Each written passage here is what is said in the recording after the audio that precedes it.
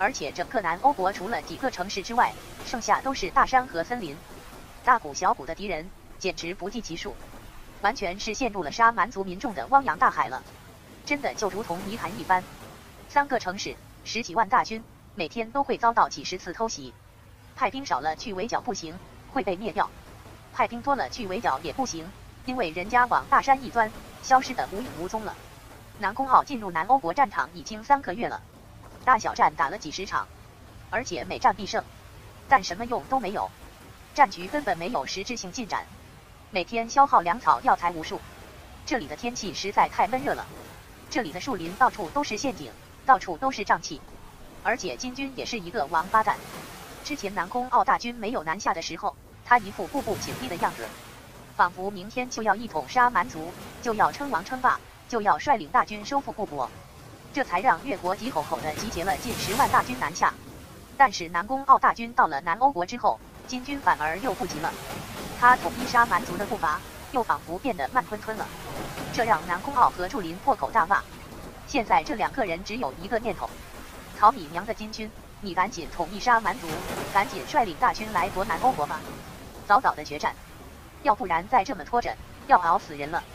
而就在八月十五这一日中秋佳节，东方世界的南部终于传来了这晴天霹雳一般的消息：金军正式昭告天下，一统杀蛮族，大南国正式成立，金军成为大南国的第一代国君。这代表着几百年来如同一片散沙的沙蛮族正式统一，东方世界再次崛起了一个大国。没错，从人口上是小国，整个沙蛮族也就只有小几百万级人口而已。但从领土上却是大国，沙蛮族领地东临大海，西接羌国，领土面积甚至比越国还要大。当然，绝大部分区域都是大山和原始森林，而且还是处于比较原始的部落，没有几个上规模的城市，甚至连大镇都没有多少。一般来说，这种大国的成立大典都是恢宏的，需要大建宫殿，需要召集各国使臣，需要册封群臣，需要大赦天下，还需要准备很多祥瑞。然而，这一切金军统统都没有。他的宫殿还是一个古老寺庙修缮的，几乎没有外国使臣，就连楚国也没有邀请。唯一称得上使节的，大概也只有大节寺的几个首领了，还有一些西域诸国的商人而已。然而，大南国的成立还是如同惊雷一般。彻底震撼了整个东方，从遥远的西域诸国，最北边的大飞国都被震得抖了机抖，而越国就更加别说了，整个越国君臣甚至万民被震得头发竖起。这一天终于来了，接下来的局面已经清晰，要么这个新兴的大南国还没有真正强大起来就被打断脊梁，要么他踩着越国的半具尸体成为南方霸主之一。而金军一旦宣布大南国成立，一旦登基为君，就一定会掀起夺回故国之战。从名誉上，只有夺回了南欧国，才算是真正的君王。从战略上，夺取了南欧国之后，才能对越国处于战略优势。果然，金军登基为君之后，几乎没有任何的庆祝大典，直接开始集结大军。十万大军，兵分几路，浩浩荡荡从大南国出发，朝着南欧国而来。宁罗公主、祝林、南宫傲不由得纷纷叹息一声：终于要来了，这一场命运大决战，终于要爆发了。当然。对于沈浪来说，他此时完全顾不上南欧国那边的战局了，因为整整两天时间过去了，木兰还没有生下来，这简直把所有人都吓到了，从来都没有见过这样的状况啊！胎位明明很正，而且阵痛很早就开始了，但就是生不下来，甚至羊水没破，宫口也没有开，完全不知道是什么原因。此时沈浪已经时时刻刻都在木兰的身边。所有的产婆和女大夫面如土色，不知所措。沈浪的母亲、木兰的母亲都已经跪在菩萨面前祈祷了。然而木兰却是越来越痛，越来越惨烈，最后完全上升到痛不欲生的地步，而且竟然开始发高烧了。她武功也算是强的了，竟然痛了几次晕厥了过去，而且身体开始虚弱。沈浪已经做好了一切准备，随时准备剖腹产，但偏偏宝宝很健康，胎心稳得很。不到万不得已的时候，真不想剖腹产。这可不是现代社会，这个剖腹产手术几乎比张冲那一次长隆手术更大。那一次张冲都九死一生，沈浪真是不想木兰冒险，能够自己生还是自己生吧。真的什么法子都试过了，甚至神秘宝宝都拍着木兰的肚子说：“弟弟出，弟弟出。”九个月的神秘宝宝原本只会喊爸爸的，婴儿费尽心思才让他说了弟弟出，结果这个调皮的弟弟还是没有出来。三天时间过去了，沈浪几乎要急疯了，甚至有三次他已经拿出消毒要为木兰进行剖腹产，但是被木兰阻止了。木兰已经变得非常虚弱，嘴唇苍白无色。夫君，我感觉是宝宝不想出来。木兰虚弱道。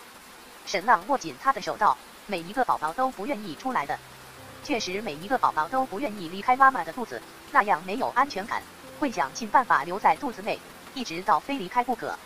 而就在这个时候，沈浪母亲把他叫了出去。大郎，当年大傻的亲母生他的时候，就是这般痛苦煎熬了几天几夜，最后他几乎咽气了，大傻才生出来。沈母道，所以很多人都说这孩子是在娘胎里面憋傻的。这话一出，沈浪几乎毛骨悚然。母亲的话透露出一个可怕的信息。当年大傻亲母几乎是死了，才把大傻生出来。生下来的同时，立刻就咽气了。那证明了什么？证明了一直到肚子里面待不下去了，他才出来。大郎，为娘爱孙子，但更爱儿媳。我们家这个宝宝恐怕不太一样。关键时刻，保儿媳更重要。你要想办法，不能再等了。神母道，你说过可以剖开肚子，万不得已的时候可以那样做，绝对不能等宝宝自己出来。他会一直耗着的。沈浪盯着母亲良久，这段话让他非常感动。我明白了。进入房间之后，沈浪直接道：“准备手术。”然后他把已经消毒过的器具再一次消毒，准备剖腹产。而就在这个时候，木兰却护住肚子，虚弱哭泣道：“夫君不要，夫君不要，你这样会吓到宝宝的。”沈浪道：“这个坏蛋宝宝这么折腾你，我一定要将他抱出来狠狠打屁股。”木兰哭道：“夫君，求求你，不要剖肚子，不要剖肚子。”沈浪道：“没有法子了，你的安危最重要。你放心，我不会让你有事的，我一定会用最好的刀法，不会留下什么疤痕的。”木兰哭道：“我不在意留下什么疤痕，但不能吓到宝宝，我能感觉到他很害怕。夫君，你再想想办法，不要剖肚子，不要剖肚子。我们宝宝和别的宝宝不一样，你剖开肚子，他会觉得房子塌了。”沈浪道。怎么可能？现在世界有多少宝宝是剖腹产的？又有哪一个觉得天塌了，房子塌了？真的，真的。木兰柔声道：“我们宝宝不一样的，夫君你相信我。你再想想办法，再想想办法。”沈浪都要急疯了，哪有办法可以想啊？一想到木兰有危险，他整个人都要炸了。结果他硬要剖腹产，木兰硬是不让，拼命捂住肚子，逼得沈浪要用强硬手段，直接将他麻醉。木兰仿佛世界末日一般的哀求哭泣，用前所未有的口气，沈浪的心几乎要融化了。而在这个时候，外面的神母道：“大郎，宝宝不愿意出来，你用针刺一下他，是不是就愿意出来了？”沈浪一愕，这样可以？太荒谬了吧！结果木兰却拼命点头道：“对，这个法子可以试试看。夫君，你眼睛不是厉害吗？你对着宝宝的屁股刺一下，千万要瞧准了。”一定对屁股刺，不要千万别刺伤了其他地方。沈浪和木兰如同连体婴一般，他眼睛的特殊功能虽然没有专门说过，但木兰也已经知道了。沈浪点头，拿出一根很细很细的银针，用 X 光眼穿过木兰的肚皮，看里面的小宝宝。小坏蛋，竟然这么折腾你娘，这么折腾的我宝贝娘子。就算你是我亲生儿子，就算你还在肚子里面，也要打你屁股。沈浪确定了一遍又一遍宝宝屁股的位置。深深吸一口气，确定自己手不会抖，确定银针刺入的深度。刺，沈浪内心颤抖，但是手却非常果断。细细的银针刺穿了木兰的肚皮，刺在宝宝的小屁股上。果然，肚子里面脚宝宝动了一下，竟然还躲了躲。结果沈浪又用银针刺了一下，半刻钟后羊水破了，宫口打开。一刻钟后，这个调皮的小宝宝生了出来，哇哇大哭。沈浪几乎瘫倒过去，神母直接坐到了的上去了。小子，你给我等着！你稍稍长大一些，我就从小逗你到大。竟然这么调皮，一点都不乖。看看姐姐多乖！恭喜姑爷，恭喜小姐，生了一个男宝宝，六斤七两，这个重量刚刚好，不轻也不重。阿鲁娜娜生出来的小王子，整整十二斤多。当年大傻生出来也有十二斤多。这个宝宝可真漂亮啊，太漂亮了，长得和沈姑爷太像了。沈浪看了臭小子一样，果然超级漂亮。刚生出来就这么漂亮，而且完全继承了沈浪和木兰两个人的优点，而且手舞足蹈，哇哇大哭个没完。刚生出来眼睛就睁得大大的，极其罕见。而且这双眼睛不仅仅是漂亮，还有一股夺人的光泽。这臭小子未来长大后，岂不是比我更加美男子？然后沈浪顺便用 X 光看了一下这个宝宝的血脉，当然他只是随便看看，不抱希望。再说我沈浪的孩子，又哪里需要多高的血脉了？练武什么的都是下等人。瞧墙外面的那个雪山老妖，无限接近于大宗师了。整个门派承包下来，一个月才五百金币。但是只看了一眼，沈浪就完全呆了，因为这个刚生出来的小宝宝是黄金血脉，而且是更加耀眼的黄金血脉。这道金光几乎要亮瞎了沈浪的 X 光眼。我我日，这咋回事？沈浪不由得抱过这个连名字都还没有的小宝宝。小家伙一直在哭闹，哇哇大叫，力气大得很，小胳膊小腿挣扎乱蹬。仿佛在发泄着不满。我在妈妈肚子里面待得好好的，那个舒服，你们为何硬要让我出来？哇哇哇哇！岳母和母亲两个人把宝宝清洗干净，然后递到沈浪的怀里。小家伙就算到沈浪怀中也不消停，还是乱蹬。而此时沈浪还处于巨大的震撼之中，完全百思不得其解。他虽然没有见过大傻的儿子，但剑王李天秋前辈是见过的。他说虽然他不会看具体是什么血脉。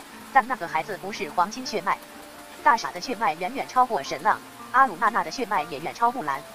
结果这两人都生不出黄金血脉的宝宝，沈浪和木兰却生了一个出来，这真是见了鬼了。沈浪不由得回忆，木兰怀孕之后确实有了不小的改变，首先变得美丽了，艳丽四射，比起原来的美丽更加上升了一个台阶。通常女人怀孕之后，有些人是会变得更加美丽，丰润而又充满光泽。但一般情况下都是怀女孩才会出现这种情形，但是像木兰这样容貌有这么明显变化的真是非常少见。还不仅如此，木兰的感知变得非常敏锐，好几次了，沈浪距离他还有很远，他就能感觉到，而且他甚至能够感知到宝宝在想什么。之前沈浪没有太在意，觉得只是怀孕综合征而已，现在看来这些情形都很特殊。沈浪盯着这个小宝宝。这个小家伙也停止了哇哇大哭，和沈浪大眼瞪小眼盯着，小嘴一点一点的，显得非常委屈。这孩子奇了，长得和沈浪非常像，极其神似，但是五官又和木兰长得像，真真是非常漂亮。血脉突变，沈浪知道这个世界的血脉是有遗传性的，但是也有血脉突变的情形，尤其是高级血脉，遗传几率反而比较低，突变的几率很高。好了，我们小宝宝已经很乖了。爸爸给咱们起个名字吧。岳母苏佩佩柔声哄道。沈浪道：“叫沈提吧。”这话还没有说完，母亲直接在脑壳上削了一下。不许埋怨宝宝，他还小不懂事的。沈浪道：“那就叫沈野。”几个女人觉得这个名字也太随便了，但沈浪已经不愿意想了。可怜的小宝宝，爸爸连你的名字都不愿意多想。乔乔姐姐，爸爸想了好几天，国君也想了好几天，结果取了一个神秘。多好听，多有意义！轮到我们小宝宝，一个野字就打翻了。这个名字我觉得还不错。沈浪道，就这么定了。神也，神也。木兰喃喃地喊着这个名字，他也觉得很不错。倒不是这个名字多有含义，而是这个名字和沈浪莫名其妙的配，特别像是父子。一个浪，一个野夫君，让我抱抱。木兰道，然后他努力地伸出手。沈浪心中一抖。因为木兰的声音还是很虚弱，而且双手都有些抬不起来。他上前将沈野小宝宝放在木兰怀里吮吸，然后他先探木兰体温，差不多已经降低到正常温度，已经不发烧了。接着感受木兰的心跳，感受她的呼吸和脉搏。然后沈浪发现了不妙，心跳和呼吸都很弱，而且木兰竟然还在不断虚弱，这怎么可能？最后的生产非常顺利呀，也没有出现大出血。怎么会继续虚弱？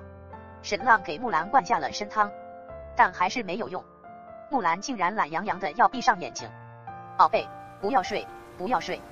此时，岳母和母亲也发现不对了。岳母苏佩佩飞奔出去，找了雪山老妖林长进来。他进来之后，直接往木兰体内输入内力，几乎算是强行推动血脉运转，但还是不行。整整半个时辰后，雪山老妖的内力耗尽了。沈浪替木兰穿好衣服后，剑王李千秋进来，拼命往木兰体内输送内力。接下来，整个玄武侯爵府的高手几乎全部倾巢而出，林长的雪山宫高手也倾巢而出。如同接力一般，不断往木兰体内输入内力。这个世界运功疗伤是没有的，但是用内力推动血脉运转却勉强可以做到。但是，依旧没有用。木兰的心跳还是越来越慢，呼吸呼吸越来越弱。沈浪想尽了一切办法，甚至连提升兴奋度的药物都用上了，甚至有成瘾性的几种药物也注射了，依旧没有用。仿佛任何手段都无法阻止木兰不断衰弱下去，生机不断消耗，整个世界仿佛都要飞下来。就这样，木兰抱着神野小宝宝，无比痴恋望着神浪，然后闭上眼睛，仿佛彻底睡着了过去。整整几个时辰，沈浪竭尽全力，整个玄武侯爵府都竭尽全力，依旧都没能阻止木兰沉睡过去，彻底长眠。有呼吸，有心跳，但是非常非常微弱，几乎细不可闻。木兰的大脑为了自我保护，让她陷入了长眠，仿佛成为了一个植物人，或者说就是一个植物人。沈浪呆呆地坐在床边上，整个世界仿佛塌了一半，一动不动。他不知道为何会变成这样，生宝宝明明是好事啊，为何会给木兰带来这样的灾难？把他抱走，我不想看到他。沈浪喊着泪道。理智告诉他不能责怪神野宝宝，但他心里还是忍不住。神野小宝宝刚才哭了好一会儿，现在还在哭，但是哭的比较无力了，声音也比较小了。苏佩佩想要安慰沈浪，却是完全说不出口。冰儿含着泪走了过来，将神野宝宝抱走去吃奶了。反正他的奶水很足，神秘小宝宝吃不完，而且神秘已经开始吃其他辅食了。只不过冰儿现在这个时候的奶水营养依旧不大够，所以需要找府上的其他奶娘。岳父、岳母、父亲、母亲李千秋站在沈浪的身后，他们都惶恐、担心、悲痛，但是他们更怕沈浪会想不开。我没事。沈浪抬起头道：“爹娘，接下来时间内，不管发生任何事情，都不要打扰我。”什么涅槃军，什么南欧国战局，沈浪统统不管了。接下来他的时间内，他要想尽一切办法救醒木兰。在他的心中，木兰宝贝比什么国家大事，比整个越国分量都要重得多。接下来的时间内，沈浪至少尝试了一百多种办法，始终无法将木兰救醒。甚至他还能感受到木兰不断变得虚弱，尽管这个虚弱速度已经放缓了，但如果这样继续下去的话，后果不堪设想。木兰不但永远醒不过来，甚至会在沉睡中停止呼吸，失去生命。整整几天几夜夜，沈浪几乎都没有睡，想尽了一切办法，都完全无济于事。不管谁来劝说都没有用。后来冰儿牵着神秘小宝宝蹒跚走了进来，宝宝竟然会走路了，什么时候的事？爸爸睡，爸爸睡。神秘小宝宝奶声奶气道。冰儿没有抱神野小宝宝过来，他知道夫君现在不愿意看到他。好，爸爸睡。然后沈浪回到自己的房间内，呼呼大睡。他也必须睡觉了，因为用医学角度已经救不醒木兰了，需要重新思考另外一个方向。这个时候尤其需要一个清醒的大脑。沈浪去睡了之后，冰儿才把神野小宝宝抱过来，放在木兰的怀里，哭泣道：“姐姐，你快醒过来吧！你若醒不过来，姑爷就完了。姑爷完了，我们这个家也完了。”睡了整整二十个小时后，沈浪醒了过来，然后他有了一个新的想法。神也是黄金血脉，所以整个成长中需要无比巨大的能量，而这个能量他完全从母体中吸取，所以完全把木兰的生机能量都吞噬了。结果木兰生下他之后，所有能量耗尽，陷入了长眠。而且幸亏是沈浪最后用针刺，否则这个宝宝还要待在妈妈的体内，吸取到最后一刻。所以这才使得木兰只是陷入长眠，而没有彻底离开世间。所以想要拯救木兰，又回归到了之前的那个命题，需要从血脉能量上进行思考，或者再准确的说，要改变木兰的血脉天赋，重新给她强大的能量，这才能让她苏醒。这只能进行血脉蜕变一条路，所以又要继续之前的实验了。于是沈浪兴致勃勃地抽取了木兰的血液进行检验，他在想着。木兰生出了黄金血脉宝宝之后，是不是就变成空白零血脉了？那样一来，一切就变得简单了。结果让他大失所望。生完了神野宝宝后，木兰的血脉能量是有了变化。原本在沈浪特殊的视野之下，这些血脉能量因子是有光芒的，但现在这些光芒都无比的暗淡，仿佛随时要熄灭了一般。但是木兰的血脉天赋依旧没有变，依旧是紫色的五道血脉天赋。沈浪尝试着用最低级的黄金血脉蛊虫注入到木兰的鲜血样本之中，结果木兰鲜血内那些本来已经暗淡的血脉能量因子瞬间大亮，然后猛地爆裂，刹那间鲜血仿佛沸腾了一般，一切都没有改变，依旧和之前一样，除了空白灵血脉者之外，其他人根本无法进行血脉改造，唯一的结果就是爆体而亡。沈浪整个人几乎又要炸了，但是很快又冷静了下来。再一次开启了新的实验，他完全是和时间在赛跑。经过了无数次计算，经过木兰的虚弱速度，他大概只有五十天左右的时间了。若五十天之内沈浪还找不到救他的办法，那就要天人永隔。那样等待沈浪的大概是整个精神的彻底崩溃。沈浪神经非常强大，可以完全无视几千几万人的死亡，但是他的精神也很脆弱。木兰的离去足够可以摧毁他的内心世界。我要救木兰。我要救木兰，不管花费任何代价，不管任何后果，我都要拯救木兰。其他的一切我都不管。接下来十天时间内，沈浪没有出门一步，每天做二十小时实验，剩下的四个小时包括了吃喝拉撒所有的事情，几乎没有人能够见到他。他做实验的时候，不能有任何人在场，否则整个人就要发飙炸开。每天冰儿去给他送饭，每隔两天时间，趁着他睡觉的时候给他洗澡换衣衫。整个玄武侯爵府失去了所有笑容。很快，金木兰生子后彻底陷入长眠，如同植物人的消息传了出去。当然，再一次，无数人旁观相信，宣称这是沈浪的报应，他活该，最好让金木兰就这样挂了。而天道会源源不断的送来各种各样的药材，各种各样的珍稀之物，但完全没有用。国君知道了这件事情后，没有派御医过来，因为他知道没有用。沈浪就是最好的医生。他用非常谦卑的口气给女儿宁寒公主写了一封信，请求她看在父亲的面上，由天涯海阁出面拯救金木兰。几天之后，宁寒回信：我不能违背天涯海阁的意志，我没有拯救金木兰的意愿。收到这封信之后，国君如同雷击，踉跄跌坐在床上，然后身体的帕金森仿佛猛烈发作一般，双手不断的颤抖。这个时候，他想起了很多。比如想起他原配妻子换长庸的时候，无人能够相救，他当时何等的绝望。相信沈浪此刻心境也是一样，不沈浪心境应该更加痛苦，因为他对妻子用情更深，而且他更加骄傲。便飞抱起国君的双手，不断的揉搓。夫君，不要生气，不要生气。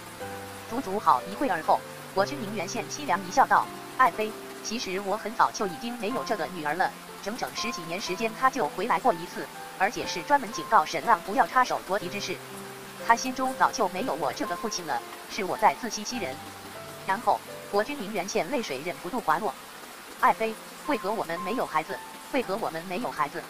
宁元宪痛哭，太子离心，宁寒离心，甚至三王子宁齐也把自己当成种氏和薛氏的代言人。便妃柔声安慰道：“夫君，我们还有正儿，他是一个好孩子；我们还有燕儿，他虽然稀里糊涂的。”但也是一个好孩子。还有沈浪那边，夫君也宽心。沈浪创造了多少奇迹，他无所不能的，一定能够救回他的妻子的。但国君还是没能止住悲伤，泪流不止。距离木兰陷入长眠已经半个多月了，沈浪依旧不眠不休，但还是无计可施。他都恨不得用锤子砸自己的脑袋，看自己是否能够变得更加聪明一些。而这个时候，太子的代表卓昭言来了。沈浪，我们做一个交易。卓昭言道：“沈浪道，说，卓昭言道，你交出骨头欢让我杀掉，把那两千三百涅盘军交给太子殿下，并且把改造灵血脉者的药剂交给我们。太子殿下可以为你向宁寒公主求情，请天涯海阁拯救你的妻子金木兰。”沈浪面孔一阵抽搐。卓昭言道：“你或许还不知道吧？陛下写信给宁寒公主，让她出手救你的妻子，但宁寒公主拒绝了。”但只要太子殿下要求，宁寒公主就会答应。沈浪依旧没有说话。卓昭言道：“沈浪，你不是很爱金木兰吗？在你心中，难道金木兰的性命还比不上那两千多涅盘军吗？还比不上那些改造血脉的药剂吗？你难道要眼睁睁看着金木兰死吗？趁火打劫吗？”沈浪忽然猛地站起，指着卓昭言嘶吼道：“杀了他！杀了他！杀了这个贱人！”顿时，一剑往里千秋猛地拔剑而出。他现在和沈浪情感已经很深了，对他的痛苦完全感同身受。当下二话不说，直接就要杀人。然而，下一秒钟，两个宗师出现了，依旧是上次和他对战的两名宗师尹元会招来的，还有四个顶级高手，时时刻刻跟在卓昭言身边的那四个顶级高手，六个人将卓昭言保护在中央。沈浪，好好考虑一下，金木兰的时间不多了。卓昭言冷笑道。沈浪平静道：“如果我娘子离开了我，我会杀一百万人以上陪葬。”哈哈哈哈哈！卓昭言离去，杀死一百万人。沈浪，你以为自己是什么？木兰昏迷后的第十七天，事情有了一点进展，不是沈浪的实验有进展，而是发生了一件事情，而是天涯海阁来了两个人，两名陌生的学士。少主派我们前来检查一下尊夫人。少主，谁？宁寒公主。他不是已经拒绝了吗？但沈浪还是让这两个天涯海阁的学士去见了金木兰。两位学士检查了金木兰的脉搏，又仔仔细细检查了她的血液，没有给出任何判断。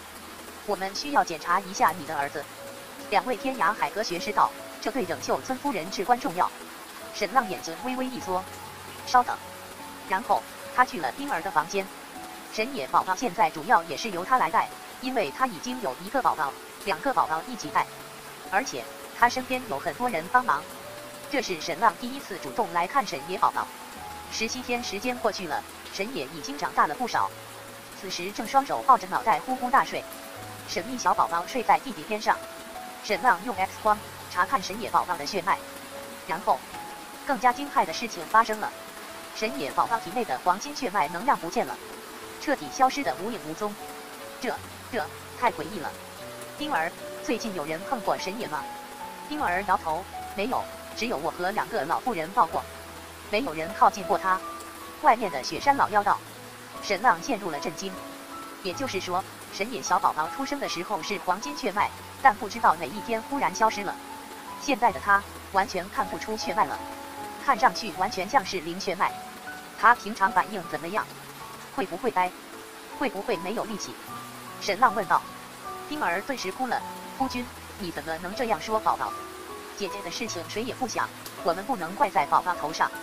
我们小宝宝好得很，又活泼又灵气，强壮得很。冰儿这一哭，神野宝宝果然醒了过来，小嘴一扁，然后哇哇大哭，大眼睛滴溜溜的转，先看了神浪，后来又望向冰儿，然后小胳膊小腿朝着冰儿挥舞，哭得更加厉害了。确实很强壮，而且普通十七天的小宝宝哪有这么狡猾？确实是超级聪明的一个小宝宝。冰儿抱起神野宝宝。送到沈浪面前道：“姑爷，你看我们小野宝宝多好，多可爱。小宝宝让爸爸抱抱。”沈浪终究没有伸手，朝着冰儿道：“你抱着他跟我来。”甚至仿佛感觉到了沈浪的冷淡，沈野小宝宝扁嘴哭得更加厉害了，甚至哭得都抽了。冰儿见状，赶紧哄着宝宝，他心疼极了，他觉得这件事情根本不是神野小宝宝的错呀，他只是一个婴儿，这就是木兰生的孩子。沈浪道。两个天涯海阁学士眼睛猛地一亮，甚至一颤，飞快上前要检查神野小宝宝。但是冰儿后退了一步：“你们不许碰宝宝，除了他的爸爸妈妈、爷爷奶奶之外，谁都不许碰。”冰儿如同护犊的母兽。两个天涯海阁学士后退半步，隔着几尺的距离观察着神野小宝宝。两人不断的打断，眼睛紧紧落在神野的眼睛、皮肤还有身体上，仿佛在寻找什么。足足好一会儿，两个天涯海阁学士道：“沈浪阁下，我们能抽一点点这孩子的血吗？”“不可以。”冰儿直接道。沈浪想了一会儿，点头道：“我自己来。”然后他拿出一个针管，刺入神野小宝宝的胳膊。这个时候，神野小宝宝反而不哭了，目光可怜兮兮地望着沈浪，扁着小嘴做无限委屈状，真的完全不像是十七天的婴儿。沈浪抽出了一点点血。他先用 X 光仔仔细细检查过，然后交给了两个天涯海阁的学士。你们可以在这里检查，但不能带走。沈浪道。两个天涯海阁学士点头，然后拿出了各种药剂进行检查。他们从兴奋激动渐渐转为了平淡，然后是失望，最后两个人都彻底冷淡了下来。但仿佛不甘心，又重新检查了两遍。然后他们给沈浪一个结果：非常抱歉，沈公子，我们无能为力。我们救不了尊夫人，告辞。然后这两人一声不发，直接离去。沈浪道：“冰儿，你带他回去吧。”冰儿道：“夫君，求求你，抱抱小野宝宝好不好？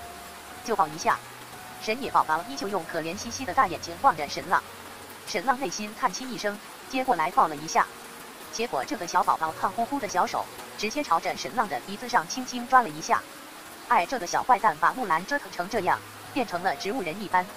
从情感上，沈浪当然责怪他，但是从某种程度上，他就是一个无辜的婴儿，他什么都不知道，一切都是凭借生命的本能。婴儿抱着宝宝走了之后，剑王李天秋走了进来。沈浪、天涯海阁这两个学士不是来救木兰的，而是有别的目的，不可告人的目的。李千秋道：“我知道。”沈浪道：“他们是专门来看神野的，他们想要期待一个什么结果？结果看到神野并没有如同他们想象中的那样拥有逆天的血脉天赋，所以失望而归了。”沈浪的话没有说完，天涯海阁居心叵测，木兰分娩成为植物人的消息传出去之后，天涯海阁忍了十几天才来。这两个学士来的目的就是看沈野宝宝是不是黄金血脉，然而没有想到，这黄金血脉竟然在宝宝体内消失了，所以结果让他们失望了。这几天沈浪光顾着救木兰，没有关注神野宝宝，也根本不能确定他体内黄金血脉何时消失的，是过了几天才消失，又或者只是刚刚生出来的片刻显示出黄金血脉，然后很快消失了。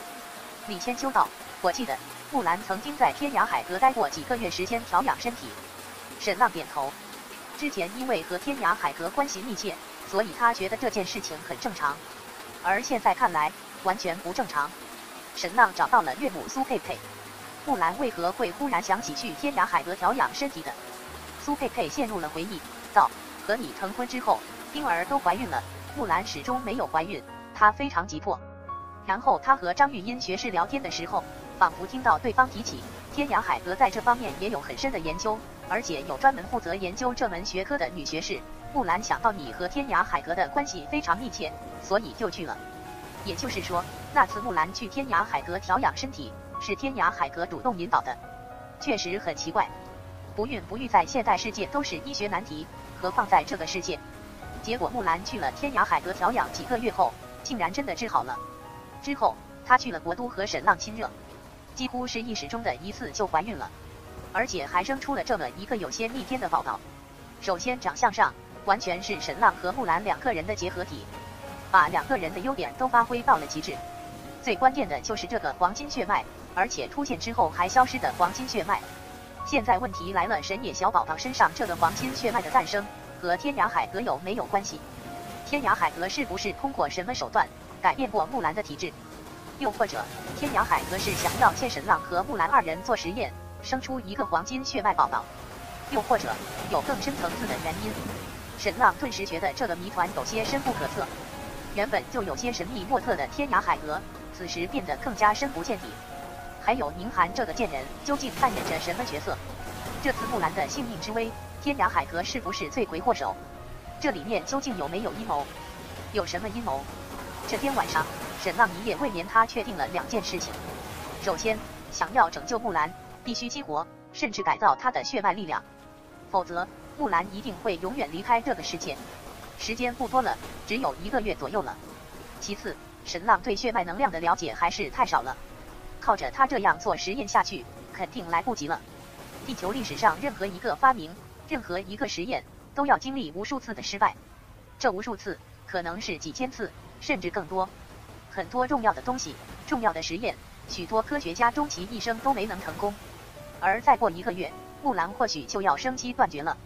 沈浪想要成功，必须得到更深层次的资料，要么来自上古，要么来自于这个世界几百上千年的研究。他有必要去一趟天涯海阁，如今很多实验都已经触及到了他的知识盲点了。想要拯救木兰，想要改造蜕变他的血脉，沈浪必须得到一些血脉典籍，比如上古典籍，又比如江离覆灭之后被天涯海阁等势力得到的秘密典籍。剑王前辈。你陪我去一趟天涯海阁，现在就去好吗？剑王李千秋点头道：“我给你赶车。”这次剑王李千秋赶车的速度非常快，而且是三匹骏马拉动的马车。仅仅一天半后，沈浪再一次来到了天涯海阁的面前。上一次来是近两年前，当时还真的如同朝圣一般。而这一次，天涯海阁依旧矗立在海边，在淡淡浓雾中，美轮美奂，知识的殿堂，文明的堡垒。但此时，在沈浪的眼中，就仿佛《西游记》中孙悟空和唐僧进入假雷音寺一样。当时唐僧千辛万苦，十万八千里，觉得自己终于到达了西天，到达了雷音寺，能够求取真经了。而当时的寺庙同样是庄严恢宏，那里面的佛陀菩萨每一个都宝相庄严。然而一切都是假的，里面所有的菩萨，甚至包括如来佛祖，都是妖怪假扮的。沈浪上前敲门，天涯海阁大门开启了一个裂口，露出了一张面孔。这是一个熟人，两年前就是他接待的沈浪。沈浪完成了几个大难题，被他惊为天人，关系非常密切亲热。而此时他仿佛完全不认识了沈浪一般。何人何事？沈浪道：沈浪前来见某些典籍一关。沈浪，那个学士道：天涯海阁不欢迎你，请你立刻离去。然后直接房门关闭。沈浪大声道：请你转告宁寒那个贱人，让他出来，我要和他做一个交易。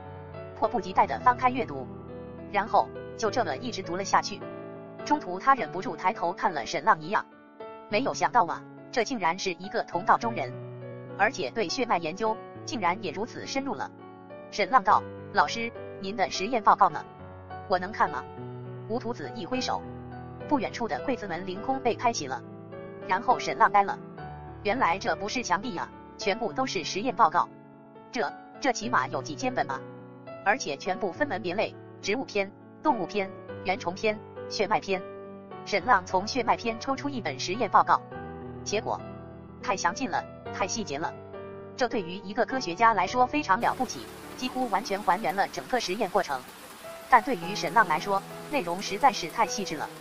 他需要的是一本教材，而不是一个超级学霸的课堂笔记。他没有时间了。稍稍犹豫后，沈浪道：“老师。”有一个问题，我想要请教您。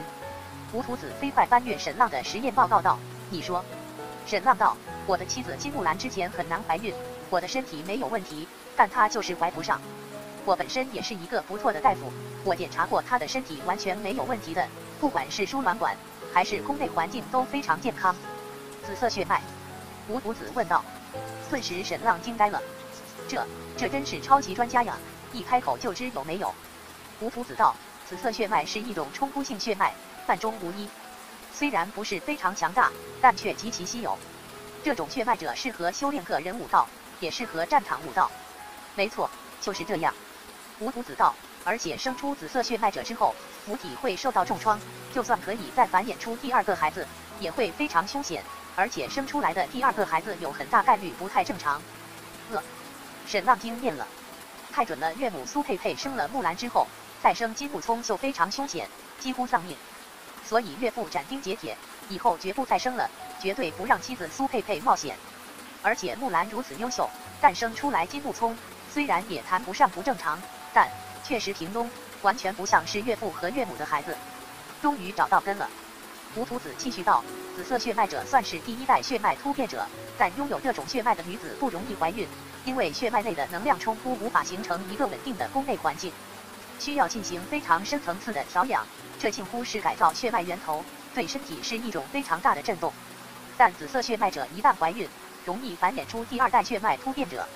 第二代血脉突变者是黄金血脉吗？沈浪道。吴谷子摇头道：不，黄金血脉太难了。所谓的第二代血脉突变者，并非黄金血脉，而是接近于黄金血脉，但也是一种非常强大的血脉。黄金血脉的孕育在几十年前确实成功过。但早已经失传，浮屠山和天涯海阁千方百计想要制造出新的黄金血脉，全部失败了。沈浪道：“您知道这个世界上有黄金血脉吗？”吴屠子道：“大傻是吗？”沈浪道：“不管是天涯海阁还是浮屠山，仿佛都没有去动它。”吴屠子道：“他太珍贵了，我们为他这个人专门召开过会议，自由成长，不得干涉。”沈浪将信将疑。吴屠子道。你是说我们会垂涎他体内的黄金血脉能量，用来做各种实验？那你多虑了。不管是天涯海阁还是浮屠山，虽然孕育不出活的黄金血脉者，但是黄金血脉能量标本却是不缺的。江离跌倒，所有人吃饱。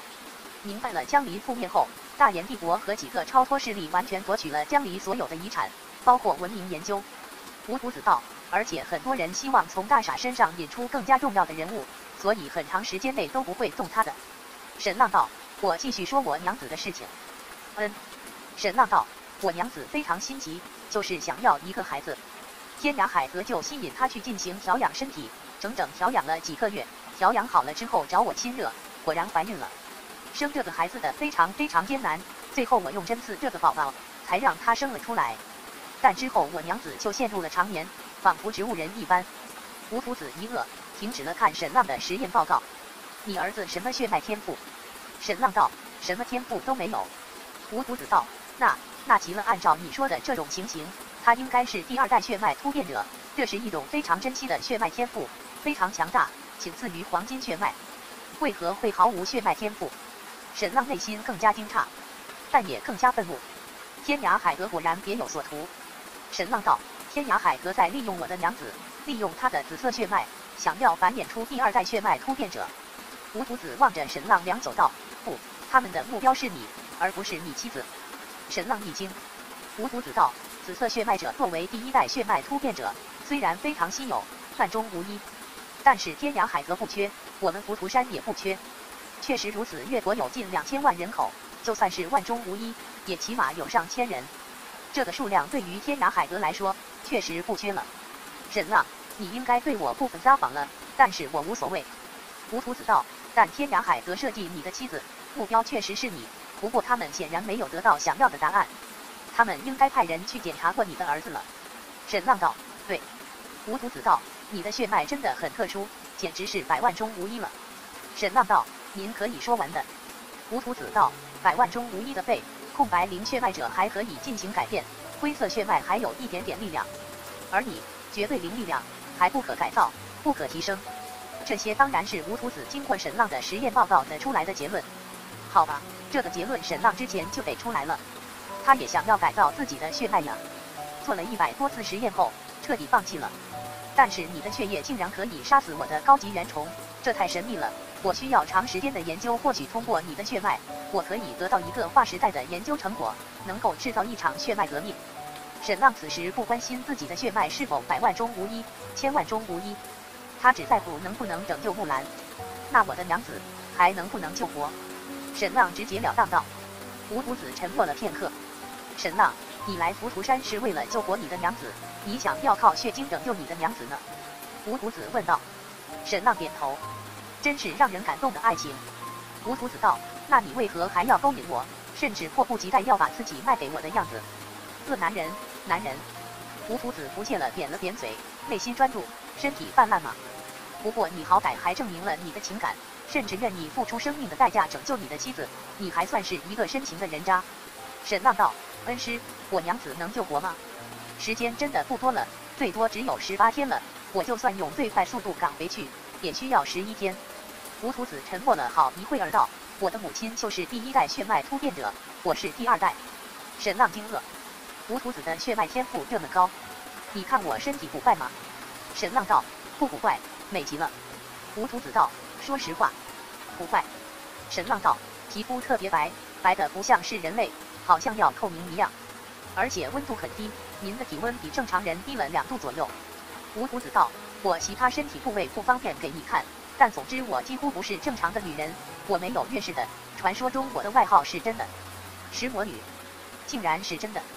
吴徒子道：“我的血脉天赋很高，但是我不太喜欢练武，我喜欢进行各方面的研究。结果就算不怎么练武，武功也依旧很高。日又来这一套，人比人气死人。”吴徒子道：“我的父亲是浮屠山长老，所以某些方面的条件比你好很多。我母亲生完我之后也陷入了长眠。”我父亲想尽了一切办法，维持了他三年的生命，植物人一样的生命，然后他依旧离去了。这个信息几乎让人绝望，完全没有想到吴徒子的母亲竟然和木兰的遭遇一样，哪怕以浮屠山的能力，也没能救活他。沈浪道：“我的儿子一切都正常，他不像您这样。”吴徒子道：“所以很奇怪，但是你妻子的状况和我母亲一模一样，我父亲作为浮屠山长老都无能为力。”那意思非常清楚，当年吴徒子的父亲救不了他的妻子，现在沈浪也绝对不可能救得活金木兰。沈浪感觉到有些无法呼吸，深深吸了几口气，他沙哑道：“老师，我想要借阅写经。”他绝对不会放弃，他有智脑，还有现代地球几千年的科学文明。当年浮屠山长老做不到的事情，他未必做不到。吴徒子望着沈浪道：“你想要研究血精找到拯救你妻子之法？”沈浪点头。吴徒子道：“你不用去阅读血经，我可以直接告诉你，这种情形在血经的第一册三百二十五页里面有记载，称之为第二代血脉突变者之繁衍后果。”沈浪道：“那里面无解吗？”吴徒子道：“有解，你是一个了不起的医者，所以我的话你应该能够听懂。”沈浪道：“您说。”吴徒子道。你妻子现在的血脉能量完全陷入沉寂，处于绝对的生机亏空。沈浪点头道：“对，我检查过她的血液，通过特殊的光发现她血脉能量处于极其的暗淡，就仿佛临死之前的萤火虫，已经放不出光芒了。”吴徒子道：“这根源在于髓，而不在于血，髓才是血脉之源。”这点沈浪当然能够理解。人体血液中所有不同的血细胞，都是来自于肝脏、骨髓和胸腺里的始祖细胞。多能干细胞及由此移行的定向干细胞，这就是人体血液产生的基本道理。无独子道：金木兰的髓已经失去了制造血脉能量的能力了，所以它的血脉能量不断在消耗，却不再产生。这下子沈浪彻底明白了，知道了问题的根源所在。无独子道：在上古典籍中，当时很多人类为了挽救他们的妻子，付出了无比巨大的努力，用了整整几百年时间，终于克服了这个难题，制造出了一种叫做洗髓清的东西。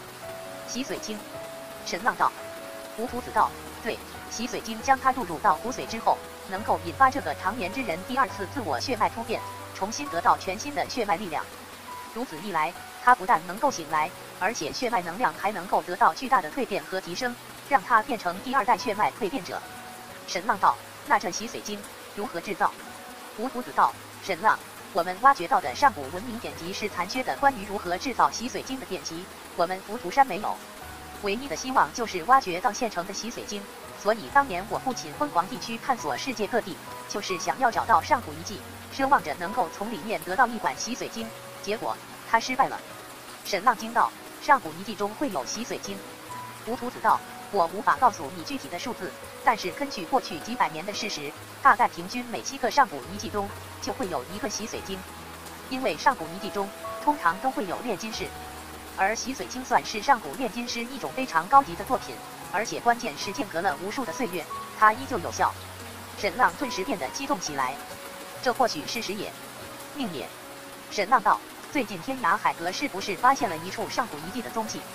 吴徒子道：“对，天涯海阁最先发现，然后浮屠山。”悬空寺、诸天阁等势力也陆续发现。沈浪道：“现在这个上古遗迹被开启了吗？”吴徒子道：“没有。”沈浪道：“找不到入口吗？”吴徒子道：“找到了入口，但是开启不了。”沈浪道：“那天涯海阁发布的那个千年难题，是不是和上古遗迹的入口有关？”吴徒子道：“可能，我不太关心这个。但是山长亲自带领浮屠山弟子在那个上古遗迹处，尤其重视。”沈浪道：“老师。”这个上古遗迹是不是对浮屠山非常重要？吴徒子道：当然，因为每一次上古遗迹的开发，都可能意味着一场革命。每一个超脱势力一旦错过两三次上古遗迹，那也意味着距离没落不远了。沈浪道：那浮屠山？吴徒子犹豫片刻后道：错过两次了，这次无论如何也不能错过了。没错，浮屠山已经错过了两次上古遗迹，但是江离陛下倒下后，浮屠山获利巨大，所以还能支撑住。算来大劫寺算是百年来第一个没落的超脱势力。沈浪道：“那这个上古遗迹在哪里？”吴徒子道：“南部海域。”沈浪道：“距离天涯海阁很近，不算远。”沈浪激动道：“老师，或许我知道开启这个上古遗迹之法。天涯海阁发布的这个千年难题，我能解。那确实是一个千年难题，就算在现代地球，也被誉为是三大数学难题。全球数学家。”科学家用了几百年时间才解开。老师，我能够代表浮屠山解开这个难题，开启这个上古遗迹的入口。沈浪颤抖道：“到那个时候，我们浮屠山就得到了这个上古遗迹，这完全是百年不遇的机遇，是我们浮屠山击败天涯海阁的机会。浮屠山已经错过两次上古遗迹了，如果错过这第三次，那境遇就比较危险了。距离下一次上古遗迹的发现，不知道要猴年马月。”如果这次依旧是天涯海阁开启了这个上古遗迹，那浮屠山没落的危险就大大提升。这个上古遗迹对浮屠山的重要程度完全是战略级的。老师，我只要洗髓精神浪道，你立刻带着我去见浮屠山的主人，我们立刻去开启这个上古遗迹的入口，狠狠在天涯海阁的脸上扇一个耳光。老师，时间必须快，我们的时间不多了。无徒子望着神浪，点头道：“好，我带你去。”老师，我能问一下雪隐神女和钟楚客大宗师在哪里吗？无徒子道：“我知道这两个人，也知道这二人来过浮屠山，但究竟在哪里，我确实不知道，因为这不归我管。”沈浪信了，眼前这个无徒子是绝对的科学狂人。恨不得一天二十四小时待在自己的实验室内，确实没有心思去管别人的闲事。无徒子这就要带着沈浪去浮屠山的中间大岛，结果刚刚走出了你几步，便又停了下来，因为有人来了。果然，外面响起了一个男子的声音：“无徒子长老，那个沈浪还活着吗？”瞧这话问的真是太直接了。无徒子走了出去，小岛的码头上停了一艘船，船上站着五个人，一个白袍，四个黑袍。罗巡查使，无徒子道：“何事？”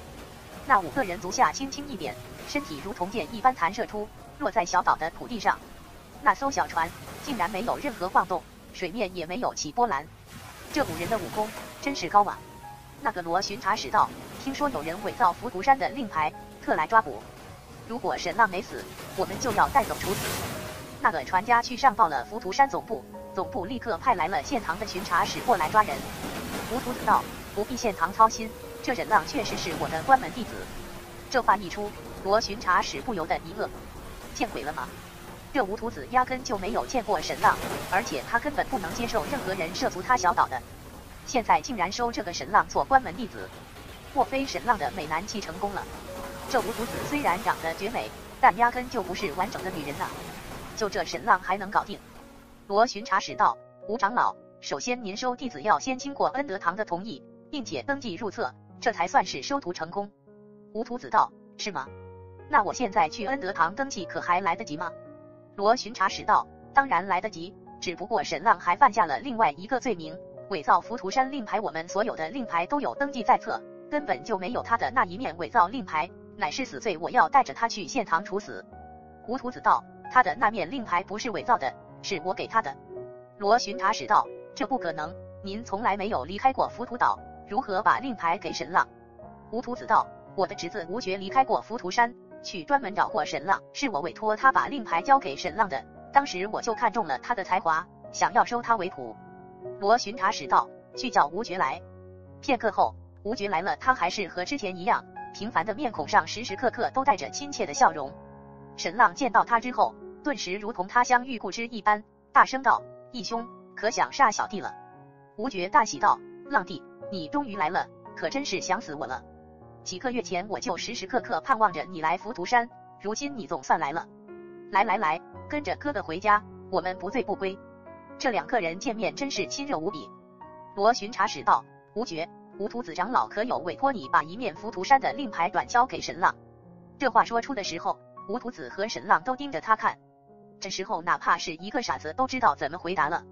吴觉一愕道：“没有啊，姑姑，你没有让我转交什么令牌呀？看看，这就是塑料兄弟情。当然，对于这点，沈浪半点都不意外。当他的实验记录出现在尹元会那里的时候，他应该就能想到吴觉扮演的是什么角色了。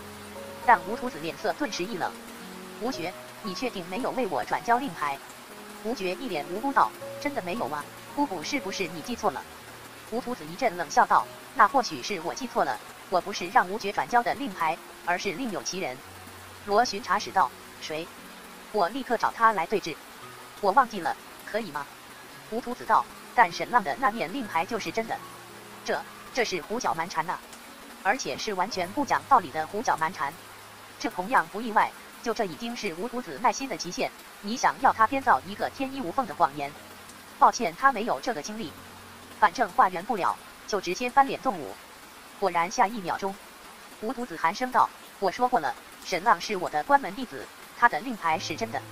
现在，请你们立刻离开我的岛屿，否则就怪我下手无情。”他左臂微微抬起，袖子花落，露出了雪白的玉臂，阳光照射之下，真的如同透明了一般。顿时，后面的花圃变得无比艳丽，几百几千只蝴蝶飞了起来。这一幕，沈浪活生生惊呆了。我，我日，这些花竟然不是花，而是蝴蝶！我说了，刚才看着这些花非常不对劲，显得尤其妖艳。这几千只蝴蝶在空中飞舞，释放出无比危险的气息。很显然，有剧毒罗巡查使道：“无徒子长老，您不要让我难办，我只是在履行现堂的职责。无徒子道：“我说了，要么滚，要么死。”恶罗巡查使无奈，犹豫了片刻道：“无徒子长老，您的这种行径是触犯了浮屠山规的，严重者可要被剥夺长老之位的。我这就去现堂的孔长老，请吴长老三思。”滚！罗巡查使无奈离去。吴觉道：“浪弟，那哥哥先走一步，等这边事情处理完毕，一定要去我家里喝酒吗？”沈浪亲热道：“一定，一定，义兄，见到你真高兴。”吴觉道：“我见到你才高兴呢。”浪弟告辞，一定要记得去我家呀！我酒都给你温好了，菜也要炒好了，还高兴呢？你这都要置沈浪于死地了，还高兴呢？一众人走了之后，吴屠子手放了下来，所有的蝴蝶回到花圃中，看上去又仿佛是艳丽的花瓣。吴徒子和沈浪就静静在等着，他没有任何要开口的意思。沈浪忍不住用 X 光检查他的身体，刚才他说过，她并不是完整的女人，甚至没有月事。而且是石魔女。沈浪扫描她的身体后，发现她腹部内有正常的宫房，也有正常的卵巢，但是较正常女人都要小，就仿佛没有发育完全一般。而且她的血脉天赋果然很高，不是金色的，像是红色，但又像是橙色，甚至还有些游离不定。你这是在观察我的身体吗？吴图子道。沈浪点头。吴图子道：别费劲了，我自己检查过不下一千遍了。沈浪道。所有第二代的血脉突变者都是这样的吗？吴图子道：几乎所有的第二代血脉突变者都不大正常，但每一个人的不正常也不一样。接着他道：你应该听说过我击碎相亲者一颗蛋的故事吧？当然听过，甚至还因为做了几场噩梦。这件事情是真的。吴徒子道：但是朱天阁的那个垃圾是故意的，他明明知道我不正常，却故意向我求亲，其实是在羞辱我。我只踢碎他一颗蛋，已经非常脚下留情了。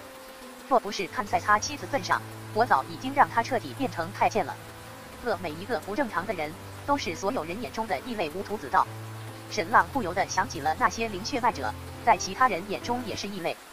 不过眼前这个异类尤其强大，也尤其狠毒，可以用这个词来形容吗？应该说是冷酷。在他眼中，人类性命和那些用来实验的小兔子、小老鼠没有什么区别。差不多半个小时后，又来了一艘小船，吴觉没有来。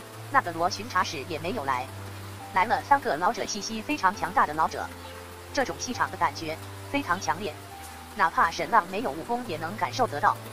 刚才罗巡查使五个人在的时候，气场完全被吴徒子一个人压制住了，而现在整个小岛上的气场完全被这三个长老压制住了。师妹，不要胡闹，把人交出来。其中一个老者道。吴徒子目光一寒，二话不说，两只手举起，呼。顿时，所有花圃的几千只蝴蝶飞起，然后更加惊艳的一幕出现了，所有树林的树叶也飞了起来，也全部都是蝴蝶，几万、几十万只，遮天蔽日，在空中盘旋。这一幕真的把沈浪震得头皮发麻。然而，这仅仅只是开始，片刻之后，地面开始涌动，无数的毒蛇从地下钻了出来，几千、几万条，甚至更多。这些毒蛇缠绕在一起，竟然组成了一道墙。拦住了三个浮屠山的大长老，涌动的黑色城墙，天空几十万只的蝴蝶不断盘旋，这个画面简直比任何电影都要惊艳绝伦。吴徒子恩师啊，我我真是小看你了，你这本事真是牛逼啊！难怪这个岛上一个人都没有，你不愿意别人来，别人也不敢来呀，甚至都不大愿意踏上这片岛屿，鬼知道你有多少毒虫啊！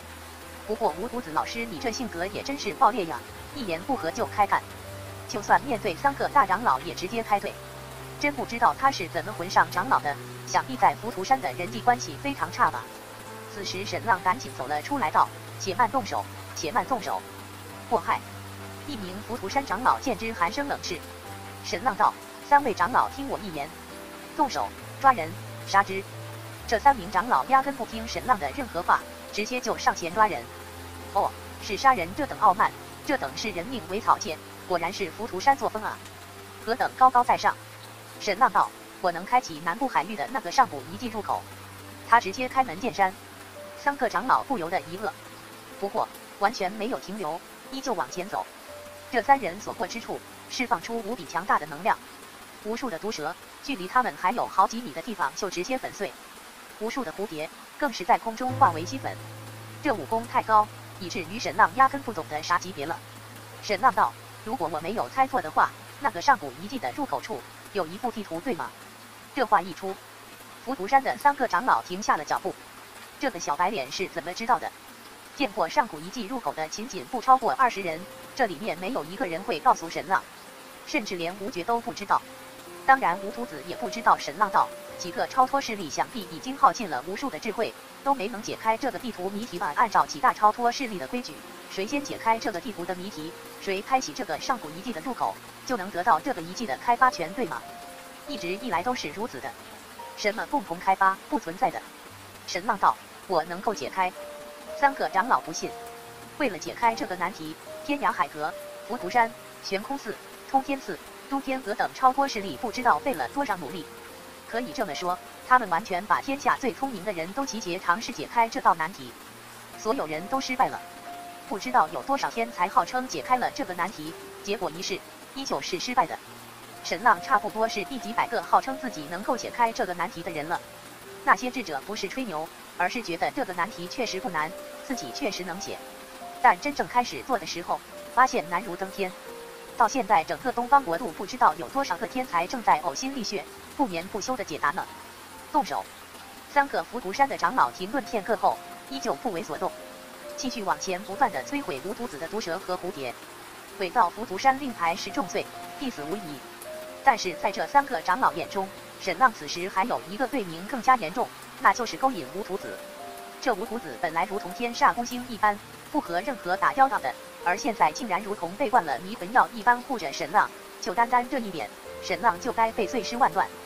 吴屠子忽然道：“三位长老，让沈浪试试看，如果他解不开上古遗迹入口难题，我就辞去花木堂长老之职。”这话一出，三位长老一惊：沈浪这个小白脸如此了的吗？短短不到一个时辰，就把吴屠子迷得神魂颠倒了。为了他，吴屠子竟然愿意辞去浮屠山长老的职位，此人就是个祸害呀！雄性祸水。不过，比起一个小白脸的性命，花木堂长老的位置显然珍贵的多。三个长老对视一眼，一言为定，半个时辰后出发。然后，三个长老退去，吴屠子后退半步，脚步微微有些踉跄。所有的毒蛇散开，钻回到地里；所有的蝴蝶返回到树林，该扮演树叶的继续扮演树叶，该扮演花瓣的继续扮演花瓣。沈浪也不敢置信望着吴屠子，他也被惊呆了。恩师啊，咱俩之间没有那么深的交情吧？花木堂长老是继承我父亲的位置。吴屠子道：“我这个长老名不副实的，从来都没有去访过事，我没有离开过这个岛半步。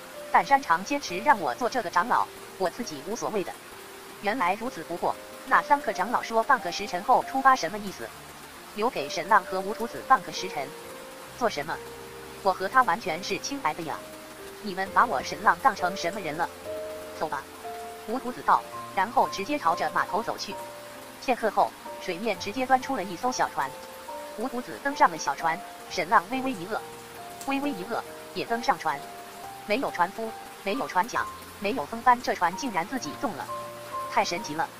沈浪低头一看，发现水中有三条大水蛇，正拉着小船往前游。每一条水蛇大概有六七米长。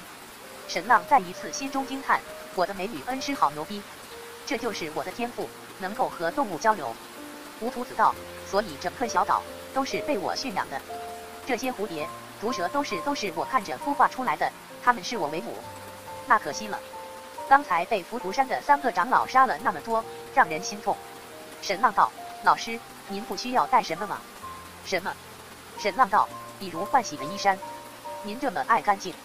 吴屠子几乎是沈浪见过最最干净的人，简直是有超级洁癖症。不需要无图子道。片刻之后，又有一艘小船追了上来，船上挂着一面旗，写着“县字。这应该就是浮屠山剑堂长老了。他身后跟的竟然是吴觉。义兄，你也去吗？沈浪无比欢喜道。吴觉态度依旧很亲热，道：“对呀，我实在不放心姑姑和浪弟，就主动请缨，顺便一路侍奉孔长老。浪弟呀，我们又能千里交谈了。塑料兄弟情，塑料不知情，简直演绎到了极致。”我若辞去花木堂长老，接任的是吴绝的父亲，也就是我的兄长。吴屠子道：“哇，又多了一段塑料兄妹情。”接下来，两艘小船一前一后，沈浪和吴绝隔着好几米，无比热情的交流，那架势简直比亲兄弟还要亲。十几个小时后，沈浪乘坐的小船再一次来到了福海入口的码头。剑王李千秋依旧等在这里，正心急如焚。浮屠山太危险了，沈浪这一去，真的怕死无葬身之地呀。结果抬头一看，沈浪回来了，而且身边还坐着一个绝美的女子。这，这就是吴屠子，还真的被他搞定了。这等手段，真是让人叹为观止啊！我们这等农民的后代，真是学不来，学不来的。离开福海，回到了陆地，这趟浮屠山之旅就算是结束了。总共在浮屠山待的时间不超过三个小时。浮屠山什么样？不知道，因为沈浪压根就没有到了浮屠山门派的主导，就只是远远眺望了无比之高的浮屠山孤峰。而且浮屠山的人他拢共就见了十个人而已，真的比盲人摸象还不如。但就算如此，浮屠山的强大、神秘、高高在上，已经在他心中留下无比深刻的印象。毒蛇组成的小城墙，无数蝴蝶组成的花圃，组成的树林。简直离奇的不真实。回到陆地上后，已经有两辆华丽的马车等在这里了。沈浪恬不知耻的坐在马车里面，而且和吴屠子一辆马车。剑王李千秋朝着那车夫道：“兄弟，要不然还是我来赶车吧，这行当我熟。”饿好吧，两辆马车不断南下，挂着浮屠山的旗帜。这还是沈浪第一次见到这面旗帜，一点都不威武。蓝色的丝绸上绣着很多浮游，还不如天涯海阁呢。天涯海阁的旗帜也很简单，就是一朵云。这群超脱势力太爱装低调了，这旗帜看上去不威武，实际上非常威武。两辆马车所过之处，都变成了无人区一般。不是因为挑无人之地行走，而是有人见到这两辆马车的旗帜后，驱散填走了所有的人群。或者说，不管哪个国家的人，对浮屠山都避之如蛇蝎。看到这面旗帜之后，远远就避开了，没有任何盘问，没有任何关卡。轻而易举地穿过了楚国境内，堂而皇之走在官道之上。若不是因为官道上有很多新鲜的车辙和马蹄印记，沈浪真怀疑这片地区的人都死绝了。穿过羌国的时候，同样如此。之前来的时候，整个羌国草原经常能够看到呼啸而过的骑兵。这一次南下的时候，按说能够看到更多的，结果一个骑兵都没有看到。结果一问，沈浪明白了，因为浮屠山事先把路线图交给了楚国、越国、大南国。南欧国，然后这个线路上就不会有人了。这不是巴结，而是一种避讳。比如楚王和浮屠山的关系就谈不上好，越王也是，姜王阿鲁纳纳更是没有任何要巴结浮屠山的意思。这就仿佛在东南亚的一些国家，有人看到一群和尚经过，本能的避开，让出整个道路是一个道理。南下的速度非常快，浮屠山的马车穿过了羌国后，进入了金军的大南国，沈浪看出不同了。大南国的金军也收到浮屠山送来的路线图了，但是并没有遣散人群。沙蛮族的大军依旧大摇大摆地从边上经过，甚至还不断观察这两辆马车，但是同样没有人上来拦截盘问，就仿佛当浮屠山这两辆马车不存在一般，而浮屠山也当这些沙蛮族军队不存在。双方井水不犯河水，倒是沈浪非常诧异，真是没有想到啊，自己和金军还没有交手，倒是先穿过他的大南国了。而且还看到了他的军队在行军，金军的十万大军正朝着南欧国而去。沈浪此时近距离看到了这支军队，个子不高，甚至谈不上很强壮，但真的很彪悍。每一个人身上肌肉如铁一般，看上去瘦，但却充满了绝对的爆发力。每一个士兵看上去装备很差，其实战斗起来威力很强。大多数沙蛮族穿的是藤甲和草鞋，手中拿的盾牌也是藤甲，背的弓看上去也不精致。甚至个头不大，倒像是一支原始部落的军队。然而沈浪知道，这藤甲其实很坚固，尤其这藤甲盾牌，普通弓箭根本射不穿，刀子砍在上面也只是留下一个身影而已。还有他们的弓看上去粗糙无比，但却很强，弓臂很粗，都是用一整根木头弯曲而成的，差不多有一半左右。这对于大规模军队来说已经是超级强攻了，至少比越国的弓更强。还有他们手中的刀子。看上去比较古怪，弯刀不像弯刀，砍刀不像砍刀，但都是西域之源的上好钢铁，非常坚韧锋利，知己知彼，百战百胜。对于沙蛮族的装备，沈浪是认真研究过的，并且得出了一个结论：不好看，但是很好用。而且这些沙蛮族士兵行军的时候，未必走道路，反而选择翻山越岭，完全不知道疲倦，如同猴子一样灵活，尤其奔跑起来那瞬间的爆发力，真正纵如脱兔。嗖嗖嗖嗖，一路上沙蛮族大军有专门的狩猎队伍，在丛林之中飞快狂奔，在树木中跳跃，手中弓箭纷纷射出，快如闪电，甚至你还没有看到猎物的身影，就已经倒地毙命了。这些狩猎队的剑法高超，在快速奔跑中，他们能够射中奔跑的兔子、游走的毒蛇，甚至在林中穿梭的飞鸟。剑王李千秋不由得和沈浪对视了一眼，杀蛮族武士果然名不虚传。越国有大麻烦了，马车飞快穿过了大南国的东部区域，进入了南欧国境内。这里又是另外一番景象了，越国十五万大军，浩浩荡荡，无边无际。南宫傲、宁罗公主、祝林大将军依旧在调兵遣将，无数的民夫正在疯狂地修建防线和堡垒。南欧国的三个城池之外，密密麻麻，到处都是堡垒，都是沟壑，整个南欧国都变成了巨大的战场。这还是沈浪第一次身临其境到巨型战场上。比他想象中宏大的多，甚至比电影中的场面还要巨大。十几万大军，十几万民夫，防线延绵几百里。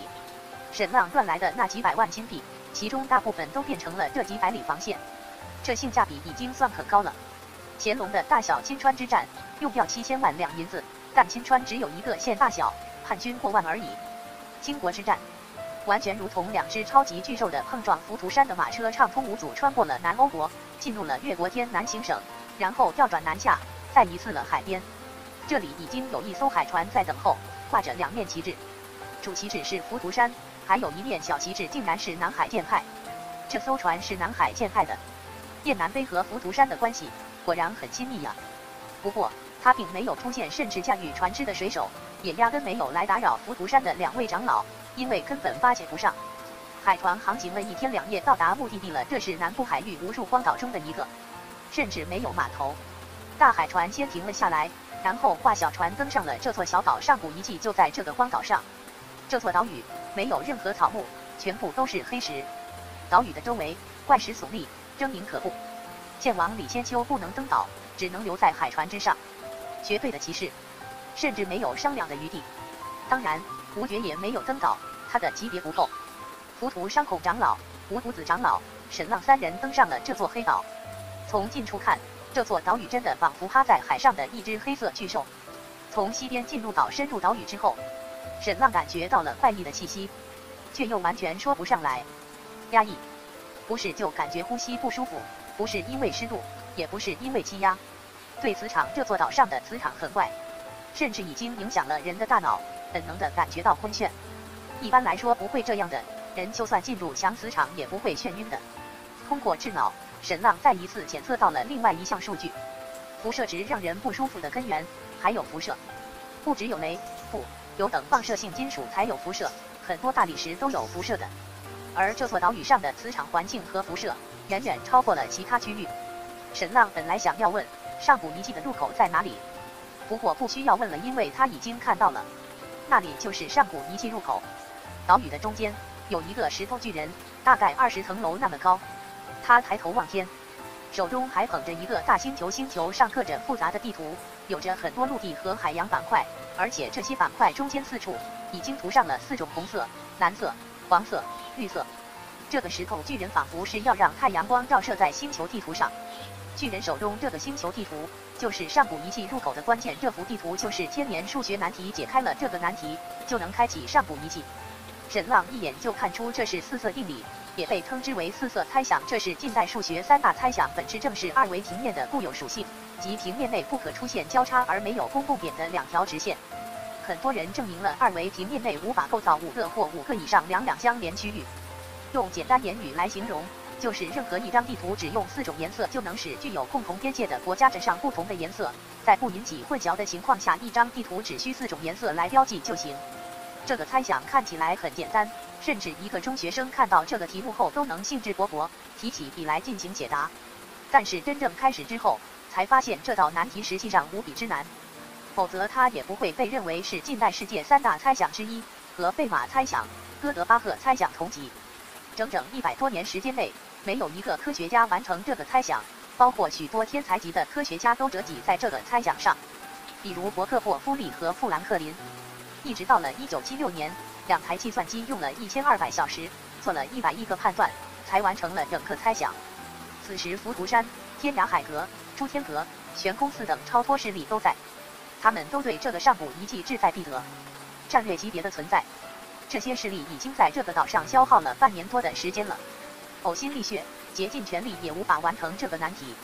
宁寒公主也来了，她此时依旧在绞尽脑汁，在纸上进行演算。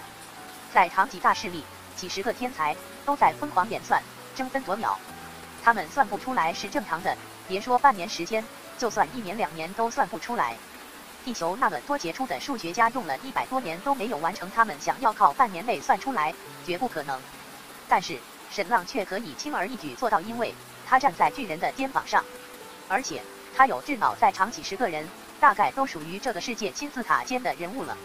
几个超脱势力的主人，还有他们的传人，以及最聪明的人都在这里了。沈浪不知道这些人谁是谁，也没有人为他介绍。沈浪的到来没有引起任何人的注意，包括宁寒公主在内，他甚至头都没有抬起来过。沈浪大概注意到，整个天涯海阁大概来八九个人左右。祝玉音并不在，显然以他的身份并不够资格出现在这个地方。你们在这等着。县旁的孔长老道。然后沈浪和吴徒子就留在原地。孔长老前去禀报，那人就是浮屠山的主人，显得非常年轻啊。孔长老禀报之后，那人朝着沈浪望来一眼，然后点了点头。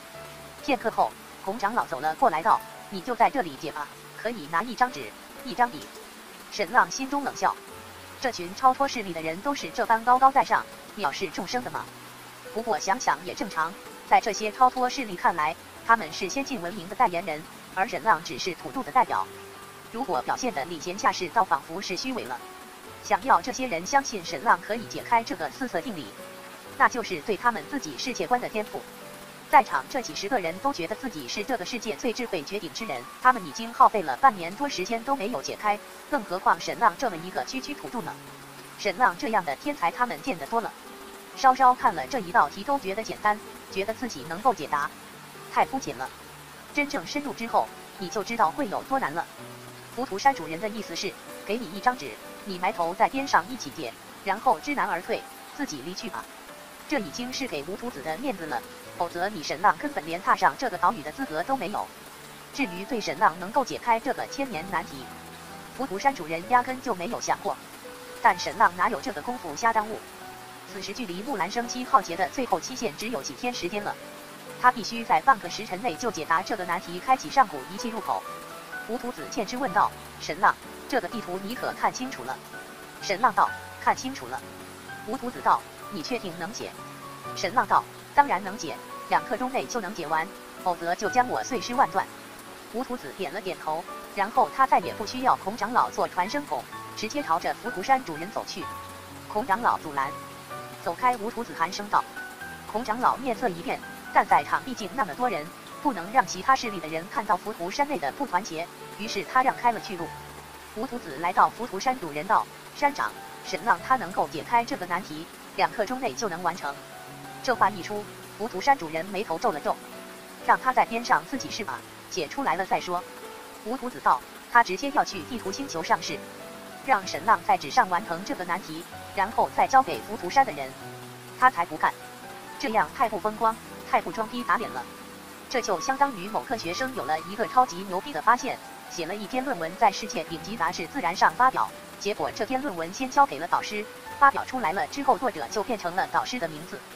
听到吴徒子的话后，浮屠山主人一个，这沈浪这么不知道天高地厚吗？你现在可是代表我浮屠山出手的，你这一上去如果没有完成，岂不是丢了我浮屠山的人吗？不行，浮屠山主人道，兔子，你好不容易收了一个徒弟，我很高兴。不管他使了什么手段让你这么护着他，但若再这么不懂事，就让他离开。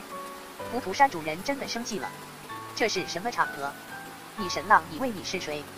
把在越国撒泼的那一套也用在了这里，你以为我是宁远县，会这么纵容你？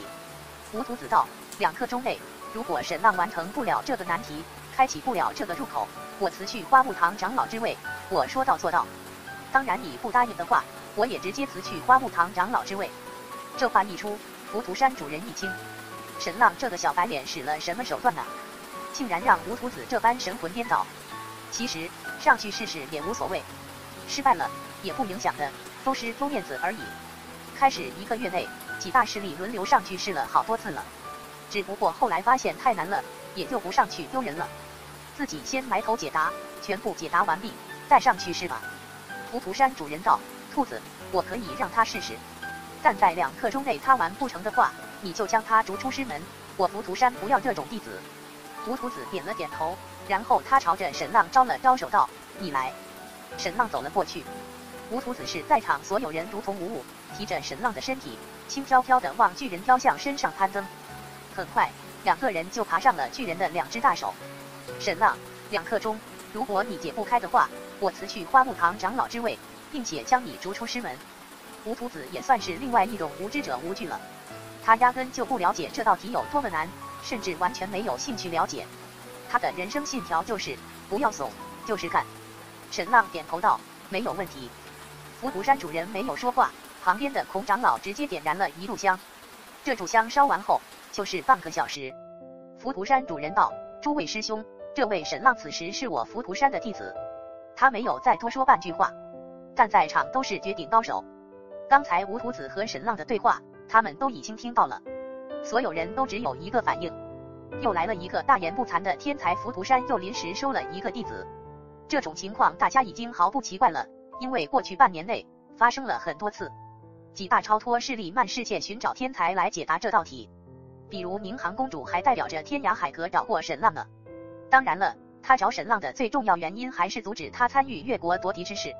很多外援天才一开始看到这个题目，感觉很简单，我轻而易举就能完成。沈浪说两刻钟，还有其他更傲的天才直接喊一刻钟，大家已经见惯不惯了。像沈浪这些不知道天高地厚的土著天才，如同坐井观天的青蛙一般。通过这些外援天才的表现，几大超脱势力一致肯定，这个世界真正聪明绝顶的人都在几大超脱势力之内，因为大家受的是上古高等文明的熏陶，和这些土著完全不可同日而语。所以稍稍看了沈浪一眼之后，在场所有人便没有理会，继续埋头解答。不能把时间浪费在这种坐井观天者身上，出丑又有什么好看的？包括宁寒公主在内，他对沈浪的智慧是有所了解的，甚至了解的还很深。毕竟沈浪可是解答过天涯海阁放出去的超级难题，而且还有一个天残棋局。但是，但是那一道超级难题对于宁寒来说根本就不是问题，祝宁也在很短时间内解答出来了。而那个天残棋局，非常不好意思，这个棋局就是宁寒和另外一个天涯海阁长老琢磨出来的，所以在智慧上。他依旧是藐视沈浪的。沈浪此人就算再聪明，但毕竟没有受过高等文明的教育，依旧属于蛮荒土著。而眼前这个上古遗迹入口的四色定理难题，绝对不是异想天开就能够解开的，更不是灵机一动就能豁然开朗。它需要大量的计算，需要整个天才大脑疯狂的运转。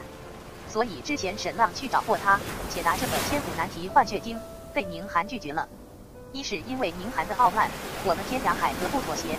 既然把你沈浪列为不欢迎来往对象，那就绝对不会为了任何利益而改变自己的立场。二是宁寒在智慧上的自负，像沈浪这种天才他见得多了，如今说出两刻钟内要解答出这个难题，更加证明了他的肤浅。所以在所有人眼中，沈浪的这次挑战如同其他土著天才一样，都是小丑行径。只不过没有人会笑话他，这群人都是金字塔尖的人。怎么可能会公然嘲笑人？岂不是显得太肤浅了吗？彻底无视便是了。这里好高啊！沈浪此时站在巨人的双手上，这双大手足足有几十平方米。巨手捧着的这个星球，直径两米左右。沈浪仔细观察这星球，不是地球，甚至也不是这个世界，很陌生的星球地图。检查了两遍之后，沈浪不由得叹为观止，真是牛逼啊！这个星球上地图的布置，简直是将四色定理的难度放大到了极致。整整几百个不规则的板块，有些板块互相深入、互相交融，完全不像是正常地图，太诡异了。完成了这个星球上的涂色，虽然不能说完全证明了四色猜想，但也几乎完成了百分之九十九点九九九九了。接下来，沈浪就要用四种颜色分别涂上这个星球地图的每一个板块，绝对不能用第五种颜色。而且任何相邻的板块都要是不同的颜色，这看上去真的很容易，仿佛小学生都能完成。但真正开始操作的时候，简直让人绝望。尤其是眼前这幅星球地图，完全是为了这个定理而制定的。整整几百个板块地图交叉纵横，也就是说，总共会超过上百亿个排列组合，但只有一种是正确的。所以这几大超脱势力想要彻底证明四色猜想的话，几十年都不够。但想要完成这个星球的涂色，沈浪大概想了一下，集结几百人来演算，用排除法，几年之内或许能够完成。如果没有智脑，让沈浪来做呢，或许需要十年吧，甚至更久。但是在一九七六年，两台计算机用了一千二百个小时，而沈浪的智脑运算速度是那两台电脑的几千万倍都不止了。所以他将这个难题输入了智脑之内。仅仅几秒钟时间，答案出来了。几百亿的运算，对于智脑来说完全是小意思。接下来，沈浪拿起大毛笔开始涂色。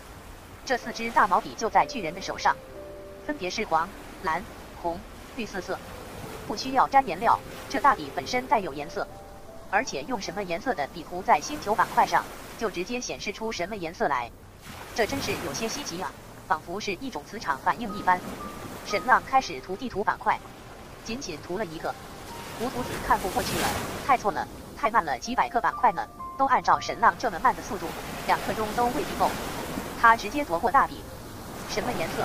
你说我涂？黄、蓝、蓝。沈浪拿出了一面镜子，反射阳光照射在星球的某个具体板块上，然后说出应该涂的颜色。无图子武功就是高，动作就是快，每一个板块一秒钟都不需要。而且移动速度快得如同鬼影一般，短短三分钟后竟然就涂满了一半。此时，在场一半人抬起头来，因为他们发现，至少到现在为止，沈浪的解答都是对的。判断对错非常简单，只要看任何相邻板块是不是不同颜色，但总共颜色不超过四种便是了。有人看就好，默默装逼多无聊。沈浪俊美无比的面孔显得更加冷酷了，站在巨人之手，背着双手。一副高等人教你们这些低等种族做人的架势，他这装逼的样子，让下面的人有一个共同的念头，想要弄死他。沈浪继续，无图子计中都不停留。沈浪动口，无图子动手。又过了三分钟后，整个星球地图板块已经全部涂色，就剩下最后一块了。沈浪没有开口，因为就算是一头猪，也能看出是黄颜色。最后一块版图，我浪爷不开口，就算是留白了。无图子见到沈浪竟然停了，不由得皱眉道：“说呀，什么颜色？妈蛋，装逼失败，美女恩师啊！你就不能稍稍动动脑子吗？最后一块周围有三个颜色了，就剩下一个黄颜色了。”黄沈浪无奈道：“无图子是不是猪呢？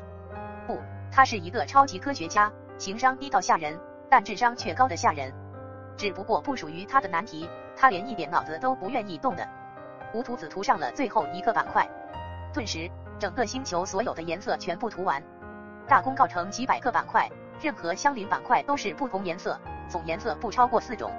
整个离奇诡异的地图出现在众人面前，不像是地图板块，倒像是梵高的印象派画作。几百亿种排列组合，就只有这一种是正确的，就是眼前沈浪的解答。全场所有人开始检查，然后彻底倒吸一口凉气，竟然真的对了，全对我，我日了，太可怕了。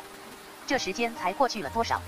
沈浪之前说是两刻钟，而现在仅仅过去了半刻钟，这个千年难题就解决了。这个世界太诡异了，无数天才耗费了半年多时间都没有解出来，眼前沈浪竟然解出来了。他只是一个土著而已啊，完全没有接受过任何上古高级文明熏陶的。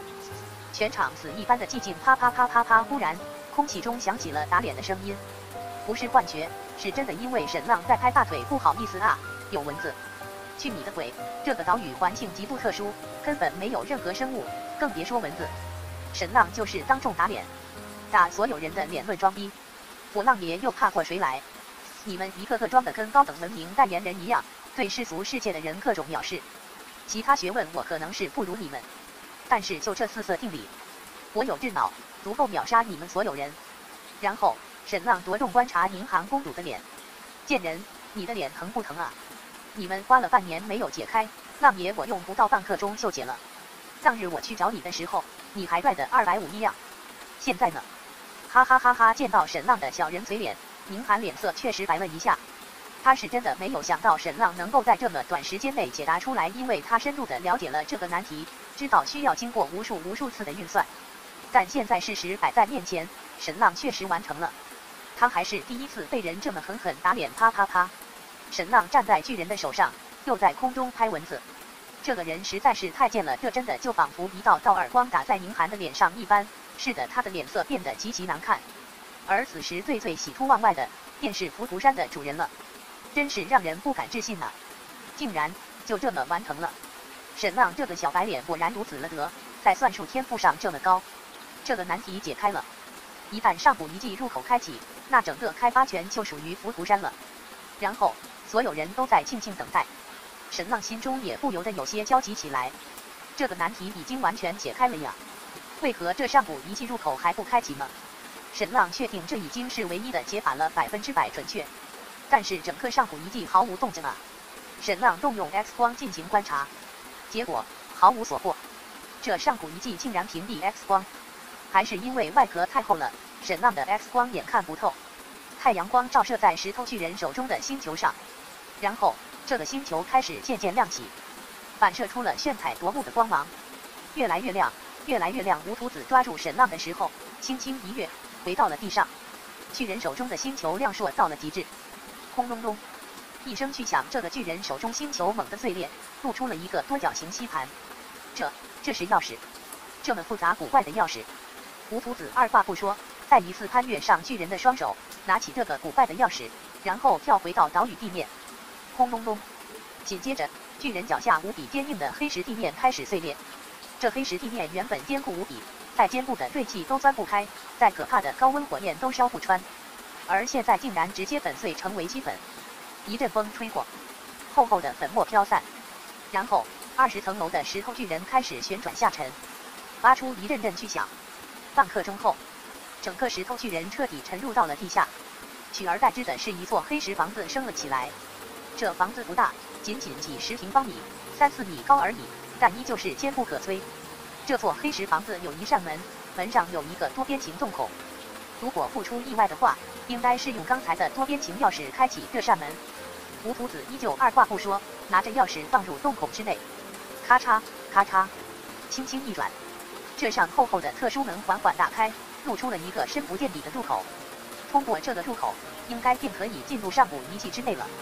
至此，这个上古遗迹正式被开启了。从发现到开启，整整用了二百三十五天。浮屠山主人道：“多谢诸位师兄承让，这个上古遗迹属于浮屠山了。恭喜浮屠山，恭喜师弟！”在场其他超脱势力纷纷离去，天涯海阁、诸天阁、悬空寺、通天寺等等，包括宁寒在内。除了浮屠山之外，所有人退得干干净净。浮屠山主人上前，朝着沈浪道：“沈浪，从今以后，你便是我浮屠山的功臣了。”孔长老回去之后，登记在册。沈浪拜入无图子长老门下，归为花木堂弟子。锦村山长法指孔长老道：“此子曾经伪造我浮屠山令牌，请主人示下，应该如何惩治？”浮屠山主人道：“空火相抵。”无图子道：“山长，我答应过沈浪，如果他能够开启上古遗迹。”一旦发现洗髓经，就归沈浪所有。浮屠山主人点头道：“好。”发信号，下令浮屠山弟子正式登岛。嗖，一支令箭猛地射上了天空。片刻之后，几百名浮屠山高手登陆这座黑岛，并且开始在上古遗迹入口处布防。无图子正式将上古遗迹入口钥匙递给了浮屠山主人。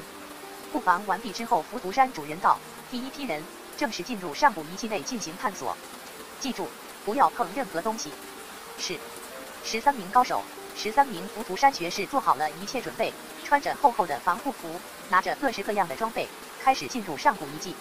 我也去。无图子道，我去找洗髓经。浮屠山主人依旧点头。无图子穿上防护服，跟着进入了上古遗迹之内。沈浪没有进去，他甚至没有开口要求。他内心清楚的知道，他是一个外人。尽管这个上古遗迹是他打开的，他算是大功臣。但探索上古遗迹和他无关，只能交给浮屠山最核心的成员去完成。这就是赤果果的界限。沈浪是世俗中人，浮屠山是超脱势力，不可越界。沈浪甚至没有站在入口处，而是在岛上闲逛了起来。登上浮屠山岛屿的人越来越多，海面上的大船越来越多，而且全部都是南海舰派的。这些舰队在周围海面游弋。浮屠山不但会占领整个岛屿，还会清空周围这片海域。燕南飞会在吗？很快，事实就告诉他答案了。燕南飞来了一艘巨大的舰船，靠近岛屿停下，上面的旗帜写着“燕”字。上百名南海剑派弟子登上岛屿布防，直接排成了人墙，挡在沈浪的面前。叶南飞来拜见浮屠师主人了。沈浪没有见到叶南飞的身影，因为离得很远，而且叶南飞直接清场了，把沈浪隔离在几百米之外。接下来，南海剑派的舰队越来越多，越来越多，将这个岛屿周围海域完全遮蔽了，夺取了周围海域的所有制海权。沈浪眯起眼睛，完全没有想到啊，这南海剑派和薛氏家族海面势力竟然如此庞大吗？这足足有上百艘舰船了吧？加上水手也武士，整整上万人了吧？薛氏和南海剑派靠什么养这支舰队？养那么多人马？陆桃城贸易航线没有薛氏的份额呀？难道薛氏家族在南部海域开辟了另外的贸易航线？南部的贸易航线？而且为了保护这个上古遗迹，为了清空周围海域，薛氏和南海剑派竟然出动这么多舰队，双方的关系远比想象中更加亲密，局面很复杂。薛氏是沈浪的生死大敌，和清军大战之后，差不多就该灭薛氏了。现在看来，灭薛氏或许比灭苏南更难一些。苏南是一个很了不起的枭雄豪杰，但他把所有的力量都用在了谋反上，真正用来对付沈浪的力量是很少的。而薛氏不谋反，一旦沈浪要灭薛氏，那面对的就是一个超级庞然大物的权力反扑。三王子、种氏、薛氏、黑水台严鹤这几个人甚至是一体的，要灭就要全灭。这薛氏的力量远远比想象中强大。现在众人看到的薛氏。真的就仿佛是水面上的冰山，剩下百分之九十都在水下。而且，薛氏、南海剑派和浮屠山究竟是一种什么关系？沈浪脑子飞快运转，谋划着如何灭薛氏。要灭薛氏，就必须先灭南海剑派。而南海剑派孤悬海外，想要灭之，必须先灭南海剑派的舰队。如何灭之？如何利用天时地利？沈浪绞尽脑汁。什么是天才？就是提前二百多天想着怎么害你。现在清军还没有灭，沈浪就已经开始预谋部署如何灭薛氏了。沈浪在黑岛上细细观察行走，感受这里的气候、潮汐，有些时候甚至趴下来，将耳朵贴在这黑岛之上。沈浪闭上眼睛，开始回忆这片海域的地图。南海剑派距离这个黑岛是不是不远呢？那未来要灭南海剑派，这个黑岛，甚至这个上古遗迹是不是能派上用场呢？对，这个方向可以重点考虑。燕南飞拜见过了浮屠山主人，然后他和浮屠山县堂孔长老一谈，那小畜生去了浮屠山，孔师兄为何没杀之？孔长老道：浮屠子以死相护，甚至愿意用发木堂长老位置交换，让沈浪来解上古遗迹入口之谜。没想到他真的解开了。燕南飞道：小畜生现在就一人在岛上，能杀吗？不能。孔长老道：主人八卦了，此人是算术天才，上古遗迹内或许还有许多地方需要破解。日后用得上。叶南飞目光一缩，闪烁过一阵寒光。洪长老道：“宁元县一再警告过，他给主人写过三封信，浮屠山不要干涉越国政务，不要动神了。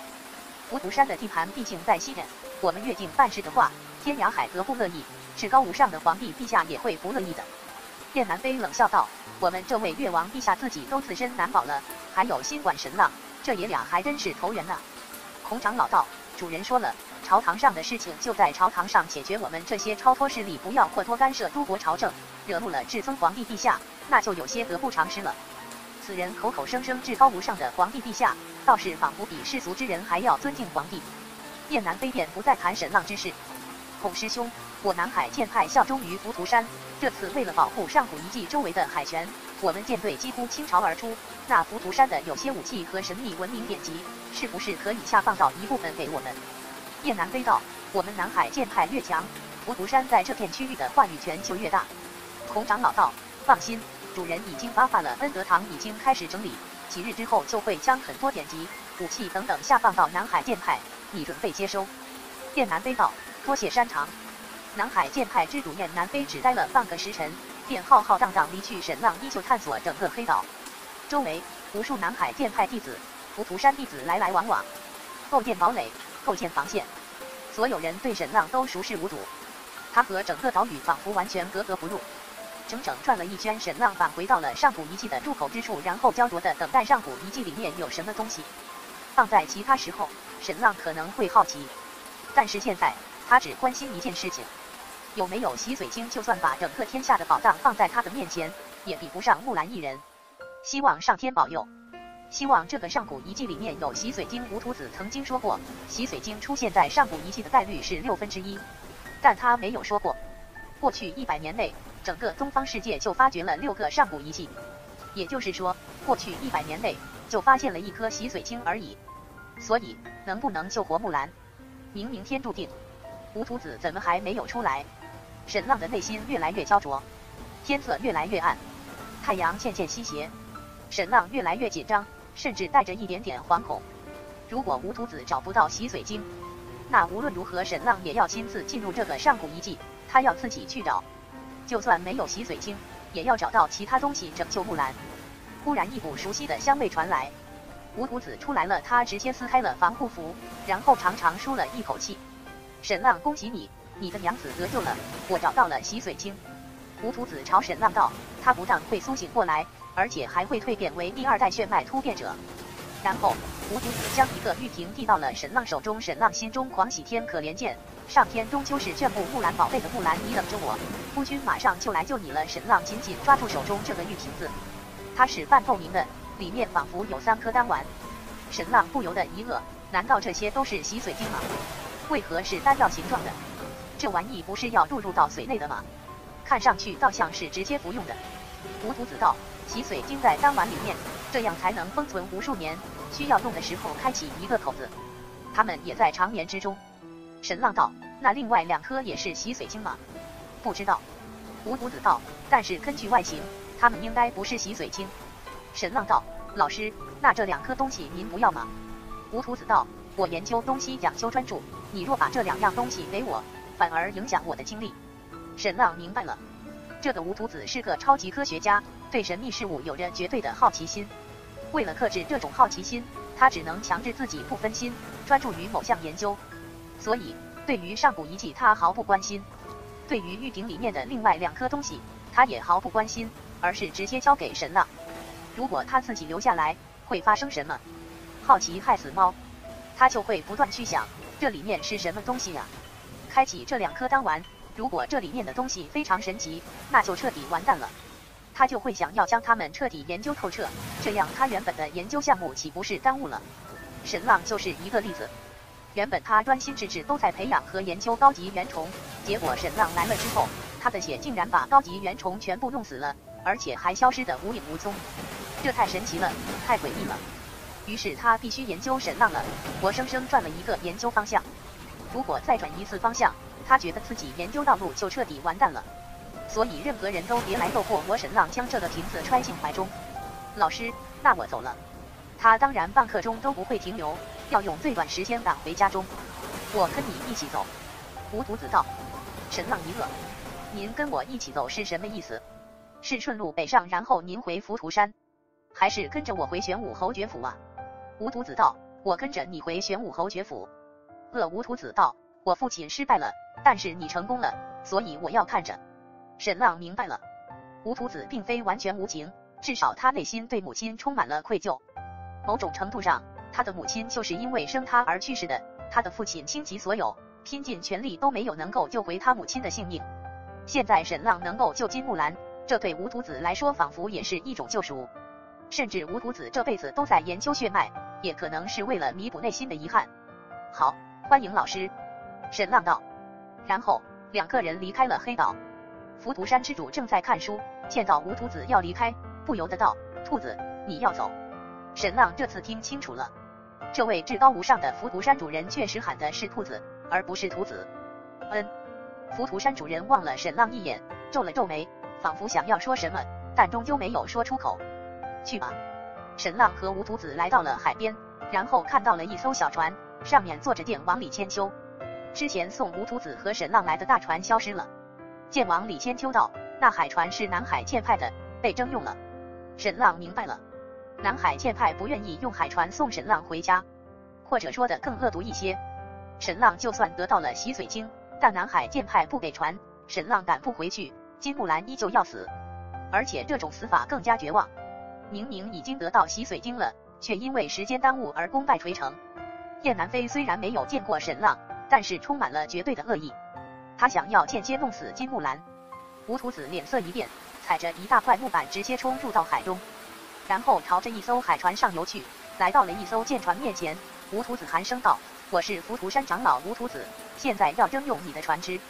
对不住，宗主有令，所以海船都必须参与周围海域的监控，不得离开。”这艘舰船上的首领直接拒绝了吴屠子。吴屠子寒声道：“我是浮屠山长老。”此刻，浮屠山县堂孔长老走了出来，淡淡道：“吴师妹，南海剑派已经帮忙良多，我们为何要为难他们？你既然来了，就多待几天，帮忙主人好好研究这上古仪器。”吴屠子寒声道：“沈浪帮助我们开启了上古仪器入口，立下了大功劳，连征用一艘海船都不能吗？”孔长老道：“沈浪确实立下了大功。”但是我们已经奖赏他了呀，你的洗髓经不是给他了吗？而且主人已经赦免了他伪造令牌之罪，你还想要怎么样呢？不管怎么样，燕南飞和孔长老就是不卸船。胡屠子气得浑身发抖，又跳入海中，游回到岛上。我去找山长。胡屠子朝沈浪道。沈浪摇头道：不必了，老师，我们划小船吧。胡屠子不敢置信望着沈浪，是你疯了，还是我疯了？这里距离陆地好几千里呢，靠这艘小船，而且此时洋流南下，靠船讲话的话要猴年马月才能回家。那个时候金木兰早就撑不住了，而且这种小船根本不能远航，随便一个大浪就倾覆了。沈浪道：“老师，您相信我。”吴独子又看了沈浪一眼，然后上船。这艘小船确实很小，三个人坐上去就已经显得非常拥挤了。剑王李千秋拿起船桨用力划。小船抵抗着南下的洋流，艰难的北上。剑王前辈的武功很高，但是不能把内力输入到小船上啊，船桨提供的力量始终是有限的。不过剑王李天秋始终是相信沈浪的。就这样，三人乘着一艘小舟，慢吞吞的北上。哈哈哈！南海剑派的弟子剑之哈哈大笑。沈浪想要靠着一艘小船划回家，他这是在做梦吗？随便一个小浪花就把这艘小船拍碎了。到时候他们靠手画回去吗？等到沈浪游回家，金木兰早就死了，说不定身体都烂了。现在所有南海剑派的弟子都知道沈浪赶着回家救金木兰了，所有人都幸灾乐祸地看着他，希望他在海上寸步难行。吴屠子沉默不言，但是他表达的意思很清楚，对不住了沈浪，我这个长老没有权威，命令不了南海剑派。吴屠子不会做人，身居高位却是光杆司令一个。但以他的身份，完全可以命令南海剑派的弟子。不过，浮屠山县堂孔长老和燕南飞发出完全相反的命令：不许借船，让金木兰等死。所以，浮屠子的命令就不管用了。剑王李千秋道：“神浪，所以你不练武是对的，没前途的。”这已经不是李千秋第一次说这样的话了。他的武功很高，超级高，整个越国内能够超过他的人寥寥无几，甚至不见得有。但那又如何？无权无势，他和南海剑派有仇，但那又如何？孤身一人带着唐岩冲到南海剑派去大开杀戒，他能杀几人？他倒是不怕死，但他死了之后，妻子应该怎么办？我们这些人武功就算再高，也只是一把剑，关键在于握剑之人。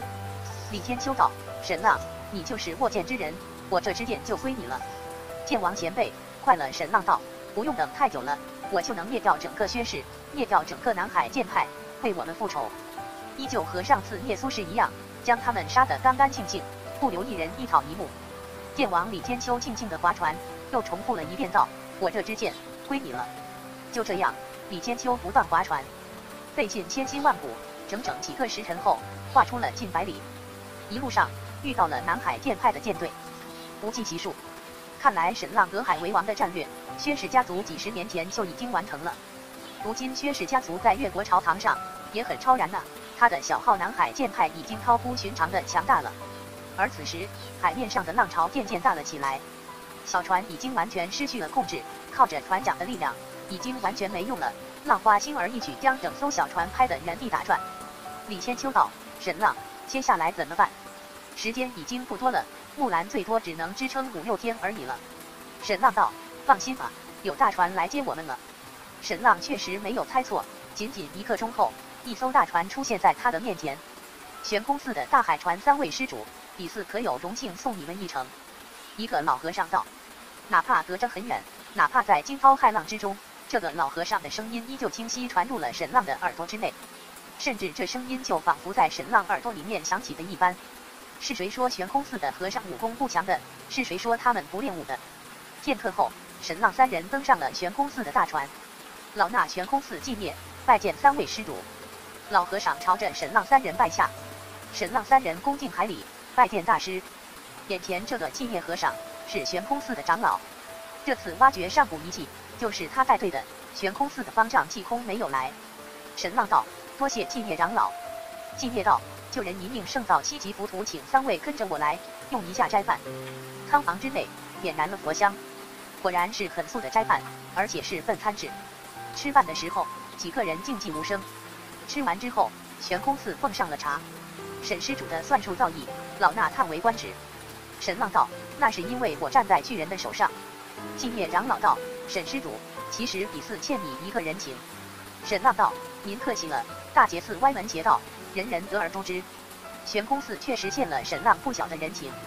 曾经在很长时间内，大劫寺将通天寺和悬空寺打压得抬不起头来。大劫寺灭了之后，悬空寺和通天寺才恢复了元气。沈浪灭苏南，断绝了大劫寺东进之路。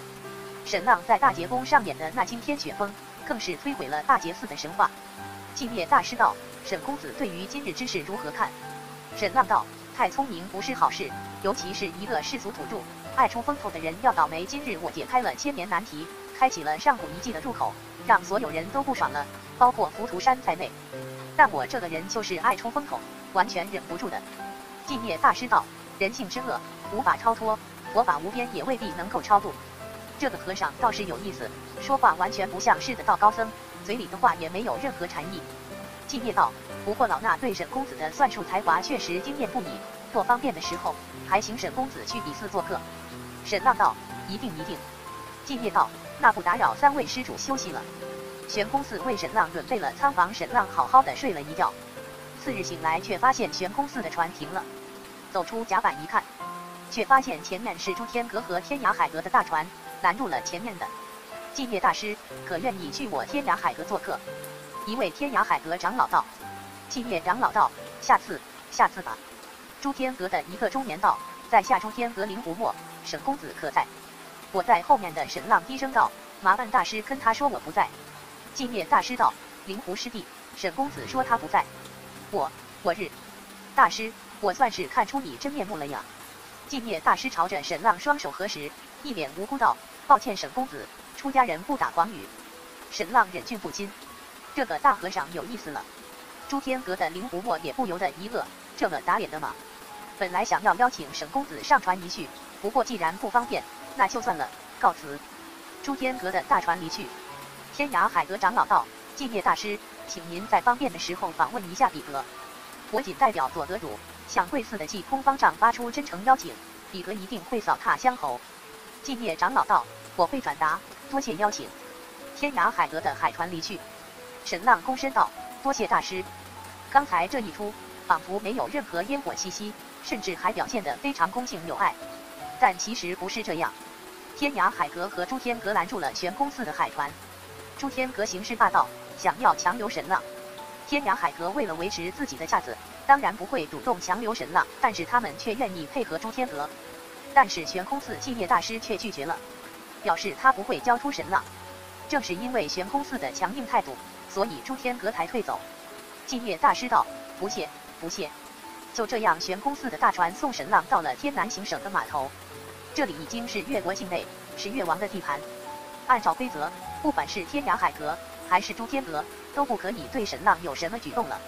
当然了，他们也可以打破规则，但为了区区一个沈浪，打破这个规则大概不划算。经过了这些天的接触后，沈浪已经隐隐感觉到了大炎帝国皇帝制定的规则，比如世俗王权和超过五道势力的权限范围、双方界限等等。沈公子，那我们便告辞了，请你在方便的时候。访问比寺庆业长老道，沈浪道：“一定一定，多谢大师邀请。”然后悬空寺大船离去，三人往北走了十几里。这里有一辆马车，剑王李千秋驾轻就熟赶车。沈公子，你为何不帮助悬空寺开启上古遗迹，而要帮助浮屠山？李千秋忍不住道。沈浪道：“第一，我也是刚刚感受到悬空寺的友谊；第二，这次上古遗迹的挖掘。”悬空寺只是旁观者，第一时间发现这个上古遗迹的是天涯海阁，然后是浮屠山，最后是都天阁。悬空寺是被邀请而来的，所以不管怎么样，这次上古遗迹的开发权只能在天涯海阁、出天阁、浮屠山这三家之中产生，悬空寺没有指望的。这话一出，吴徒子不由得一愕。这件事情我身为浮屠山长老都不知道，你沈浪竟然知道的这么清楚。沈浪当然知道的清楚，他长着一双超级八卦的耳朵，在黑石岛上听着众人的交谈，把里面的关系弄得清清楚楚。悬空寺原本已经没落了几百年，但是在十几年前，他们推举了一个完全陌生的人作为方丈，就是济空大师李天修道。当时天下人都不知道这位济空大师是谁，但就是他把悬空寺重新带回到六大超脱势力的位置。沈浪道：“那这位济空大师很了不起了，老师您见过他吗？”胡徒子道：“没有，这是我第一次离开浮屠山。”乐你牛逼！宇宙级宅女。沈浪道：“剑王前辈，您认识济空大师吗？”李千秋道：“没事时一直到现在，天下人都几乎没有见过这个济空大师。”所以天涯海阁才会一而再的邀请他来访问，就是想要摸透这位绝世高人。沈浪忽然道：“剑王前辈，您和我老师谁的武功高？”吴徒子道：“他。”沈浪一个，竟然还是剑王更厉害。不过这也正常，吴徒子完全是靠逆天的血脉天赋才这么强大的，他也压根不怎么练武的，每天都在做实验，哪有时间练武？沈浪道：“剑王前辈，您武功那么高，而且还有剑王这么霸气的外号。”怎么那么怂啊？李千秋也不恼，道：“我这个大宗师的名头，包括我这个外号，都是别人册封的。呃还真是这样的。六大超脱势力组建一个委员会，拟定天下大宗师的名额。越国分六个，楚国分六个，吴国分五个。没有经过他们册封的，就算你武功达到了，也永远不能被称为宗师。这六大势力完全垄断了整个天下武道的话语权。”沈浪又道：“这次挖掘上古遗迹。”为何没有白玉京的人？吴徒子道：“你不知道那句话吗？”沈浪道：“什么话？”吴徒子道：“整个东方世界无雪的地方，和白玉京无关有雪的地方，就是白玉京的势力范围。”哇，这句话牛逼了！沈浪道：“六大势力，白玉京最强吗？”吴徒子道：“又没有打过，谁知道谁最强？但白玉京最神秘。”沈浪道：“比浮屠山还神秘吗？”吴徒子道：“浮屠山不神秘呀。”好吧，恩师，你这么觉得，我也没有办法。在天下人眼中，浮屠山完全是神秘和恐怖的代名词了。不过从中可以看出，白玉京比浮屠山还要神秘。次日，沈浪经过了天南行省的首府天南城，这是越国第三大城，有三十几万人口，城墙的周长超过三十里。而此时的天南城同样是战云密布，城门已经几乎关闭，只开启一个口子。城墙上密密麻麻都是士兵，城墙之外一队又一队的士兵巡逻。隔着很远，沈浪甚至看到了天南行省大都督祝融，他已经亲自上城墙检查城防了。而且西南方向的官道源源不断都是粮车，全部是送去南欧国的。按照时间计算，清军的十万大军应该已经进入南欧国境内了。大战已经快要爆发，甚至已经爆发了。一旦大战爆发，天南行省就是南欧国的大后方。天南城就是后方第一大堡垒。此时南欧国内的十五万大军几乎全部都是太子派系，太子一系完全志在必得，杜氏家族也倾其所有。沈浪没有丝毫停留，依旧往东。南欧国距离天南城超过三百里，距离玄武城更是超过千里。那边的战火一时之间也蔓延不到沈浪家里来。三人飞快赶路，到达了下一个驿站后，三人换马，不再乘坐马车，而是直接骑马驰骋。二百里一换马，三个人昼夜不停，不眠不休，一千里的距离，仅仅两天时间就赶到了。终于到达玄武城了，驾驾驾！玄武城门内涌出了一支军队，大约有上千人，迈着整齐的步伐，朝着西南方向而去。领兵者便是老熟人柳无言城主，他还在呢。沈浪都快要忘记这个人了。柳无言见到沈浪之后，也不由得微微一愕，然后移开目光，继续率领军队前进。真真是倾国之战呐！连玄武城都要出兵一千，而且由城主亲自率领。这一场大战，越国直接出兵十五万，间接出兵恐怕超过二十五万了。祝氏家族真是恨不得将整个天南行省的兵压榨到极点，全部送到南欧国战场。沈浪微微皱眉，这架势不妙吗？祝氏家族这样疯狂从整个天南行省调兵的话，整个后方都空虚了。万一南欧国战败沦陷，那所有的战争压力都天南城了。而一旦天南城沦陷，那整个天南行省几乎没有一处可以防守的城池了。到那个时候会发生什么？想想都觉得可怕。太子一系真是孤注一掷啊！剑王李千秋也觉得有些不妙，他不由得开口道：“就算南欧国失守，天南行省防线也不会失守吧？”沈浪没有说话。南欧国的战局虽然重要，但那也等到救活了木兰宝贝之后再说吧。恰恰恰，沈浪三人快马加鞭赶到玄武侯爵府，终于回家了。姑爷回来了，姑爷回来了。沈浪不喜欢最后一分钟营救，按照计算。此刻距离木兰的最后期限还有三天时间，而且应该没有坏事发生。整个玄武侯爵府的气氛虽然凝重，但至少没有天崩地裂的情形。距离城堡大门还有好几百米的时候，大门就打开到最大。沈浪三人冲入侯爵府后，直接跃下马。片刻后，一群人拥了上来。沈浪的父母、弟弟、冰儿、岳父、岳母、金木聪等等，他们所有人的目光都落在沈浪脸上，充满了希望和忐忑。这次救活木兰的希望完全寄托在沈浪的头上了。沈浪朝着他们点了点头，表示这一行非常顺利。众人稍稍松了一口气。然后沈浪没有做停留，直接快速朝着自己院子冲去。岳父、岳母、小兵、沈浪母亲跟了上来。进入院子后，雪山老妖林长依旧守在门口。你可回来了，你再晚来几天，木兰就……林长老师的话没有说完，让沈浪大起好感。这个打架从来没有赢过的绝顶高手，终于在这个家待出感情了，不忍心对木兰说出那残忍的词语。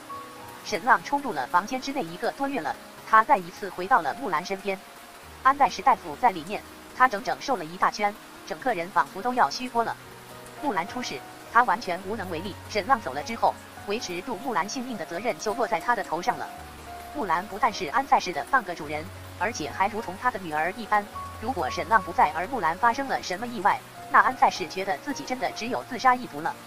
所有人都先出去，我和老师在就可以了。沈浪道顿时，所有人整齐离开房间，静静的等在院子外面，几乎屏住呼吸，向漫天神佛祈祷。老师，无徒子道，解开木兰的衣衫。沈浪上前将木兰的衣衫解开。木兰宝贝瘦了，她长眠不醒，差不多快五十天了，整整瘦了一圈。原本因为怀孕的丰润。现在全部消失了，而且脸色苍白的几乎快要和吴徒子一样了。他的呼吸和心跳已经微弱到了极致，几乎都听不到了。沈浪幸好赶到了，一路上没有任何耽搁，一个月内辗转一万多里，终于赶回来了。沈浪拿出了玉瓶。针，吴徒子道：“沈浪拿出了针管，吴徒子一愕，竟然是这种针管，这是沈浪制造出来的现代针管，可以抽吸、可以注射的针管，很好。”很奇妙，吴徒子道。然后他拿出了那一颗洗髓精，竟然是红色的那一颗丹丸。这不是丹药，因为表面那一层仿佛是一种非常特殊的物质。吴徒子捏着这颗丹丸，输入了内力，几乎瞬间，这丹丸猛地亮起，里面的东西苏醒了。吴徒子用针管刺入丹丸之内，无师自通，将里面洗髓精抽出来。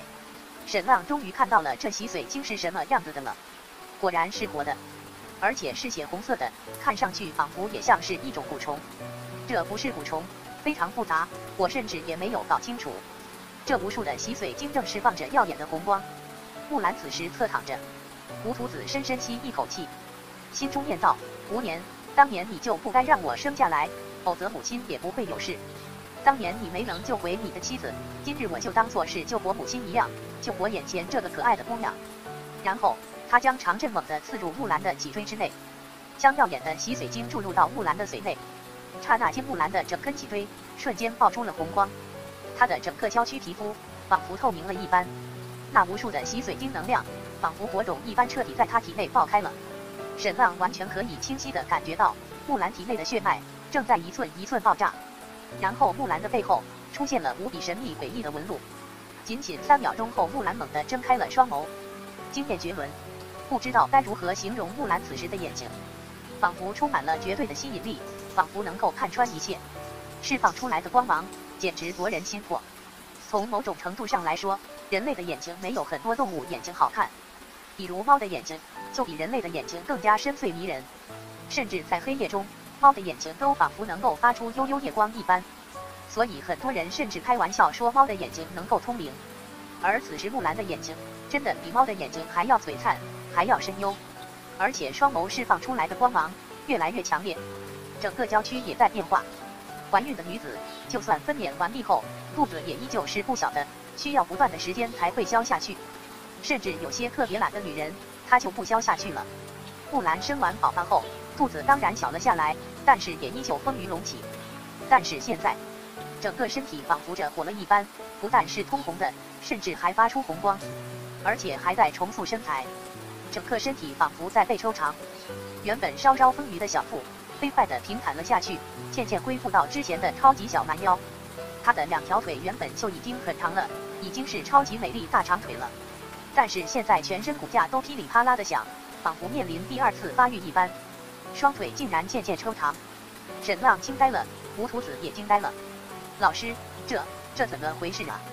我也不知道，难道不好吗？你们男人不就是喜欢大长腿的吗？可是，可是，沈浪心中不断的惊呼：“木兰宝贝，别长了，别长了，再长你都要比夫君高了。”来到这个世界两年后，沈浪又发育了几厘米，大概一米八五左右。木兰大概一米七三，现在竟然又抽长了几厘米，而且她的身体可不仅仅是抽长，骨架、筋脉、肌肉、皮肤都发生了变化。这。这就是第二次蜕变吗？从内到外，从上到下彻底的蜕变。沈浪道：“老师，这洗髓经到底是什么东西呢？”吴屠子道：“等我查阅了更详尽的上古典籍后，再告诉你。”木兰这变化也太大了。沈浪用 X 光眼检查他的身体，发现他的骨骼密度有了很大的变化。如果不出意外的话，现在他的骨骼坚韧程度已经远远远远超过了正常人。还有他的筋脉，正常人的筋脉也是有韧性的，能够承受很大的力量。但如果承受的力量太大的话，就可能会出现筋脉断裂等等。现在地球的那些短跑运动员，最容易的就是出现这种伤。而木兰此时的经脉也得到了好几倍的强化，也就是说，他此时的身体能够承受更强的压力，他拥有更强的爆发力，这真是牛逼了。这种血脉蜕变不靠内功，直接增强身体素质。然后沈浪还发现，木兰的身材曲线竟然变得更加魔鬼了，这这要命了呀！木兰以前的身材就已经惊爆级的了，而现在双腿更长，大腿曲线更加浑圆笔直，小蛮腰更细，而且充满了超级的力量感，胸前形状更加完美惊悚。总之，整个身体都被彻底改造过了一般，这身曲线已经仿佛是很难靠正常人类生长出来，而像是幻想出来的一般。有点像是游戏画面里面的某些特殊种族。沈浪道：“老师，这血脉蜕变，难道还完全照顾女人丈夫的想法吗？”吴图子道：“从你的角度上看，她变化后的这个身材更适合搂着睡觉；而从我的角度上看，她这个身材蜕变是为了更加适合战斗。”这一说，沈浪从战斗的角度去观察，发现确实如此。木兰的身体蜕变，完全是为了战斗，更加修长，更加敏捷，更加充满了爆发力。就像是游戏中的精灵族，终于身体的剧烈蜕变暂停了。接下来竟然是面孔，不要不要嘛！木兰的面孔已经很完美了，不需要变了，不需要变了，不许再变，不许再变了。半刻钟后，神浪啧啧称奇，木兰的面孔变化后，太太好看了。轮廓没有变化，但是鼻子隆起了一些，面孔微微修长了一点，眼窝也稍稍深陷了一些。这。这让木兰看起来仿佛有些混血的感觉，不是东西方混血，而是更加神秘的混血。当然，木兰依旧是木兰，所有人一眼就能看出此人是木兰。沈浪现在可以直接拍着胸脯说：“我娘子以后是越国第一美人了。”种诗诗，你一边去！宁寒，你的容颜再也无法笑傲江湖了。此时，沈浪真的深深感觉到了这个世界一点点的玄幻气息。当然了。《天龙八部》里面天山童姥的返老还童，《鹿鼎记》里面的胖头陀和瘦头陀也非常具有玄幻性，但沈浪还是被震撼到了。之前血脉蜕变的实验，他做过不止一次两次了。蓝氏十兄弟从半残疾变成了正常人，叶寒君从低能儿废物变成了王牌武士，但是他们的外貌起码没有太大的变化。而现在木兰从内到外都发生了裂变，整整一个时辰后，木兰的裂变结束了。身上通红火焰一般的光芒消失，看，但是雪白的后背上竟然留下了艳红的符文雕纹，看上去像是神秘美丽的纹身一般，栩栩如生。沈浪伸手触摸木兰的身体，发现她的肌肤变得如此紧凑。之前木兰常年练武，身上的脂肪量很少，肉很瓷实，但比较柔软的。而现在木兰的肌肤真是充满了惊人的弹性，而且如同瓷器一般的光滑。这样的皮肤，真的只有现代地球上那些美女用 PS 修图后才有的效果。沈浪反而充满了担忧，这种变化到底是好事还是坏事？老师。你说木兰这个样子是上古人族的模样吗？沈浪道。吴徒子道，有点像。沈浪道，上古文明的人类和我们现在长得不太一样吗？吴徒子道，上古典籍中确实有一些人类的图形，或许是为了适合战斗，上古人类在某些层面发育的更加完美一些，而且基本上要比我们现在的人更高一些，深邃一些。沈浪道，这个世界除了木兰之外，还有人使用过上古洗髓经吗？吴徒子点头道：“有白玉京的一个女人，在三十五年前用过上古洗髓经，她的名字叫瑶池。”接着，吴徒子又道：“有传闻雷祖也曾经用过上古洗髓经，整个人发生了巨大的变化。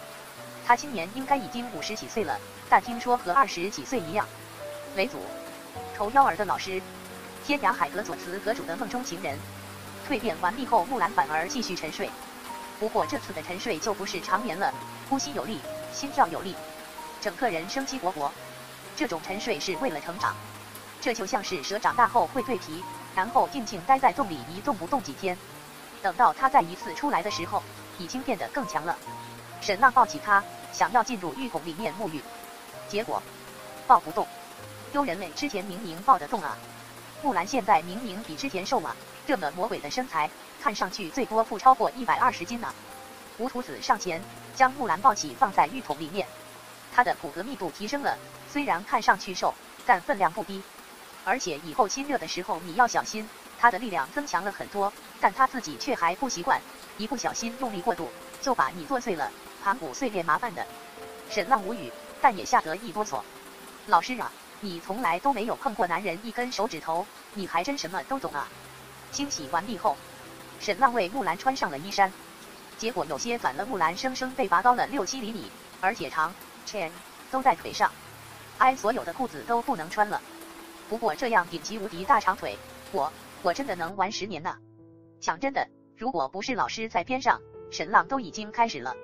此时，岳母和沈浪的母亲依旧在院子外面向漫天神佛祈祷，包括冰儿也在默念有声。房门打开，沈浪走了出来。浪儿，怎么样？沈浪笑道。大功告成，木兰平安无事，不过大概还要沉睡两天左右，你们可以去看她了。万幸万幸，姑爷真厉害，上天保佑，上天保佑！几个女人飞快地冲进了木兰的房间，然后岳母苏佩佩发出惊呼：“这这是我的木兰，怎么有些变了？”小兵发出一阵凄呼：“天哪，小姐变得这么美，以后我还怎么活呀？”沈浪心中暗道：“冰儿，你放心。”你虽然没有木兰美，但是你比她骚嘛。救了木兰之后，吴徒子立刻离去，半天都不停留。他告别只说了一句话：“给我使管血，以后我有需要你的时候，随传随到。”沈浪二话不说，抽出了使管血给他，然后吴徒子就这样走了。沈浪心中的那个问题终究没有问出来：“老师，我的前列腺之液，你究竟是怎么取出来的呀？”晚上，沈浪舒舒服服沐浴更衣。整个人瘫软在床上，一动不能动。这一个月奔波了一万多里，一点点力气都没有了，半斤都抬不起。尽管已经做了十足的准备，但大腿还是被磨得血肉模糊。他真是从来都没有吃过这样的苦头。之前救木兰的时候内心激动紧张还不觉得，现在真是火烧火燎的疼。他真的还从来都没有受过这样的苦头呢。婴儿小心翼翼地给他涂上药膏。他本来还想要施展绝技的，但空军这架势估计不行了。涂好药膏，穿上了宽松的袍子，两个粉妆玉琢的宝宝在边上爬来爬去。神秘宝宝已经快要一周岁了，而神野小宝宝才两个月不到一点。正常的小宝宝需要六个月后才开始学会爬行，而神野小宝宝不到两个月就开始爬了，真是有些妖啊！沈浪虽然浑身无力，但看到萌萌的宝宝。还是忍不住将神秘小宝宝抱了起来，爸爸的宝贝丫头呀！过去发生了太多事情，竟然已经差不多六个月没有抱过了。在国度的时候，沈浪真是每天都在抱的，完全爱不释手。神秘小宝宝瞪大乌溜溜的眼睛，认真看着沈浪。爸爸，爸爸，喊完之后，自己还拍手。宝宝已经有八颗牙齿了。沈浪内心柔软，不知不觉错过了宝宝好多成长的瞬间。人有了家之后，是不是就要把自己的心分成好几个部分了？父母一份，妻子一份，孩子一份。神野小宝宝精力旺盛，本来一个人在大床上爬的兴致勃勃，一边爬还一边研究这席子。结果一抬头，发现爸爸竟然抱姐姐，不抱自己，他直接翻身坐起来，小嘴一咧，哇哇大哭。这小子才两个月呢，竟然自己会翻身坐起了。见到弟弟哭了，神秘小宝宝胖乎乎的小手一指，滴滴滴滴。沈浪忍不住在小丫头的脸蛋上亲了一口，宝宝真棒。神秘小宝宝又开始自己拍手，神野小宝宝见之，哭得更加厉害了，还故意装的上气不接下气的样子。冰儿白了沈浪一眼，上前将神野小宝宝抱起来。我们不理坏爸爸，娘娘疼小野宝宝。但是冰儿不管怎么哄，神野小宝宝都哭不停了。没办法，冰儿把他往沈浪另外一边一塞，沈浪用左手抱住，瞬间神野小宝宝的哭声戛然而止，然后还用小手去推姐姐。次日岳父在喜悦的同时，有些愁眉不展。喜悦当然是因为木兰已经好了，愁眉不展是因为手中的这份公文，准确说是三份公文：尚书台、枢密院、天南行省大都督府。其中枢密院的公文是明启王叔亲自写的，天南行省大都督府的公文是祝融亲自写的，内容都一样，希望玄武侯为天下贵族做表率，派遣军队进入第二战场。南欧国是第一战场，天南城防线是第二战场。苏南覆灭之后，整个越国就剩下两个老牌贵族侯爵了，董瑶和金卓。董瑶正率领十几万大军抵御楚国，那么作为另外一个侯爵，金卓不出兵，心中真是过意不去。按照他的想法，国家兴亡，匹夫有责。之前南欧国之战只是小小的平乱，而且金氏家族正在面临新政危机，不想出兵情有可原。而现在是国运之战，金卓觉得自己义不容辞。祝融私信中更是口口声声称金卓为兄长，希望他出兵两千，并且保证绝对不会派去南欧国战场，只是用来镇守天南城。经过了一两年的发展，那现在金氏家族有多少私军了呢？六千没错。依旧只有这么点，因为拿下陆朝城之后，金氏家族所有的精力和财力都用来发展海上舰队，这六千军队要用来防守玄武侯爵府和陆朝城两地。按照之前的性子，金卓只怕已经率领两千私军去天南城了，但现在他要征询沈浪的意见，岳父大人置之不理便是。沈浪道：这次南欧国之战，完全是太子一系在主导，我们不必凑这个热闹。金卓侯爵道：浪儿。你觉得这一战会输？沈浪来到大地图面前，祝氏家族为了这一战投入了不计其数的金钱、物资，还有政治资源。沈浪道：南欧国战场集结了十五万大军，天南城防线集结了十万大军，大手笔，确实大手笔。事情发展到这个局面，已经超乎了很多人的想象之外。之前张冲跟国军说过，南欧国战场要增兵十五万，才能维持不失。国军当时就说不可能有十五万，就算让越国财政彻底破产，也无法增兵十五万。因为沈浪的帮助，国军手中军备前所未有的富裕。但就算这样，他往南欧国战场也就是增兵十万，先八万，后两万。之后天南城防线的构建，则完全是祝氏家族出力了。这十万大军怎么来的？一部分是祝氏家族花钱雇佣来的雇佣军，另外一部分就是祝氏家族透支政治资源，从半个越国挤出来的。沈浪来的时候就已经看到了，先玄武城都要出兵一千，玄武城的守军可是真正的二线地方军队。不仅如此，祝氏家族还利用自己的政治威望，号召天下贵族出兵。这当然是要付出代价的，不仅仅是金钱的代价，未来朝堂和地方上的官职才是付出的真正价钱。这些贵族派出自己的私军，从某种意义上是投资太子。谁都知道，南欧国这一战关乎国运，如果赢了，便是不世之功。谁也动摇不了太子的位置。一旦未来太子登基为王，那这些贵族的投资就能十倍都收回来。靠着透支未来的政治资源，注释在南方集结了二十五万大军。那么多出来这十万大军的军费从哪里来？当然又是引援会。引援会有的是钱，他们不愿意借给宁远县，但是却愿意借给太子宁毅。二十五万对战金军的十万，而且还是防守方，还有坚城在手，怎么看都是赢的。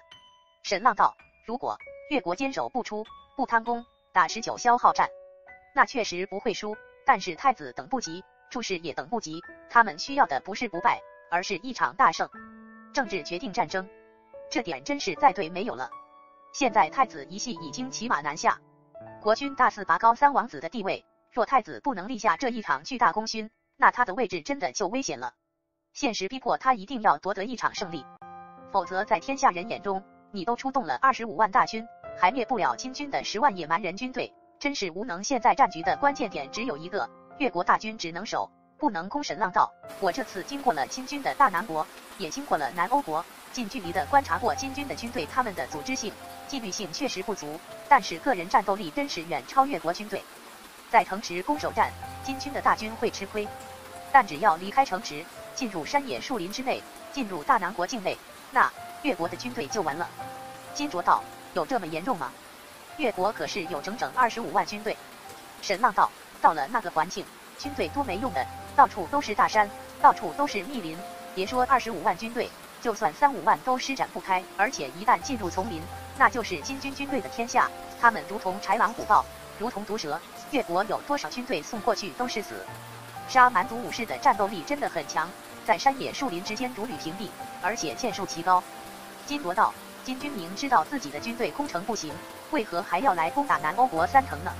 沈浪道：引蛇出洞筑林，南宫傲都是老将，这段时间始终坚守不出，如同乌龟壳一样。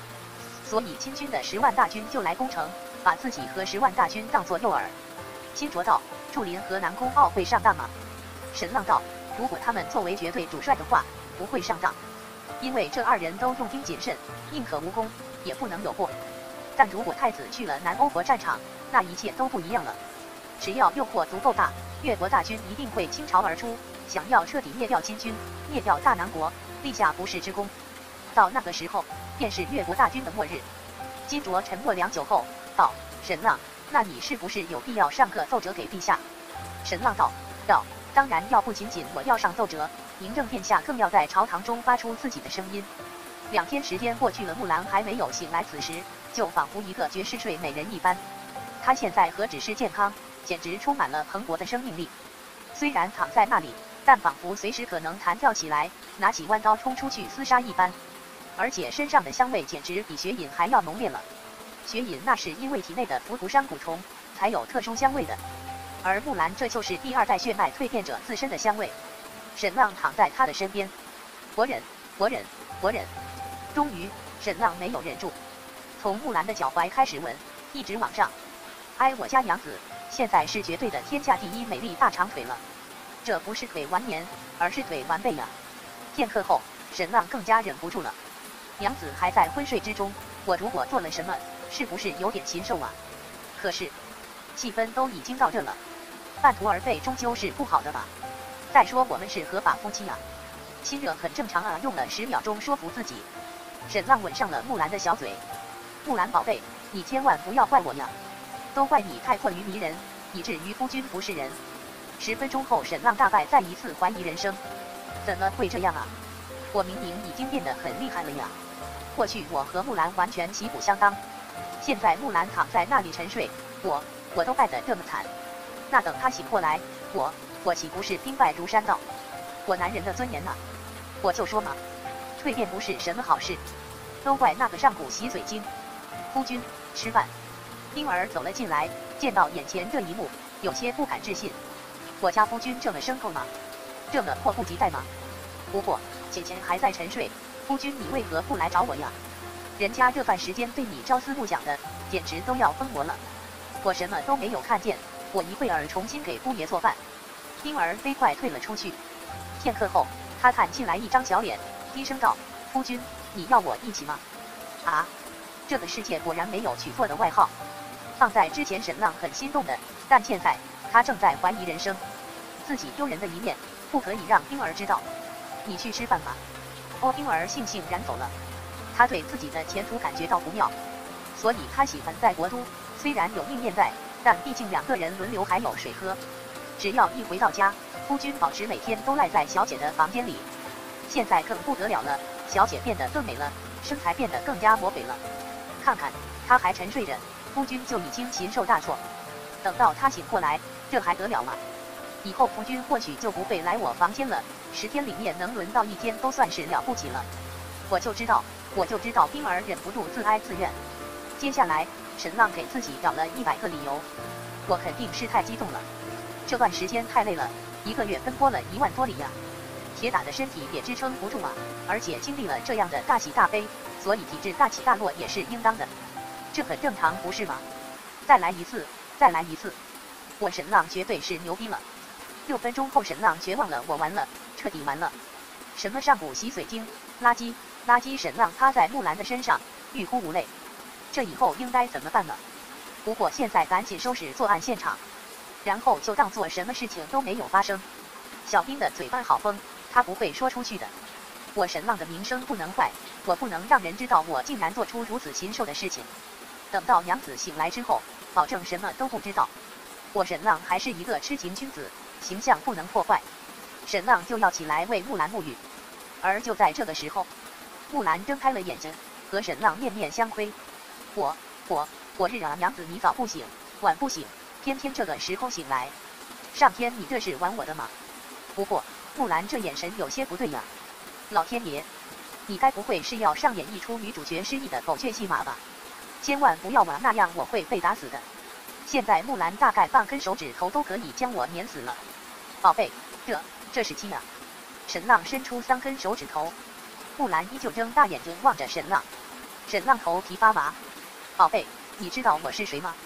我是你丈夫，我我现在做的事情是合法的，你千万别打死我。木兰依旧没有说话。沈浪后背发凉。宝贝，你你知道你自己是谁吗？你知道这里是哪里吗？木兰依旧没有反应。沈浪浑身冰凉。完了。完了，真的上演失忆的狗血大戏了。我是不是需要立刻逃跑啊？晚一秒就要死了。顿时，沈浪来不及穿衣裳，直接抽身离去，飞快狂奔，逃之夭夭。嗖！木兰娇躯如同闪电一般，瞬间移动了十几米，直接拦在了沈浪的面前。宝贝，饶命！我错了，我真的错了，我不该趁着你睡着的时候。而下一秒钟，沈浪直接被按在地上。木兰吻了上来，夫君。夫君，我们再生一个孩子吧。夫君，我感觉好怪，非常怪。夫君，我好像觉醒了一种非常特殊的能力。娘子，我真的不行了。娘子，要不然你先放过我，以上再说。我们有一个神野小坏蛋已经够烦人的了，就不生了吧。沈浪百般求饶，终于算是逃了过去。要不然从今以后，我跟着肥宅一起跑步做深蹲，也不知道现在开始练还来不来得及啊。老师。你走的那么急干什么呀？我还有一个问题没问了，你们浮屠山有没有修炼房中秘术的上古秘籍啊？丹药有没有啊？吃下去之后直接以一敌百而不败的超级丹丸有没有？木兰去沐浴，沈浪也跟着去。半个小时后，沈浪还是没能逃脱。木兰实在是太痴缠了，而且这次沈浪表现很不错，顿时得意洋洋起来。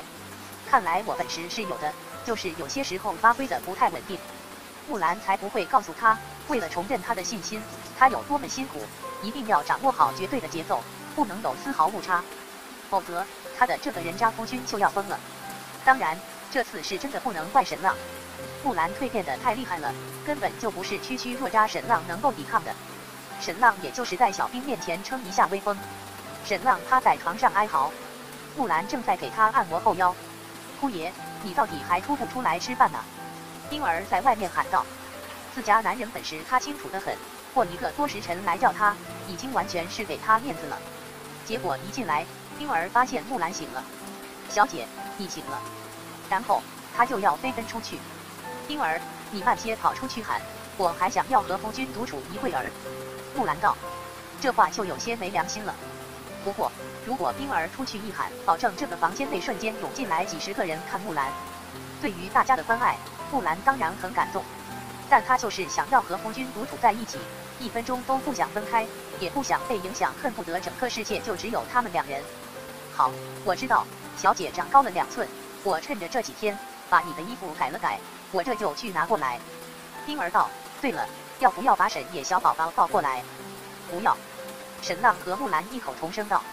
哎，可怜的小宝宝，爸爸妈妈只顾自己恩爱，都不管你了。片刻后，冰儿把改好的衣衫送了过来。首先是紧身蛇皮战装，他当然知道人渣夫君的喜好，就爱小姐穿紧身衣。果然，木兰穿上去后，沈浪眼睛都直了，这身材简直有些非人类呀，真的像是游戏里面的那些超美的精灵族，而且还是战斗女精灵。这两条超级大长腿，真真是惊心动魄呀！现在地球那些女明星为了上镜好看，一个个瘦的如同杆一样。两条腿倒是显长了，但腿型一点都不好看。而现在木兰的两条腿，腿型完美，超级长，而且浑圆有力，充满了绝对的力量美感。这才是绝美超级腿，性感爆棚。胸口有点紧，臀这里也有点紧，腰这里有点松。这话一出，婴儿几乎要妒忌的吐血。小姐的身材本来就已经超级好了，现在更是火爆的非正常人类一样，曲线修长而又凹凸之极，简直让人自卑。像我们这种九十分美女是不是不用活了？冰儿哀怨地看了沈浪一眼，夫君以后大概是不会进我房间了吧？冰儿真是多虑了，沈浪不进他房间，又怎么显得他厉害呢？哈哈哈哈！呜呜呜呜！终于两个人亲密够了，木兰才出现在所有人面前，整个玄武侯爵府再一次欢乐的如同过年一般，所有人都围着木兰啧啧称奇，不敢置信，长年一次竟然变得这么美了。现在整个越国还有比木兰更美的女人吗？应该没有了吧？新会的媳妇郑红见道：“反正我以后是不会站在木兰身边了，把我衬托的跟丑小鸭一样。”丑小鸭的故事是冰儿讲给神秘小宝宝听，郑红线顺便听到的。新会在边上赶紧道：“在我心中，娘子你才是最美的，独一无二。”舔狗郑红线严肃道：“金慧，你不要毫无底线，要实事求是。”金慧道：“那娘子你是第二美丽。”郑红线眉毛一竖，冷道：“看来你是嫌弃我了。”完了，完了！舔狗果然没有好下场啊！苏佩佩上上下下看了木兰好一会儿，啧啧道：“木兰，你还是我的女儿吗？我的女儿哪有这么美呀？你顶多算是我一半的女儿，剩下另一半是浪儿给你的。”啧啧啧，这皮肤真的像玉一样。啧啧，这臀曲线连浪儿的画笔都画不出来，简直羡慕死人了。说到一半，苏佩佩赶紧住口不说。毕竟沈浪在这里，作为长辈说这话不合适。过了好一会儿，苏佩佩朝着沈浪道：“浪儿，你那什么洗嘴巾还有第二份吗？真没有了。就算有岳母大人，你也不能用啊，那又不是美容产品。宝贝，预备好！”沈浪一喊，木兰的魔鬼娇躯顿时弹射而出，那两条超级大长腿狂奔，这速度简直了百米六秒钟，二百米十二秒，三百米十九秒。一千米六十三秒，两千米一百二十七秒，沈浪完全呆了。这这，我娘子还是正常人类吗？这个世界确实有轻功这种东西的存在，但轻功并不是说直接比汽车还快，没有这回事的。这更多是一种耐力，长时间的快速奔跑。剑王李千秋武功超级强，但是他奔跑速度未必比大傻快的。丑妖儿是沈浪见过最快的人，他那个速度绝对不像是人类。大傻瞬间速度不算快，但是他可以坚持几个时辰在最高速度奔跑。木兰宝贝的速度有多快？和剑王李千秋差不多。可是剑王完全靠的是内力和轻功，木兰完全靠的是身体的爆发力。不仅仅奔跑速度快了，而且他的反应能力还有敏捷度都有了巨大的提升。最惊人的是弹跳力。宝贝，走你！随着沈浪一声高呼，木兰竟然直接跃上了近五米高的房顶。没有任何借力，直接跃上去的，这这太逆天了。这个世界人的武功很高，也有轻功，但之前般若大宗师还有苏南想要冲上白夜郡城的城墙，也是需要借力攀爬的，根本不可能直接跃上去。这个世界的人不会飞，木兰也不会飞，她完全是依靠身体惊人的弹力跃上去的，这点连宗师强者都做不到啊！内力再强，也不能让身体拥有如此惊人弹力。这就是直接在身体上开挂了。上古人类这么强吗？紧接着，木兰拿出了自己的弯刀，开始施展刀法，快，超级快！同样的刀法，杀伤力比之前强大了许多。接下来测试力量的提升有提升，但提升的幅度不是非常大。神浪明白了，这个洗髓精大大增强了木兰的体质，使得他身体弹力、速度、敏捷得到了超强的提升。不算内力的话，他的身体素质已经远远超过了这个世界绝大部分的人类。但是力量提升一般，内力有一定提升，但也一般。但是个人战斗力上，比起之前何止成倍提升，而且不靠内力的武道是很惊人了，拥有惊人的持久力，可以一直战斗下去。而靠内力的高手开始猛如虎，一旦内力耗尽，瞬间变菜鸡。刚刚蜕变的木兰无比兴奋，仿佛得到了一个新玩具的孩子，一只手夹着神浪，到处狂奔，轻而易举攀爬上侯爵府内的任何一栋最高建筑。轻而易举地攀爬城墙，轻而易举地上了后面那一座高山，沿着悬崖峭壁爬上去。玄武侯爵府后面这座山很高的，海拔两千多米，而且全部都是悬崖，从来都没有人上去过。现在木兰上去了，而且还把神浪带上去了。两个人依偎在那里看落日，在这个高度，甚至能够看到海边了。看着太阳从海面上落下去，整个世界真就仿佛只有他们二人，真是好浪漫。木兰心中好高兴，她终于强大了，她终于可以保护夫君了。但是还不够，这仅仅只是刚开始而已。人渣，你说上古人类就像是我这样的吗？木兰厉声道。这个人渣他喊得娇腻无比，害得沈浪蠢蠢欲动。哼哼，要不是今天透支过度，我就在这山顶上办了你。不过，木兰痴迷的目光往望过来的时候，浪爷直接说了：“娘子不行，我我今天真的不行了。”我起码要休养到明天，不管在什么时候，我娘子都是独一无二的。沈浪道，木兰吻上了沈浪的嘴唇。人渣，你是这个世界最了不起的人，你是我的太阳。木兰认真道，对我就是你的日。在木兰心中，确实崇拜她的夫君，尤其这一次她的长眠，夫君为了她一个月奔波一万多里，去了浮屠山，穿越几个国家，最后还去了南海剑派附近的上古遗迹。最最关键的是。明明是他开启了上古遗迹，但他却连进入看一眼的念头都没有。上古遗迹啊，对任何人来说都有无以伦比的吸引力，但沈浪毫不动心，因为他要拿着洗髓经回来救他。这些都是吴屠子老师跟他说的。当时木兰虽然沉睡，但已经能够听到，能够感受到。当然了，吴屠子老师的话有些他自动过滤了，比如你夫君是个人渣，我是他的老师，他还想要亵渎我。又比如。金木兰，自从你治好了之后，你夫君大概十九次偷看我的胸口，恩师真是冤枉人了。就你那一对 A，我就算偷看也啥都看不到啊。最后吴屠子老师终结了一句话：你夫君就算是一个人渣，但也是一个最爱你的人渣，完全属于你的人渣。夫君，我不是说过我觉醒了一个新能力吗？沈浪吓了一跳，小心翼翼道：娘子，我已经知道你那新能力厉害了，威力无穷。但是夫君，我今天真的不行了，铁打的身体也受不了了呀。木兰一春，什么跟什么呀？好吧，那也算一个超能力。可是人家还有一个超能力，不是那个超能力，是另外一个超能力。沈浪一愕，他的脑子里面顿时想起了漫威电影里面的那些超级英雄。超能力是 X 教授那种能够进入别人大脑，还是万磁王能够控制所有的磁力，又或者绿巨人的爆发？木兰宝贝，我我不是故意要绿你的呀，身体出轨不算出轨，我能感受整个世界。木兰道，呃这这我也能啊。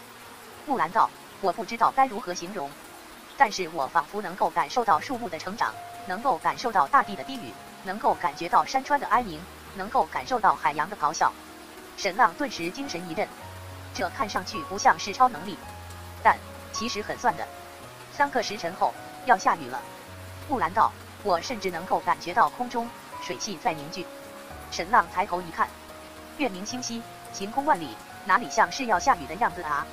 木兰又道：“我仿佛能够感觉到，两天之后，东部海面上会有一场飓风，因为他们已经开始酝酿了。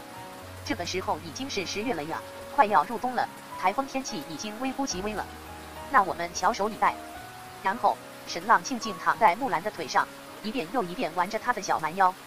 果然，两个时辰后，天上的星星和月亮不见了，被乌云遮住了。真的要下雨了。木兰带着沈浪下山，回到了玄武侯爵府内。刚刚进入院子，就听到神野小宝宝的哭声。小宝宝好委屈。妈妈醒过来之后，他就只看了两眼，然后他竟然和爸爸出去玩了，把宝宝扔在家里。木兰将小宝宝接了过来。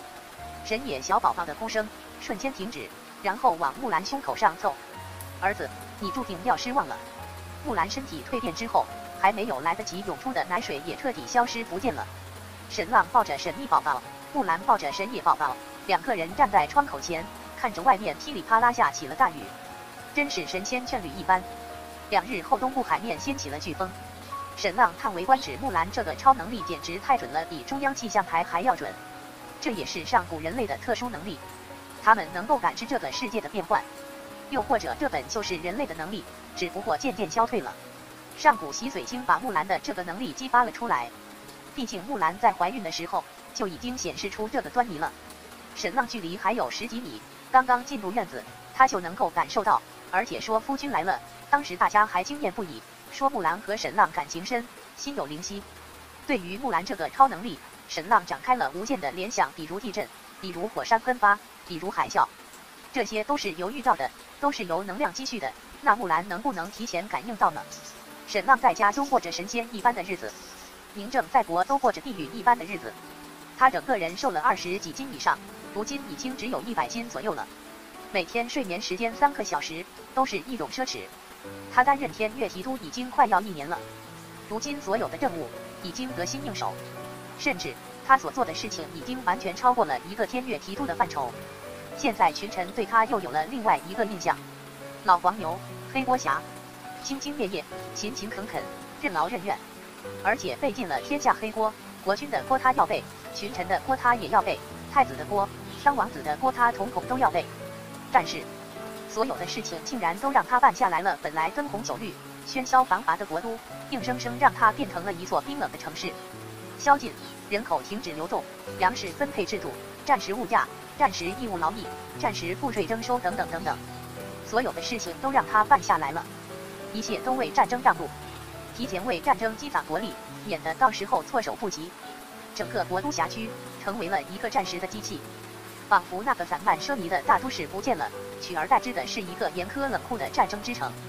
尽管大家依旧取笑宁正傻，得罪全天下，便宜了太子和三王子，天生黑面，最适合背黑锅。但是内心深处，对于他的能力却已经认同了。宁正此人冷酷刚正，本事还是有的，但是在宁正的苛政之下，整个国都也几乎筋疲力尽，时时刻刻都处于紧绷之中，所有人都对南方翘首以待。快开战吧，否则我们真的受不了了。距离南宫傲大军进入南欧国已经几个月过去了，所有人对大战的情绪从恐惧变成了淡然，到现在已经充满了期待。赶紧有个结果，否则这种焦灼真的要让人崩溃了。赶紧开战吧，国君明元县，越国群臣，越国万民，甚至整个东方世界都瞪大眼睛，就等着那一声炸响。开打吧，我们已经等待了太久，已经准备足够久了。越国的战争机器彻底运转了起来，已经进入了不打不行的局面。十月十九日，金军十万大军正式兵临城下，将南欧都城包围的水泄不通。此时，越国十五万大军在南欧国境内，其中十万在南欧都城。守军的最高统帅便是祝林。宁罗公主镇守在沙城，这是南欧国的第二大城。南宫傲镇守南欧国第三大城落叶城。三座城市形成犄角，互相驰援。平南大将军祝林依旧照常喝粥。他在南欧国已经两年了，真是呕心沥血，竭尽全力。两年前他还是英姿勃发，满头乌发，而现在他的头发几乎白了大半，几乎老了十岁。这个鬼地方太熬人了。幸好这种煎熬要结束了，大决战终于来了。尽管和想象中的不一样，原本丧家之犬一般的金军，竟然变成了大南国军，竟然率领着十万大军杀回来了。祝林面孔仿佛无悲无喜，但内心却心潮澎湃。这一战。不仅仅是越国的命运之战，更是他祝氏家族，也是他祝林的命运之战。若是赢了，太子之位稳固如山；而他祝林将急走缺彻，进入枢密院，成就一个武将的巅峰。这代表着祝氏家族不仅仅掌控了越国的文官，也在武将阵营占据一大片阵地。上天保佑我祝林立下不世之功。此时，外面响起了惊天的战鼓声，咚咚咚咚。祝林大将军不缓不慢吃完了手中的这碗粥，然后站起身来。张开双臂，侍从为他穿上铠甲。这是世界上最顶级的铠甲，轻便而又坚固，出自天涯海阁。穿戴完毕后，祝林拿起大剑，缓缓走出了南欧国主府，翻身上马，身后几百名精锐骑士整齐上马，飞快驰骋到西边的城墙。走到城墙之上，瞪睛一看，外面无边无际，都是金军大军。兵过一万、无边无际，兵到十万，彻天连地，那便是金军吗？两年过去了，仿佛也没有什么变化呀，还是那么斯斯文文，只是皮肤稍稍黑了一些。虽然他已经成为大南国之君，成为了沙蛮族的共主，但身上没有穿王袍，甚至仿佛成为了沙蛮族的酋长一样，身上穿的很简单，手臂和肩膀都露在外面，直接光着身子穿铠甲，后面一袭黑色的披风，头顶上戴着那是王冠吗？真是粗糙啊，仿佛就是普通的黑铁锻造的。还有他的十万大军，站得歪歪斜斜的，军容一点都不整齐，攻城器械呢？投石机呢？都没有，就只有歪歪扭扭的攻城梯，这简直就是一支原始部落的军队。但祝林内心却没有丝毫轻视和懈怠，因为他从这些沙蛮族武士严重看出了残暴嗜血，唯独没有畏惧。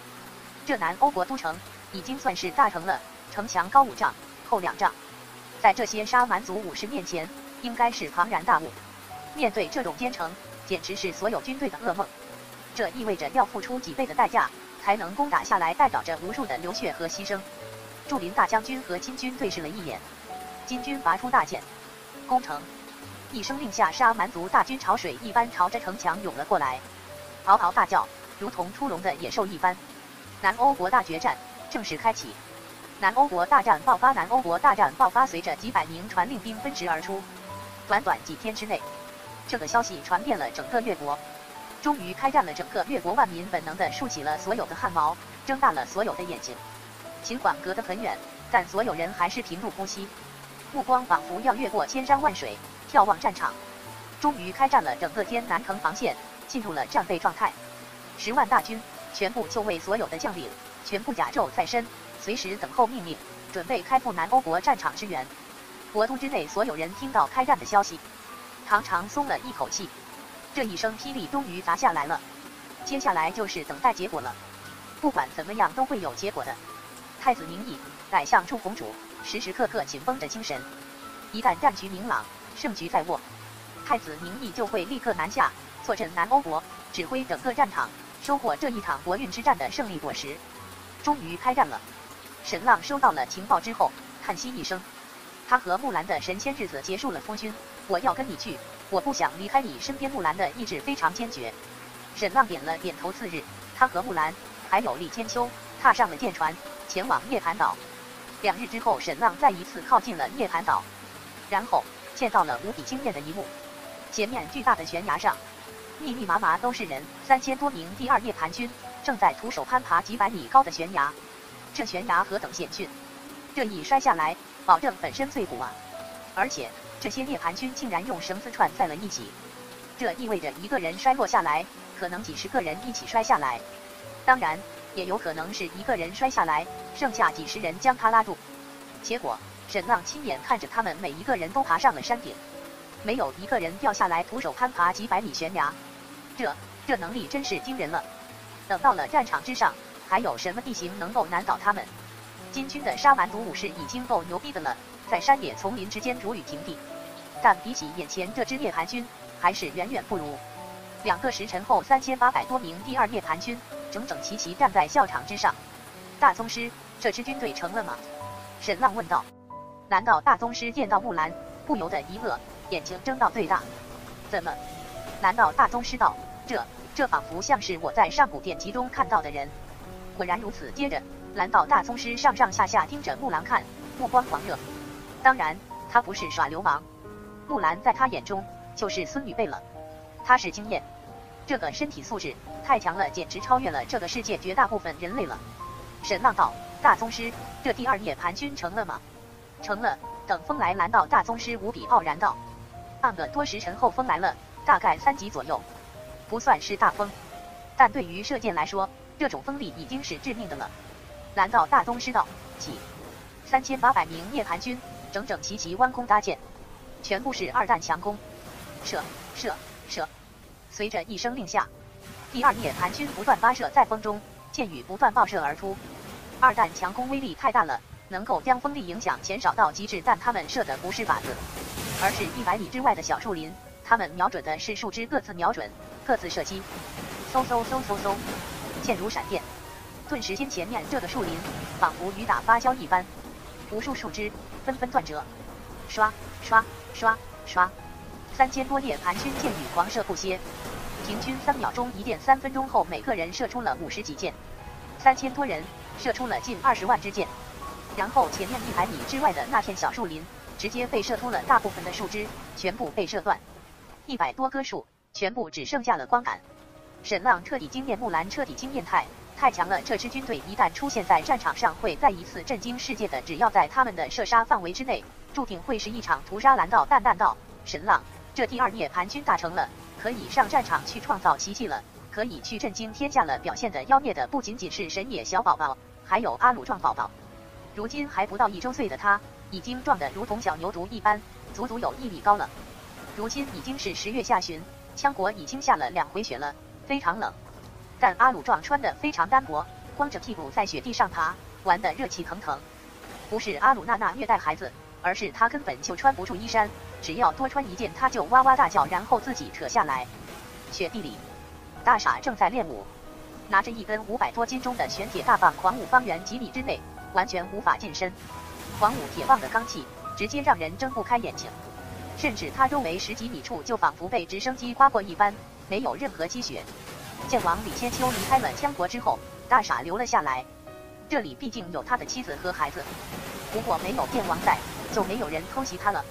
他的格挡技能训练就暂时落了下来了。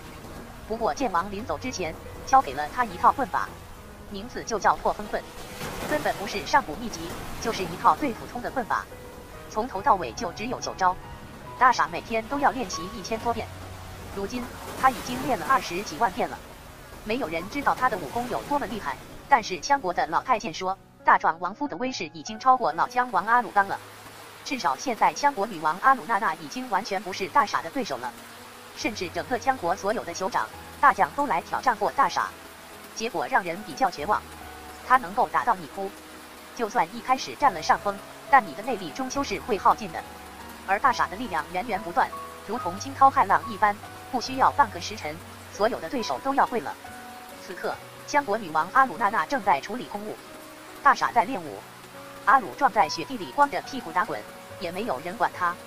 这就是羌国的孩子，哪怕是王子，也是放养式的。一屁股坐在雪地上，雪顿时淹没了蛋蛋和小鸡。冰冷的感觉让阿鲁撞小宝宝顿时觉得蛋蛋一缩，有点想尿。于是他直接站了起来，然后蹲了下去。小鸡放水。热腾腾的童子尿把雪都融化了，呀，嘎嘎嘎嘎！阿鲁壮仿佛发现了新大陆一般，继续用力尿，结果尿完了，他还想要冲掉积雪，但没尿了，他就憋着用劲，噗，他放了一个屁，嘎嘎嘎嘎！顿时他又高兴的在雪地里面打滚。大傻和阿鲁壮这对父子没心没肺傻高兴。江王宫里面的阿鲁娜娜有些心烦，因为这已经是第三起了。相越之间的边境冲突，原本羌国和越国关系非常亲密，甚至边境都形同虚设。越国的骑兵有些时候会进入羌国内练兵，而羌国的骑兵有些时候也会进入越国境内。但自从天西行省中都督张子旭上任之后，一切都变了。他首先增兵原镇远侯爵府堡垒，然后拆掉了越国境内所有的羌国行营，最后在两国边境上大建防线。这副堤防的样子，顿时让阿鲁娜娜很不爽。但是他没有发作，毕竟越王宁元宪对羌国的态度非常友善。之后，沈浪辞官回家，阿鲁娜娜也没有翻脸，因为他已经收到了沈浪的密信。甚至这个时候，越国还有大批使官待在羌国王城内。既然张子旭表现出一副如临大敌的架势，阿鲁娜娜就下令，以后羌国骑兵不再越境。羌国武士尽管尽管不爽，但也谨遵王令。但是楚国往羌国派遣了大量的间谍。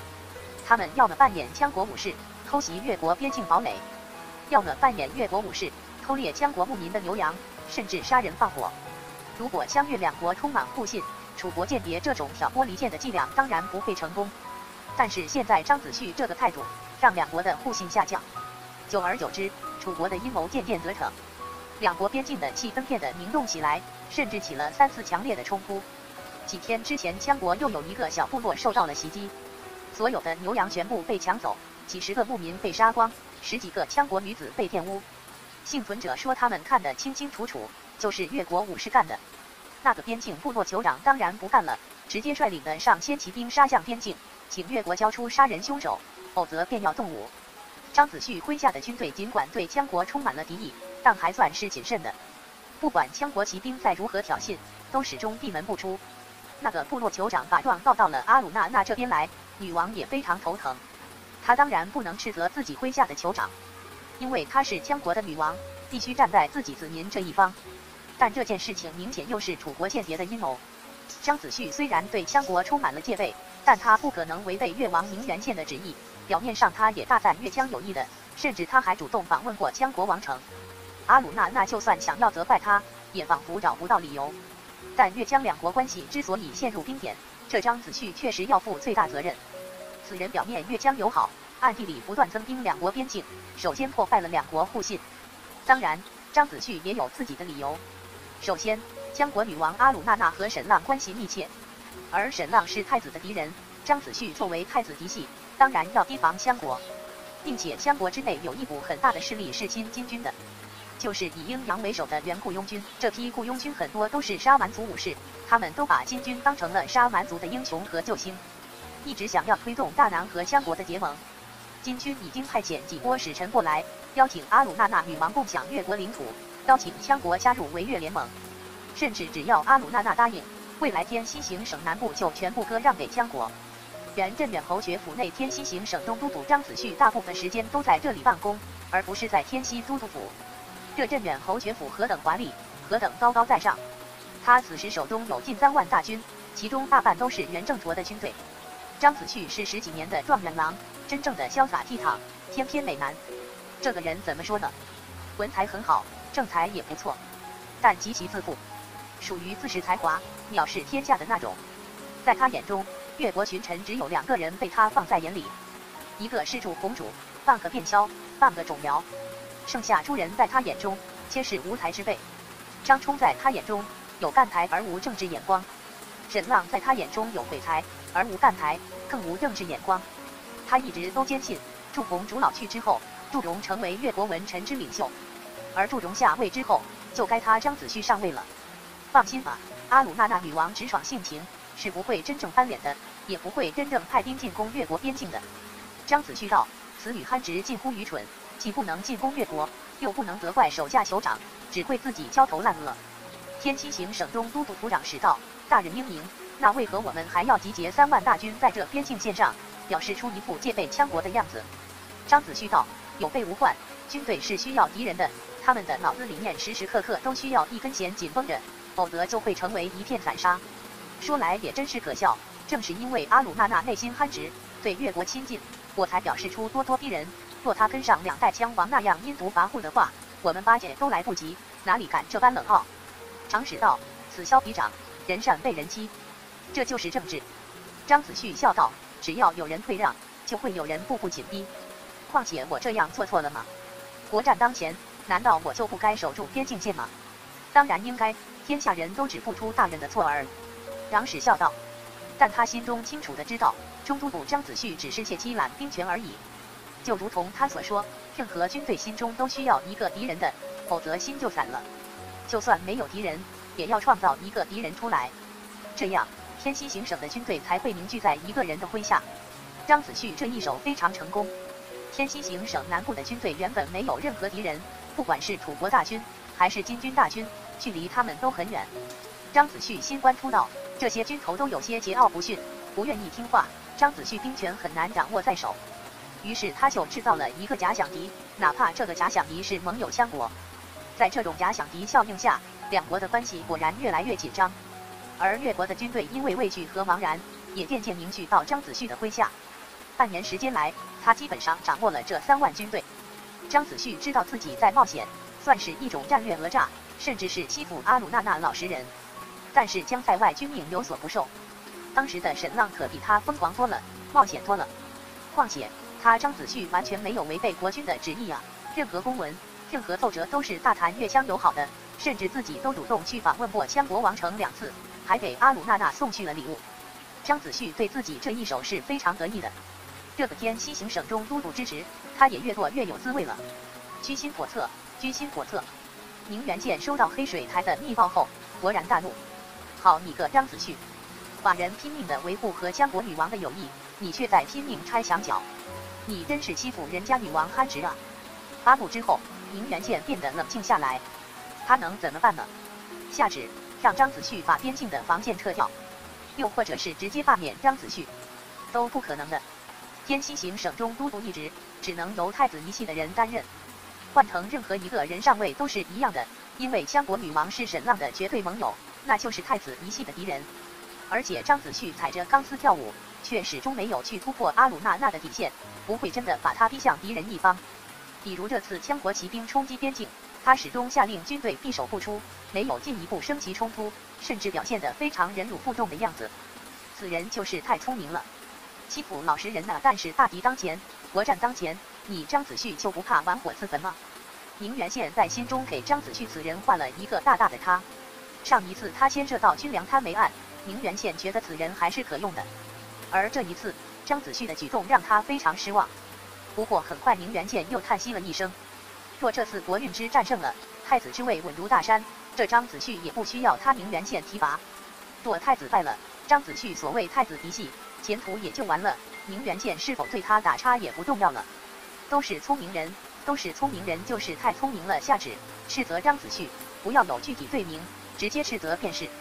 收回张子旭家族的牌匾。”就是先王赐予的牌匾。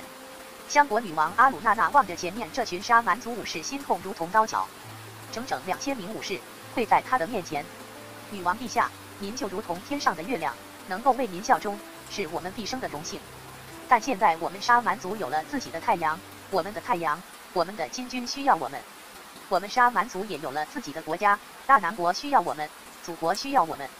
所以，请您原谅，我们不能再效忠您了。这些人全部都是沙蛮族武士，曾经效忠阿鲁纳纳的雇佣军。他登上王位之后，陆陆续续有八千雇佣军前来效忠他，里面大部分都是沙蛮族武士。您如果感到愤怒，可以杀了我们，也可以下令我们自杀。只要您一声令下，我们绝对不会苟活。其中一个沙蛮族武士将弯刀横在脖子上，只要阿鲁娜娜一声令下，他就会毫不犹豫割开自己的喉咙。阿鲁娜娜长长呼了一口气，去吧。去吧，多谢女王陛下。这两千沙蛮族武士起身，解下身上所有的铠甲、弯刀、弓箭，然后他们就这样赤条条离去，没有带走任何一件东西，就这样光溜溜的返回沙蛮族去效忠金军。他们宁可放弃一切，一无所有，也要去投靠金军。从中可见金军在沙蛮族武士心目中是何等地位。大将鹰扬道：“对不起，女王，我阻挡不了他们，我他们。”我也不能阻挡他们。女王摇了摇头道：“有些事情终究是要发生的。”涅槃岛沈浪看着前面这支三千八百人的涅槃军，心中激动不已。在阿金库尔一战中，五千英国长弓兵击败了三万法国大军，射杀了一万多敌人，自身伤亡不过二百。但英国长弓兵和眼前这支涅槃军比起来，又要差得很远了。不管是意志力，还是战斗力，甚至装备的弓箭，都远远不如。这支涅槃军上战场会是何等惊艳，沈浪完全无法想象。不过，眼前这第二涅槃军的装备还是不够。首先，防护太差，换装。沈浪一声令下，一车又一车的新装备推了出来。打开之后，新式铠甲，这些铠甲当然不能和第一涅槃军相比，仅仅只有四十斤重而已，但却采用最好的钢材锻造而成。虽然轻薄，但坚固程度也远超一般的铁甲。想要防御敌人的战刀和枪刺或许有困难，但抵御敌人弓箭射击应该还是可以的。而且这身铠甲的制造工艺是非常艰难的，因为这是一支山地军队，需要攀爬悬崖、高山、穿梭丛林，所以铠甲一定要灵活轻便，设计就一定要符合人体工学。为此，整个铠甲不得不大量使用锁甲，甚至皮甲。而且南欧国那边天气闷热，所以在头盔上有大量的开孔。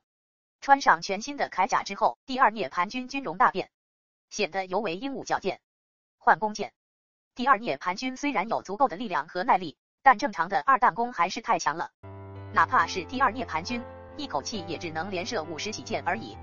如果需要瞄准的话，那对体力消耗更加巨大。随着一声令下，第二涅盘军换上了全新的复合弓，用现代工艺打造的复合弓，这完全是弓箭的革命性突破。现在奥运会的射箭比赛就全部用复合弓，所有人不由得微微一愕。这弓看上去很复杂精巧，但是不威武啊。确实如此，反鞠弓看上去才是真正的霸气十足。但是猛地一拉弓弦，第二涅盘军的兄弟们立刻感受到不一样，竟然这么省力。尤其是拉满弓之后，所需要的力气完全减小到最低程度，这样更有利于瞄准，有利于稳定弓身。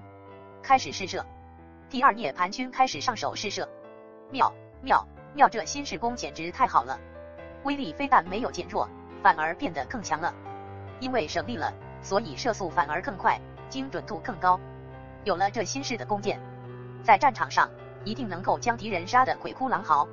蓝道大宗师一声令下，远距离覆盖三千八百名第二涅盘军，弯弓搭箭，斜指天空，朝着两百五十米外的树林瞄准放放放。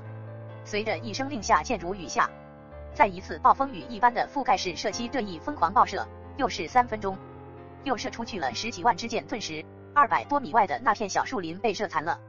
仿佛被野兽蹂躏过一般。沈浪、木兰和蓝道大师进入那片小树林检查，这弓箭威力果然强悍，在这么远的距离，竟然依旧有杀伤力。密密麻麻的箭枝钉在树干上、地上，有些细一些的树枝甚至依旧被射断了。不过在这个距离内，瞄准已经完全靠天意了，只能是远距离覆盖性杀伤，想要精确点杀是不可能了。但这已经是颠覆性的突破提升。天下任何一支弓箭手军队，有效杀伤距离一般都不超过百步，超过这个距离射箭都被认为是浪费。而沈浪这支第二涅槃军，至少可以在两百米外对敌人进行射杀，这是何等巨大优势！收回箭支，随着蓝道大师一声令下，三千八百名涅盘军进入树林之内，收回箭枝。这些箭的箭头都是用最好的钢材铸造而成的。当然了，如果完全靠铁匠打磨的话，那就太慢了。现在的金山岛冶炼工坊已经用上了比较原始的流水线作业，比如这每一支箭头都是先把滚烫的钢水倒入箭头模具之中，冷却之后拆开模具，然后大量的原始箭头送到打磨房去进行打磨，而且打磨箭头也不是靠人力了，而是水车转动齿轮转动磨石，再不济也是用脚踩的磨石。提前半年多铸剑，如今已经铸造了天文数字的箭支，这些箭头应该采用上好的钢材。所以硬度和韧度、锋利程度远超一般箭支，破甲完全没有问题。但涅盘军回收每一根箭之后，都会仔仔细细检查，如果箭羽有问题，就进行修剪，甚至替换；如果箭石有问题，他们就会自己用磨石一点点重新打磨，确保箭头保持最锋利状态。大宗师，您觉得谁最适合作为这第二涅盘军的首领？沈浪问道。蓝道大宗师一指木兰。原本我觉得没有人配成为这支涅槃军的首领，苦头欢也不行。他是一个厉害的统帅，但他不是神射手。蓝道大宗师道，但是见到木兰之后，我觉得这支军队仿佛是为他量身打造的一般。沈浪一愕，木兰也不是神射手吗？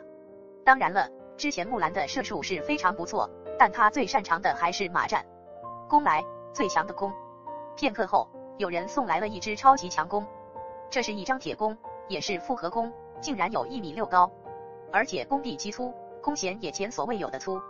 这弓已经超过三弹了，箭支都需要特制。有人递上来一壶箭，这箭果然不一般，超过了一米二长度，重量也超过寻常箭支一倍。此时风已经更大了。木兰拿起这支超级强弓，顿时沈浪然了，实了这姿势太美了，太性感了，简直秒杀那些游戏的宣传海报。这三弹多的超级强弓，木兰轻而易举张开。几乎没有瞄准，嗖，猛地一箭射了出去。这箭支真是快如流星，几乎如同子弹了，轻而易举，直接射断了二百六十米外的一根树枝。巧合，意外。紧接着，木兰射出了第二箭、第三箭、第四箭，几乎每一箭都能射中一根树枝。太太强了，这才是真正百发百中啊！这么远的距离，堪比狙击手了。关键木兰完全没有瞄准的呀。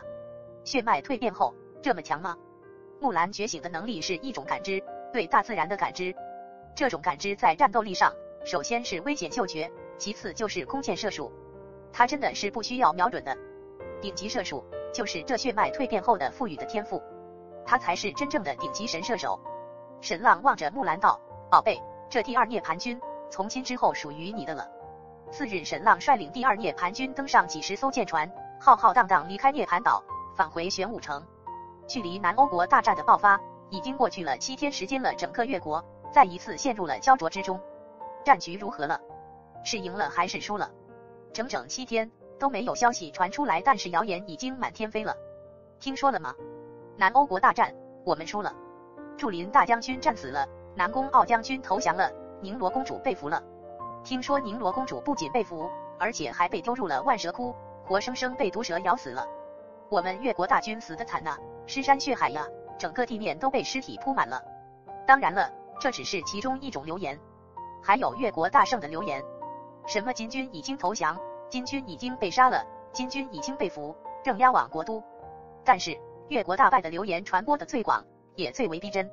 这当然有楚国间谍的功劳，但归根结底还是越国民众内心的恐惧和怨恨。整个越国范围内都进行了宵禁，甚至。没有得到官府的许可，任何超过三十人的聚会都是非法的。因为人一多，自然就成为流言的温床。但就算这样强力压制下，都没能阻挡流言的爆发，而且愈演愈烈。整个越国人心惶惶，尤其是靠近南欧国的天南行省，甚至有些民众都开始整理行囊，随时准备逃命。而那些豪强贵族已经开始关闭家门，下令所有的武装家丁日夜值守。而此时，最最焦灼的人绝对是天南行省总督祝融。九天时间过去了，他已经收到了上百份战报了，但内容几乎都是一样的。金军大军极度疯狂，毫不畏死。虽然缺乏大型工程器械，但极度勇敢，极度凶残，如同野兽一般，简直如同飞蛾扑火一般的攻城。每一次收到战报，祝融总督都心惊肉跳。虽然几乎每一份战报的内容都是一样，但他完全能够看得出来。局势越来越危险，越来越惊心动魄，因为每隔一个时辰左右，就会有一封新的战报从南欧国战场传来，所以祝融总督几乎不用睡觉了，打盹都是奢侈。大人，您去睡觉吧，若真的有大事发生，我叫醒您。严无忌忍不住道：“不，我不能睡。”祝融总督道：“万一贻误战机，那我就是千古罪人。”严无忌道：“总督大人，您太紧绷了，这对战局非常不利。”您难道没有发现，整个总督府的气氛都压抑的无法呼吸了吗？整个天南城万民已经人心惶惶了吗？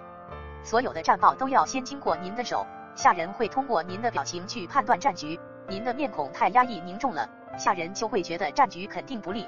他们出去之后，难免会和家人提起传闻。经过一次又一次的放大之后，还不到国都就会演变成为大仗溃败的流言。作为主帅，您需要坦然一些，放松一些，自信一些。这样下面的军队才能士气高昂。您难道不知天南城很多百姓都已经收拾家当，准备逃亡了吗？祝融总督一愕，然后深深拜下道：“谢谢先生警醒，是我不对，关心则乱了。”言无忌道：“总督大人，您去睡觉，明天一定要精神奕奕出现在城墙上，出现在万军之中，击碎所谓溃败的流言。”祝融总督点头道：“好，就依先生的。”然后他深深吸一口气。回到房间中躺下睡觉，但内心焦灼，又如何睡得着呀？言无忌见之，就点燃了一炷香。片刻之后，祝融总督终于睡着过去了。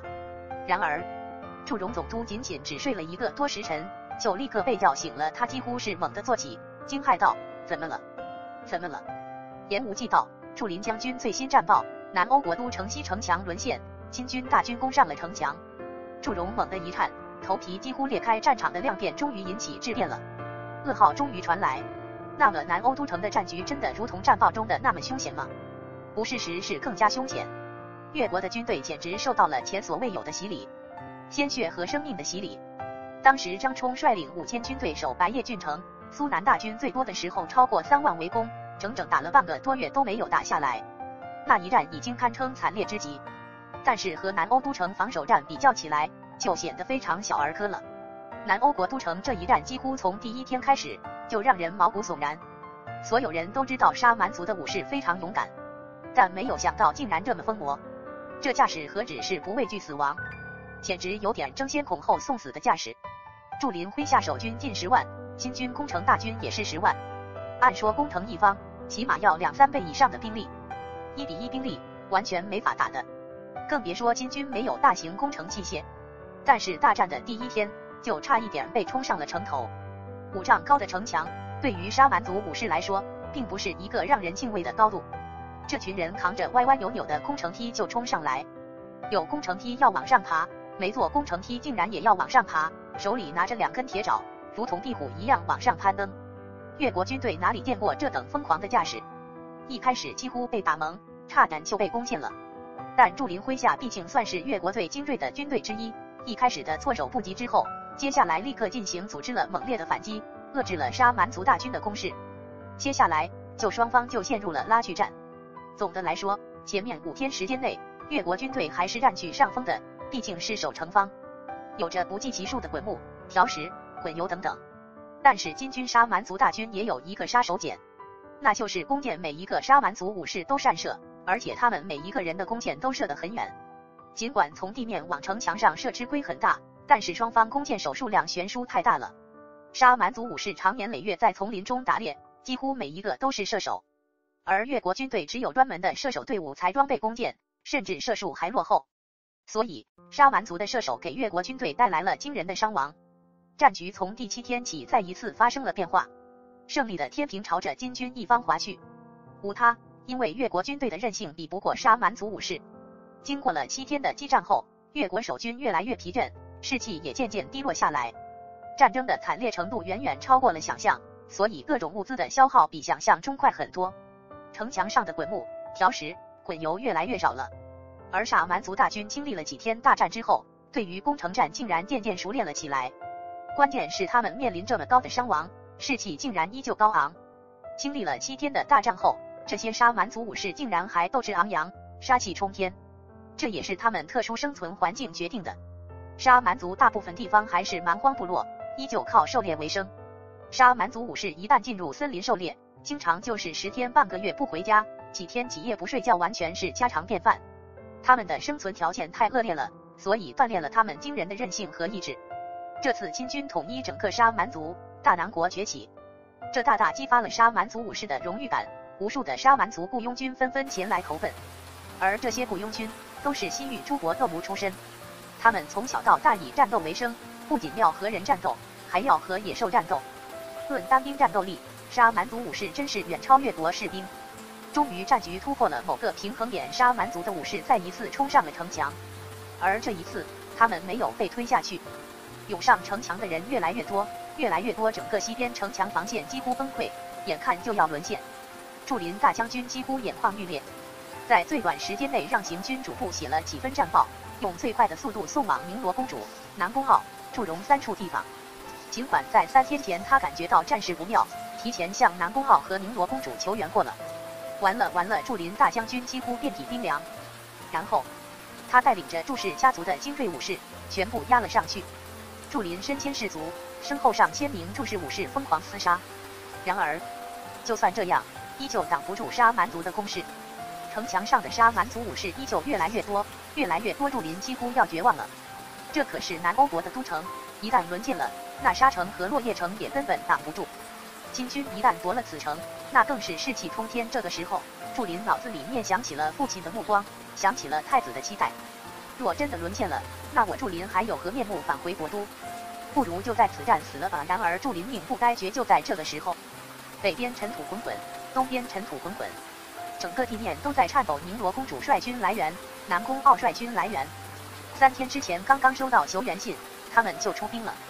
两人来的援军不多，仅仅只有两万五。但还是改变了战场的局面，金军的军队不得不分出两万抵御南宫傲和宁罗大军，投入攻城的力量大大减弱。而随着援军的到来，祝林守军士气高涨。终于，付出了无数的代价之后，祝林大军再一次将萨蛮族军队推下了城去。南欧国都城西城墙保住了，顿时间，祝林大将军几乎虚脱倒地，而南宫傲和宁罗的两万五千大军和金军的军队在原野上激战了半个时辰。双方都有伤亡，但是宁罗和南宫傲大军伤亡数量要多得多。不过金军大军也仿佛用尽了最后的力量。夕阳西下，双方停战，南宫傲和宁罗公主进入南欧国都城。这一战险象环生，但南欧国都城终究保不住了。可是，整个棋局彻底发生了变化。原本三员大将守南欧国三城，祝融总督在后方天南城驰援，结果因为金军大军太厉害。使得三员大将提前在南欧国都城汇合，这就如多落骨牌，产生连锁效应。南宫傲和宁罗来了，那南欧国另外两座城池就空虚了，金军很可能会趁机奋兵偷袭。怎么办？当然只能从第二战场，也就是天南城防线调兵南下。但如此一来，整个大后方就空虚了。南欧国主府内，祝林、南宫傲、宁罗公主三人静静无言。今日之战局真是惊魂一刻，差一点点，这座城市就沦陷了。祝林举起酒杯道：“大恩不言谢，两位今日算是挽救了局势。”三人饮了一杯，这是淡淡的果酒，喝不醉人。然后三人静静无言。按说城池守住了，应该高兴才对，但是再高兴不起来。一比一的兵力，竟然差点被人打下来。金军的沙蛮族军太强了。祝林叹息道：“和这样的军队作战，完全是一场噩梦。每一个人都如同野兽一般，毫不畏死，甚至主动赴死。之前南欧国军队叛乱的时候，不是这样的呀？那些叛军也是沙蛮族人呢。”宁罗公主道：“南欧国人已经被驯化了，变得和越国人差不多了。而这一次金军带来的是最纯种的沙蛮族武士，他们从五六岁开始就进入丛林狩猎，对于他们来说，活着是一场历练，死亡反而是一种归宿。太疯狂了，这个世界上就不应该有这种种族存在。”祝林叹息道。宁罗公主道：“十个沙蛮族人，最多只有三个人可以活过三十岁，在这种充满死亡的环境中。”任何人都会锤炼成为猛兽的。之前这些猛兽分散在丛林里面，而现在金军把他们带出来了，并且将他们凝聚在了一起。南宫傲道：“祝林将军，这几天大战下来，伤亡多少？”三万七。祝林道。南宫傲道：“这么多。”他完全不敢置信，守城一方竟然出现这么大的伤亡。祝林道：“是啊，太惨烈了。杀蛮族武士的弓箭太凶残刁钻了。杀蛮族武士两次冲上城墙。”都带来了惊人的伤亡。南宫傲道：“那金军的伤亡呢？”祝林道：“应该在四万左右。也就是说，攻城方和守城方伤亡比例竟然快要达到一比一了，竟然打成了这样，简直不敢置信。”祝林还是保守稳重的。事实上，金军大军的伤亡超过了四万。对于一般的军队来说，伤亡过半早就士气崩溃了。但是沙蛮族大军竟然依旧雄壮威武。曾听啊，祝林大将军道。宁罗和南宫傲陷入了沉默。增兵，那就相当于放弃后方，放弃了天南城防线了。但是眼下没有什么比南欧国都城更加重要的了。于是三人联名写信给祝融总督，并且奏请国君，请求增兵。祝融总督收到那一份战报后，整个人几乎天崩地裂一般。但是两个时辰后，他又收到了一份战报，顿时长长松了一口气。南宫傲和宁罗公主驰援。南欧国都城终于守住了，而此时他的命令已经发出去了，三万大军驰援南下。一日之后，他又收到了宁罗公主、南宫傲、祝林三人的联名密信，请求驰援。祝融总督一咬牙，再一次派出四万大军南下至此，整个天南城防线就剩下三万大军了。也就是说，着第二战场几乎形容虚设。不过，第二战场本就是为了第一战场服务的，按照这个架势，如果第一战场沦陷了，那第二战场根本就保不住，从严格意义上，继续增兵南欧国是需要国君同意的。但救兵如救火，根本就来不及。幸亏杜氏家族竭尽全力，透支了政治资源，要来了十万大军，否则这一战真是危了。金军大军的厉害，远远超过了所有人的想象，一开战就差点颠覆了战局。几日之后，天南行省七万大军进入南欧国战场，其中五万进入南欧国都城，两万分别进入沙城和落叶城。至此，南欧国都城的越国守军达到十三万之巨，整个南欧国战场内，越国军队达到十八万，而此时金军的沙蛮族大军已经不足六万，双方兵力达到了前所未有的三比一，战局再一次陷入了僵持之中。接下来，金军大军又发动了几次小规模的攻城，但双方兵力太过于悬殊了，全部都无功而返，双方各有伤亡。十一月十五日，金军大军忽然全部离开战场。掉头北上，这是要攻打沙城啊！如此一来，沙城危也。然而就在这时候，祝融总督挺身而出，率领两万大军进入沙城，使得沙城大军超过四万五千人。金军猛攻沙城，之前南欧国都城都差点被攻下来，更何况是沙城。但祝融总督这个文臣远比想象中更加厉害一些，从一开始就孤注一掷，将四万五千大军全部压上，不留任何一点余力，整整激战四个时辰。祝融总督亲自率领家丁上城墙作战，双方伤亡无数。这一战时间虽然短促，但是更加惨烈，更加险象环生。差一点点，这座城市就要沦陷了。沙蛮族大军实在是太强了。祝融总督觉得时时刻刻都在地狱中煎熬，他甚至在内心进行倒计时：援军赶紧到，赶紧到来呀，否则沙城就要完了。而就在这个时候，南宫傲终于率领骑兵北上沙市。南宫傲和祝融总督内外夹击，终于金军这支勇猛无敌的沙蛮族武士军团遭遇了大败，六万大军伤亡超过两万，率领不足四万大军后撤。这一撤就是六十里，退回到黑水寨中舔舐伤口。至此，南欧国大战第一阶段结束，越国获得，越国获得了阶段性胜利。金军接连在南欧国都城和沙城上撞得头破血流，死伤无数。从形势上看，金军彻底失去了主动进攻的机会。胜利了！南欧国主府内，祝林、南宫傲、绫罗公主热泪盈眶，现在终于可以放开了肚子喝酒了，太不容易了。虽然战局只持续了短短的一个月，但是太惨烈了，也太惊险了，差一点点整个战场就要崩溃了。幸亏几员大将当机立断，甚至祝融总督作为文官都亲自出战，否则沙城也已经沦陷了。瞧清军大军这无敌的架势，一旦让他夺走一座城池，那后果完全不堪设想。尤其是后面那一战，虽然只持续了三个多时辰，但越国大军伤亡近三万，终于胜利了。一个月时间。金军十万大军伤亡六万多，越国二十五万大军伤亡超过八万。如今，如今南欧国战场内越国大军超过十六万，而金军只有三万多，双方的力量已经极度悬殊。金军大军虽然无敌，但是工藤讲究一鼓作气，再而衰，三而竭。一旦气势没了，就什么都没了。对，对，对，这杀蛮族武士，毕竟还是不行，只有武勇，没有谋略。这金军政治手段或许厉害。但军事不行，火候差了一点点。给国都传捷报，给整个越国传捷报。而就在此时，祝林大将军道：“是时候了，应该让太子殿下南下了。”这话一出，宁罗公主沉默了片刻，然后点了点头。祝林大将军的目光望向了南宫傲。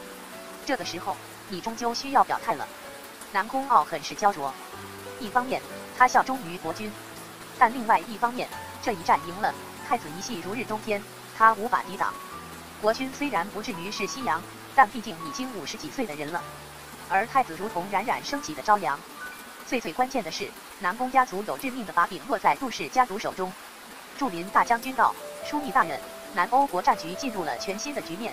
我觉得这个时候需要太子殿下前来坐镇，如此来能够鼓舞士气，振奋民心。这一战，老夫已经身心俱疲。”完全支撑不住了，担任不了南欧国都城镇守一职，要不然镇北侯也一并兼任了。祝林这句话已经非常露骨了。南宫傲大人，您不想太子来南欧国主持战局，您是担心他来抢功劳了？那要不然把所有的功劳全部给您。顿时，南宫傲没有了退路，直接起身道：“祝大将军说哪里话？两位说的有理，越是这个关键时刻，就越发不能懈怠，务必要一劳永逸，彻底消灭金军主力。”这个时候尤其需要太子殿下主持大军，我同意。祝林大将军大笑道：“镇北侯果然是国之玉柱，我们三人这就联手上奏国君如何？”南宫傲哪里能够说不？于是三人联名写了一份奏报，一边向国君报捷，另外请求国君派遣太子南下主持战局，彻底剿灭金军。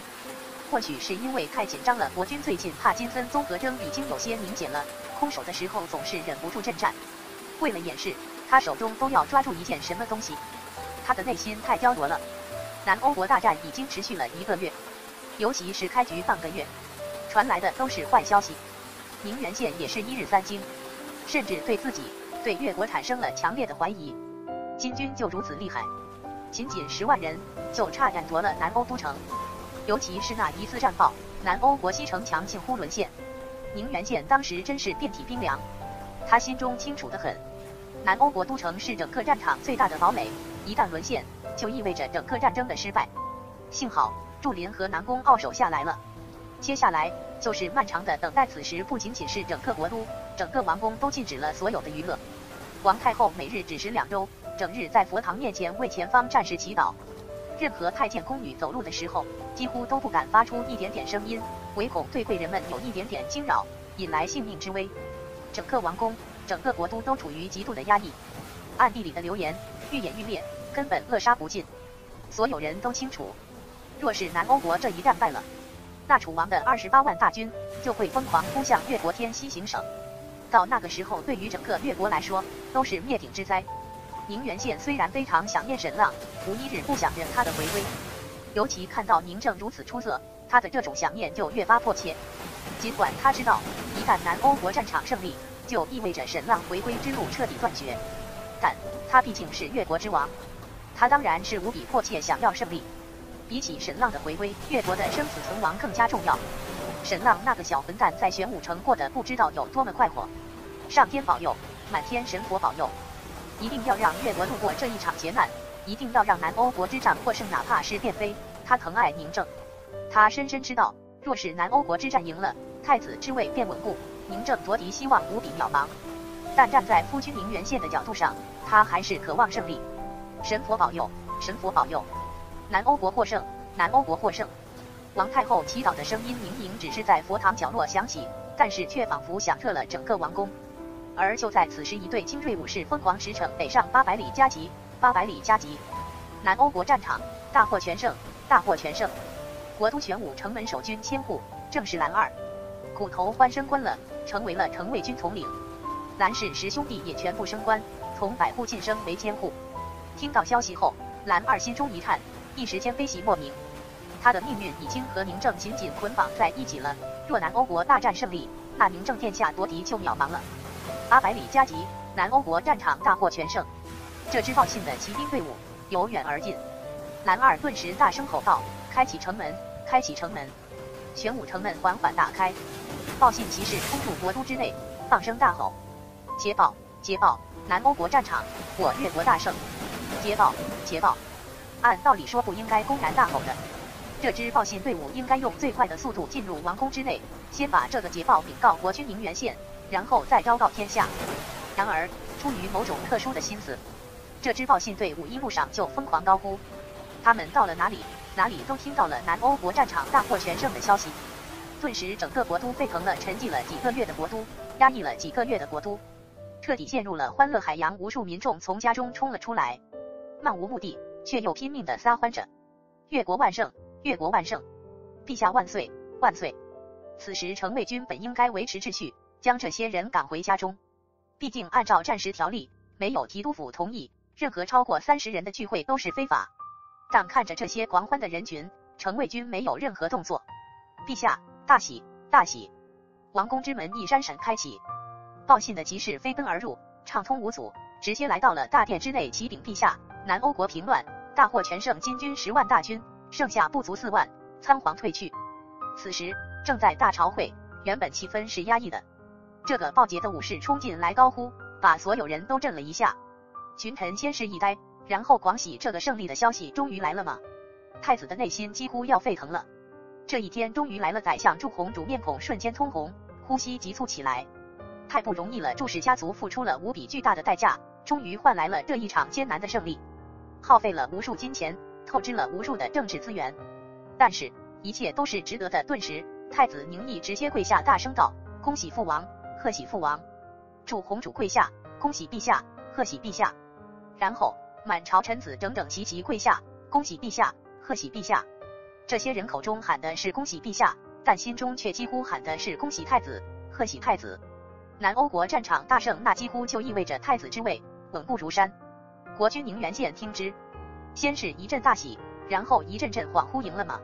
这就赢了，赢了好，赢了好。然后他的目光望向了太子，对方的眼睛爆射出无比傲然的光芒。尽管飞快而逝，但宁元县还是看到了这一场胜利。固然是寡人的胜利，但最大的胜利者还是太子啊！过去几个月内，他拔高宁旗，打压太子，现在太子终于要扬眉吐气了吗？宁元县又忍不住朝着宁正望去一眼，原本的宁正是矮胖矮胖的，而现在已经瘦得脱形了。他才是真正的呕心沥血，他才是忍辱负重，一心为国分忧，为君分忧，从来不喊一声苦，一声累。好儿子啊，可惜了，但是这一战赢了，终究比输了好。国君宁元县收拾心情，哈哈大笑。诸位爱卿，请起。这等好消息，立刻去告诉太后，昭告天下，万民同乐。祝林辛苦了，宁罗辛苦了，南宫傲辛苦了，祝融也辛苦了。众臣再一次拜下，恭喜陛下，贺喜陛下。然后，这名报信武士首领道：陛下，宁罗公主，祝林大将军，南宫傲大将军三人联名奏折献上。国君宁元宪眼睛一眯，果然来了呀，真是半刻都不停。但宁元县却依旧大喜道：“递上来，快递上来。”那个武士将奏折先递给大宦官李隼，然后由李隼检查之后再转交国君。宁元宪拆开一看，其实那里面的内容他早就知道了，让太子前往南欧国战场坐镇，去收割最大的胜利果实。宁元宪笑道：“祝林、宁罗、南宫傲联名上奏，南欧国战局进入了新的阶段，转守为攻的阶段。他们要一劳永逸，彻底灭掉金军主力，永保南欧国平安。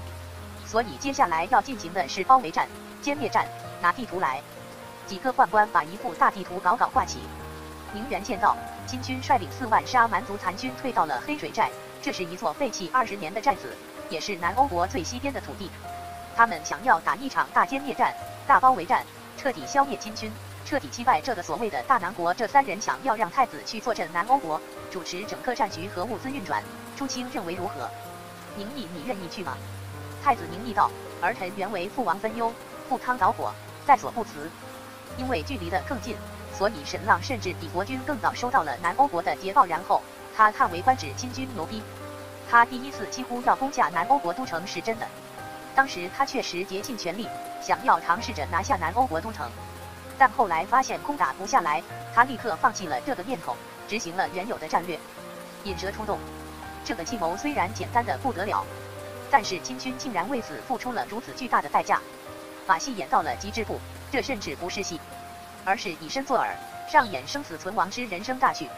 沈浪站到地图面前，冷笑道：“太子宁毅若去南欧国。”迎接他的或许是万劫不复，我们也应该准备了。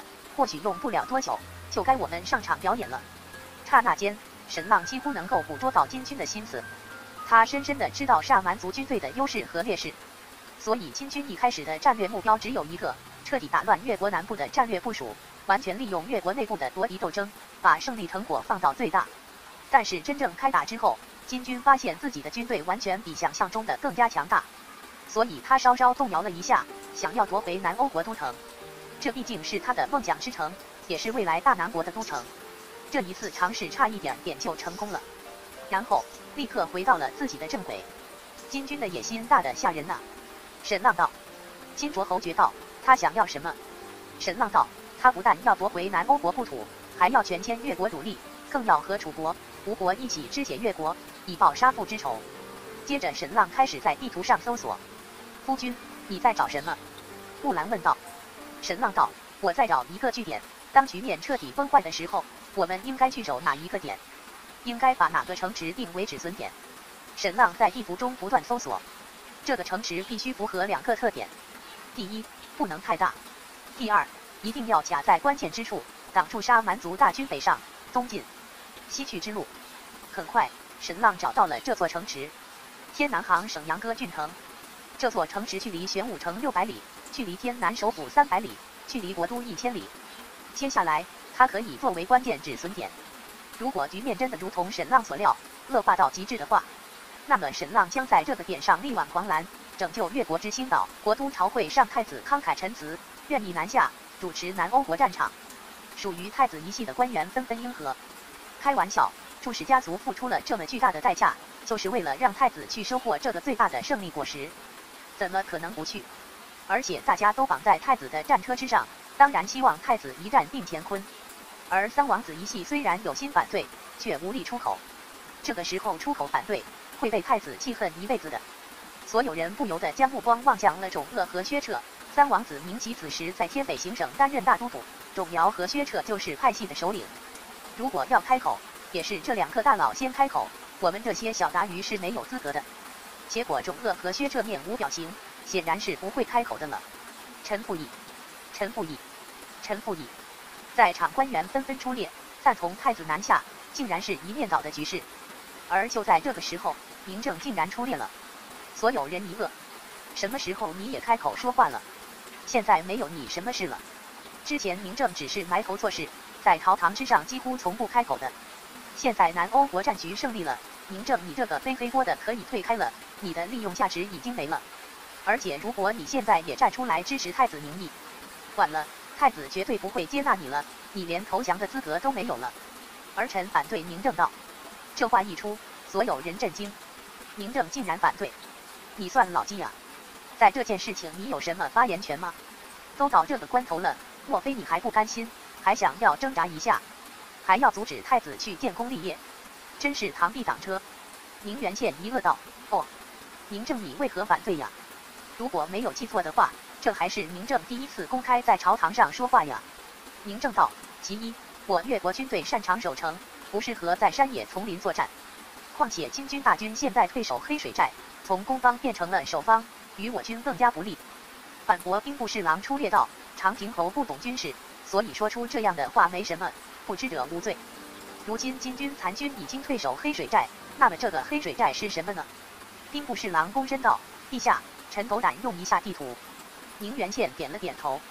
兵部侍郎道：“整个越国可以说没有人比我更加熟悉黑水寨的了，因为当年就是我负责建造的这座营寨。二十几年前，越国和南欧国联军大战沙蛮族，因为这样那样的原因。”军队无法驻守南欧国都城之内，所以就在南欧国边境之上建造了黑水寨。它本来是要建成一座城堡，堵住沙蛮族的入侵路线，守住南欧国的西南边境。听到这里，众人点头。在场很多老臣还记得当时的事情。按照计划，这个黑水寨本来应该建造五年左右，形成一个坚固的防线。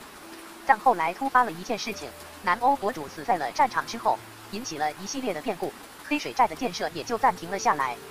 所以黑水寨仅仅只完成了五分之一的建造，各项防御功能都不完整，根本不是一个坚固的防线，没有城墙，没有城堡，只有最原始的木头军营、木头寨墙，而且起码荒废了十几年，早就破烂不堪，根本承担不起防御之用，简直是不堪一击。金军残军守此地，完全是自寻死路。其次，此时越国战场内，我越国有十七万大军，而金军不足四万，五比一的兵力都打不过沙蛮族大军的话。长平侯是不是也太瞧不起我们越国精锐了？这话一出，所有人纷纷点头。宁元见道：“宁正，你还有什么想法，一并说出来。”宁正道：“其次，我担心这是金军的阴谋，引蛇出洞的阴谋。”这话一出，全场嗤之以鼻。多，天下就你宁正一个聪明人。阴谋？你是说金军在演戏了？他的十万大军伤亡了六万多，几乎去了三分之二，用这么大的代价来演戏？荒谬至极啊！你是幼稚呢，还是居心叵测？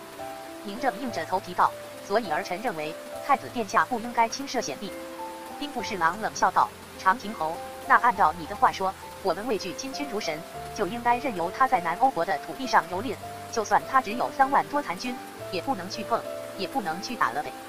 那我倒是想要问问，对于金军应该怎么办呢？”嬴政道：“金军现在已经不是一个普通的叛逆，而是大南国主。”我们要面对的不是一个人，而是整个沙蛮族，所以要扬长避短，打持久之战，打堡垒战。宁元宪道：“你的意思是，在南欧国和大南国边境线修建大量的堡垒？”对，这本就是我们擅长的事情。宁正道：“这话一出，全场哗然，这是疯了吗？简直可笑吗？在整个边境线上修建堡垒，何等窝囊！现在金军就剩下三万多残军了，不想着趁胜追击？”一举灭之，竟然还想着持久之战。长平侯，我本觉得你是埋头做事的忠臣，但现在看来真是大失所望。兵部侍郎道：“我知道你和太子殿下有矛盾有分歧，但也不应该为了一己私利而耽误了国事，这等行径真是辱没了你的身份。”这已经是非常严厉的指控了，但所有人都觉得有理。随便用脑子想想都知道，此时是消灭金军主力千载难逢的机会。你非但不趁胜追击。反而要龟缩防守，还不是怕太子建立不是功勋？你夺嫡没有了指望，但你难道不知道，你早就没指望了？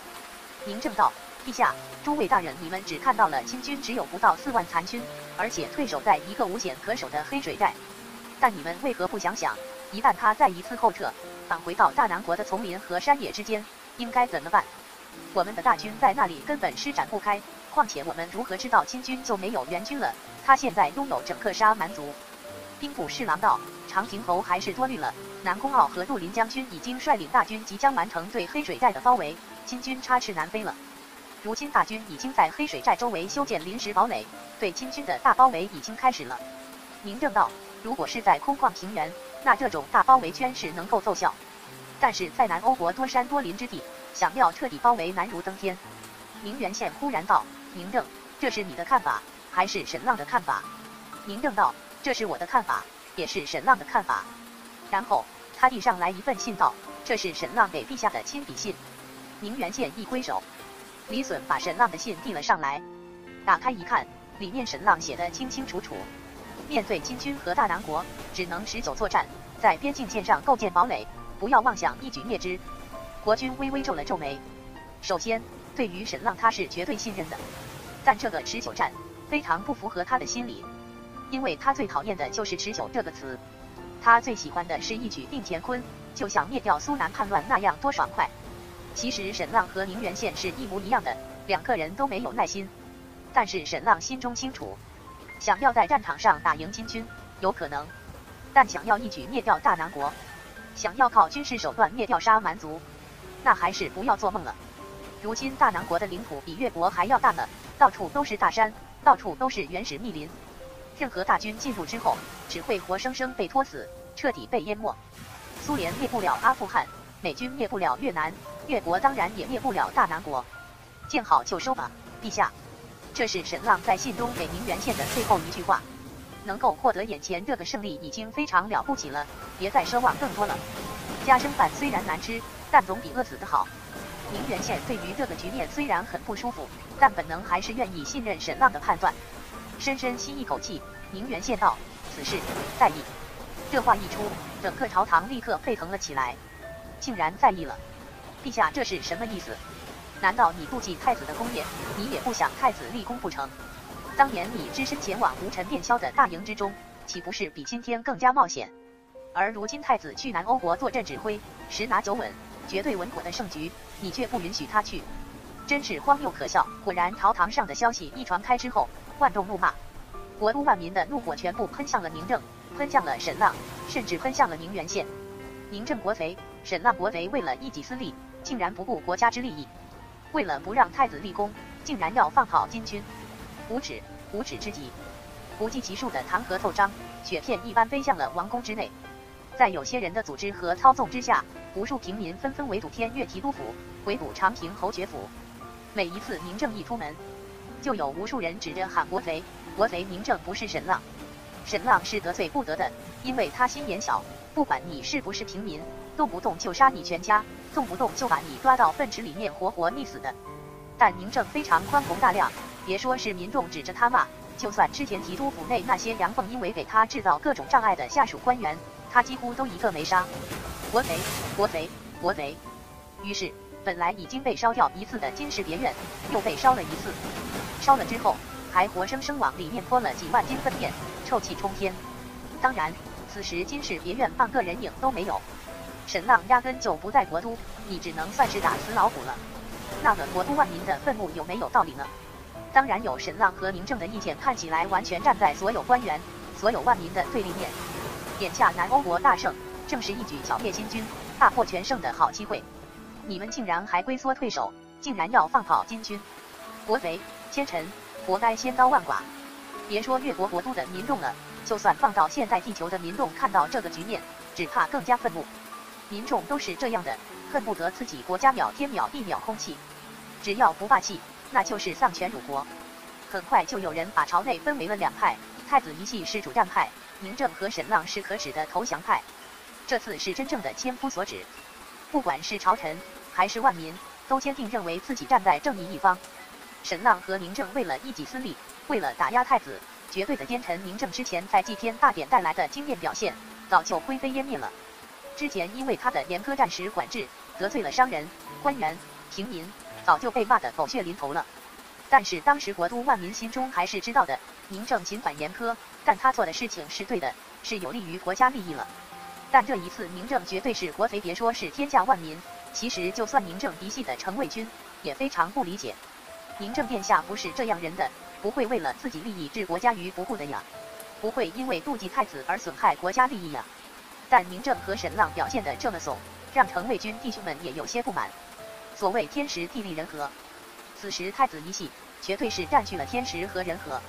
整个越国的民众都站在他这一方，期待他南下，一举剿灭金军，建下不世之功，保越国几十年安宁。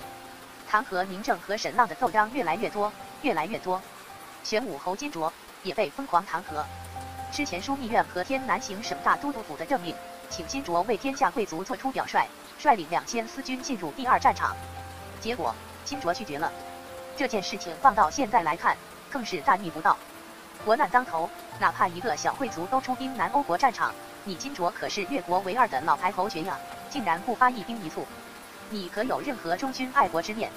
谋反之意昭然若揭呀！然后更加荒唐的谣言传播了出来，说沈浪不满被流放驱逐出国都，已经背叛了越国，背叛了国君。金氏家族已经和金军勾结了，打算分割天南行省。沈浪居心叵测，想要放走金军，养寇自重。而宁正是个傻子，被沈浪玩弄于股掌之中。当天下意志统一的时候，任何人都不能阻挡。宁正已经出不了门了，就算去了天越提督府，也完全做不了事了。他下的任何命令，完全得不到执行了。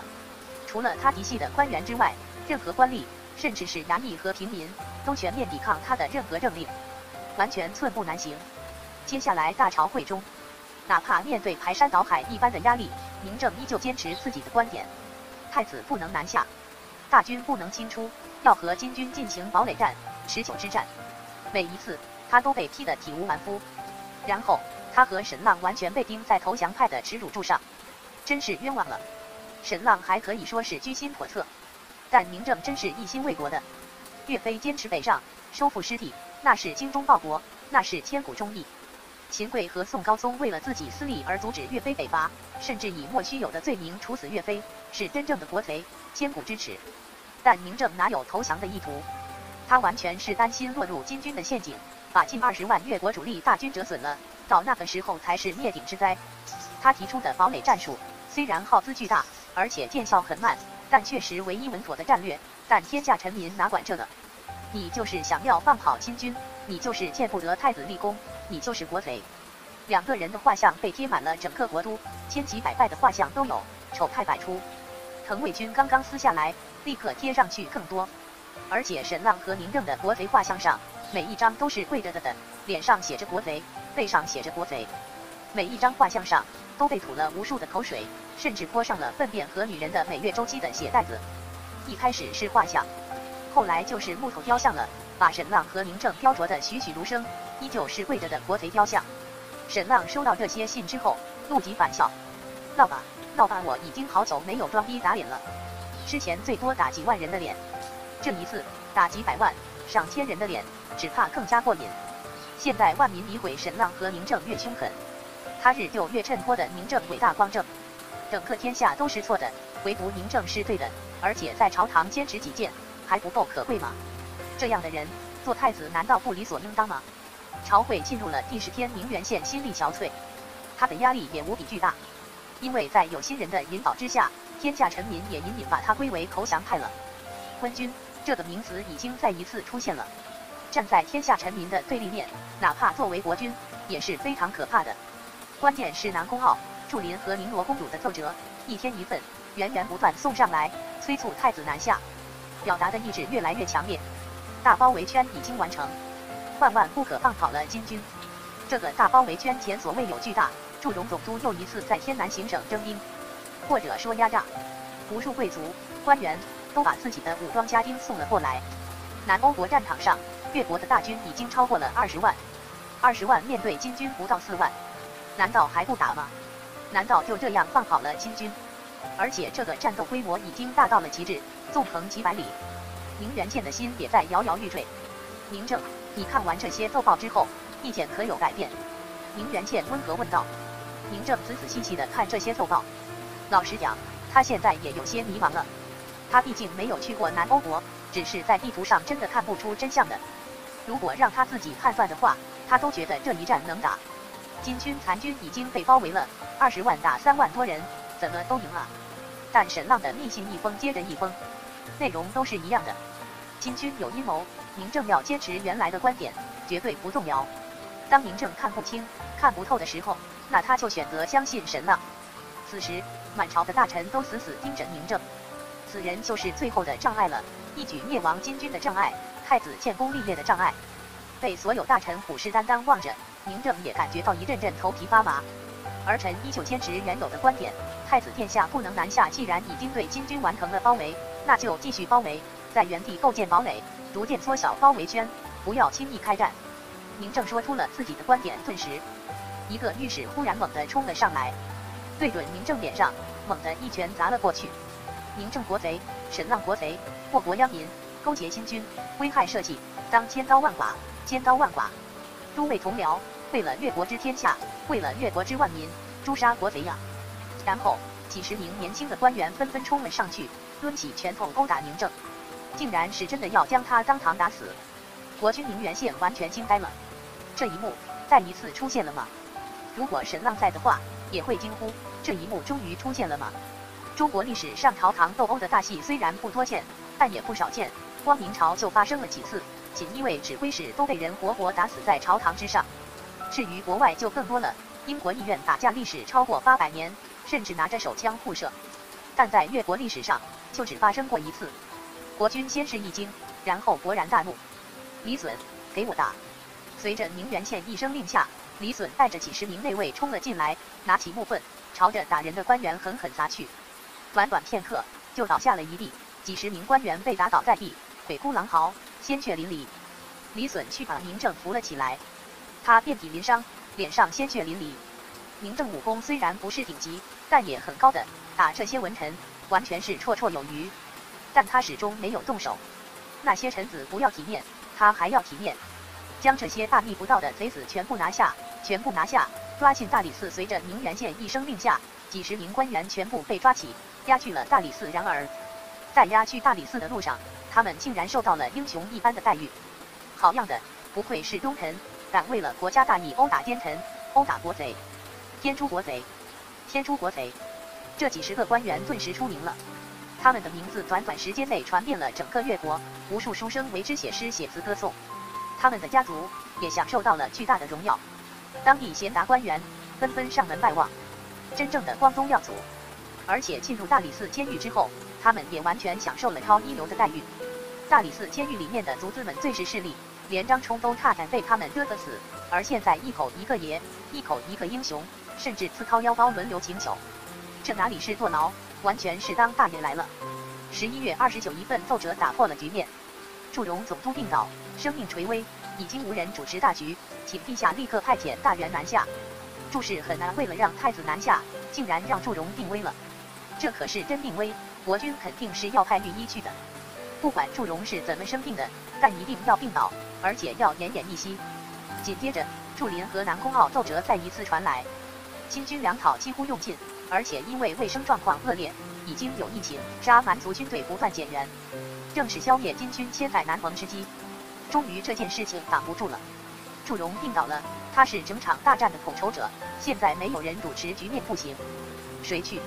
除了太子，谁去都不行。国君宁元县长长呼了一口气，宁毅。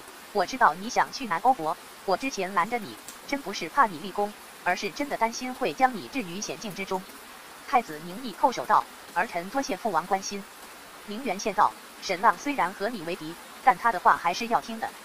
此人在大局上还是非常忠贞的。你去了南欧国之后，一定要谨慎，谨慎再谨慎。”太子叩首：“儿臣谨记在心。”宁元县又道：“包围金军，若能够将他击退，便是胜利。”万万不可让大军深入大南国，穷寇莫追。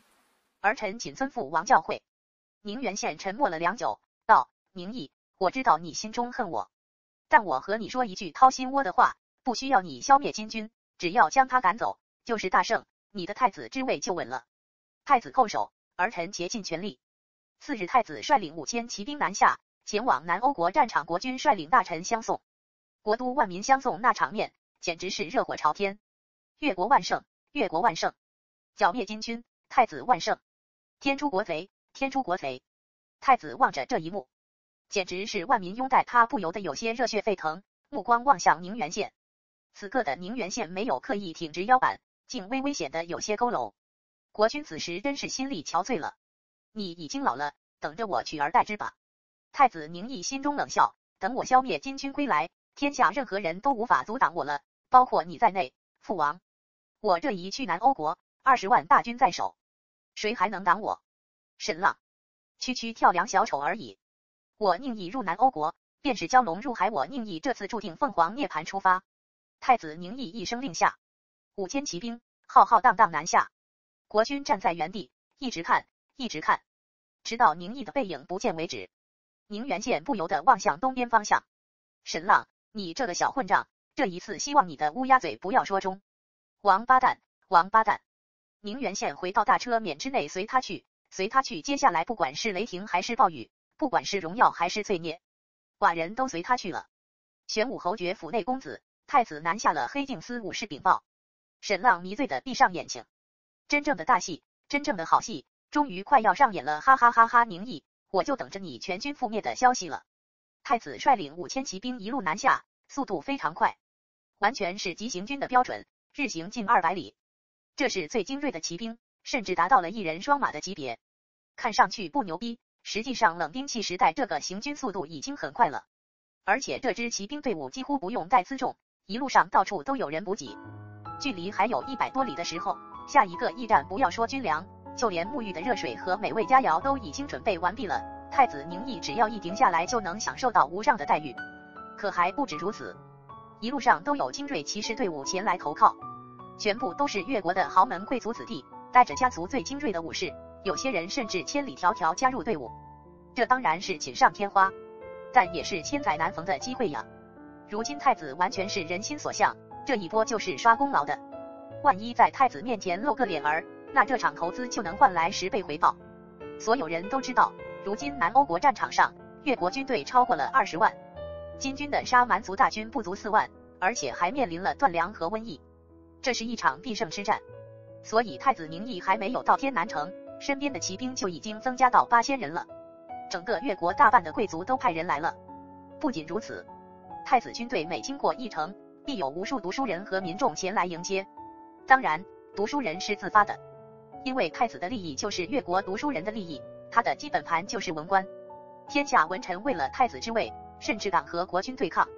至于这些老百姓是怎么来的，就不得而知的。但总之就是丹石湖江，万民拥护。而且从太子离开国都的那一天起，整个文官系统就开始了舆论造势，一天比一天升级，几乎将南欧国之战烘托成为百年以来最伟大的战争，甚至比二十几年前吴越大战还要重要，还要伟大。只要打赢了这一战，只要灭掉金军，就能换来越国几十年的长治久安。这话是没有错，但烘托的太过分了，几乎要上升到圣战的地步。但读书人就是这样的，语不惊人死不休。等太子进入天南行省的时候，整个舆论造势已经到了巅峰，如火如荼，鲜花着锦，烈火烹油一般。无数民众也被读书人带动，跟着一起嗨起来，如痴如醉。很快，祝氏家族觉得自己发力过猛了，想要稍稍冷却一下，但是来不及了。此时，就算没有祝氏的引导，就算没有文官势力的引导，整个越国读书人已经陷入了自嗨了。文人支持太子，部分武人支持三王子，傻逼支持明政，这一条已经深入人心。整个越国的文人都已经觉得维护太子地位，人人有责。这甚至不是为了太子，而是为了读书人的利益而战，完全自发性的宣传太子率领的这一场大决战，拼命写诗，拼命写话本，而且花钱让说书先生在酒楼客栈抢南欧国之战，一时之间简直就是铺天盖地。天下瞩目，就连最偏僻的山野之中老农都知道即将要爆发一场国运圣战，太子殿下亲自出战剿灭越国最大的敌人金军，这是一场灭国之战，将换来越国几十年的长治久安。就连傻子都在街上高呼念着“太子来，金君王太子来”，大难倒在这种山呼海啸中。太子率领的骑兵进入了天南城，此时宁毅迎来了最最强大的一支援军，天涯海阁武士仅仅只有二百人，但全部都是高手。当然了。他们身上毫无标识，率领着二百天涯海阁武士的是左慈阁主的另外一名记名弟子李南风。从中可见，宁寒公主对宁毅的这一战有何等重视。这二百名高手只有一个目的：保护宁毅。这才是真正的天之骄子啊！万众宠爱于一身。太子进入大都督府，见祝融总督。祝融总督的病是真的，这几个月呕心沥血，确实透支的厉害。但病得这么严重，确实假的，是专门服下了特殊的药物之后，才显得生命垂危。太子殿下，臣不能给您行礼了。宁毅道：“求求不必多礼，你为我做的事情，我都在记在心里。”祝融总督道：“我越国二十万大军包围金军三万多残军，已经快要一个月了。但太子您不来这一战，不敢打。当然不敢打。万一太子没来，大战就彻底赢了，就灭掉金军了，那就尴尬了。我还没有开枪，你就倒下，显得我枪法特别准吗？祝融总督道：殿下呀，如今整个南欧国战场万事俱备，只欠东风了，而这个东风就是您。太子道：一切物资都准备齐全了吗？祝融总督道：全部妥当，只有多没有少。这就奇怪了。之前开战的时候，祝氏家族竭尽全力，物资还显得比较紧张。如今二十万大军包围金军，物资反而充裕了起来。其实一点都不奇怪。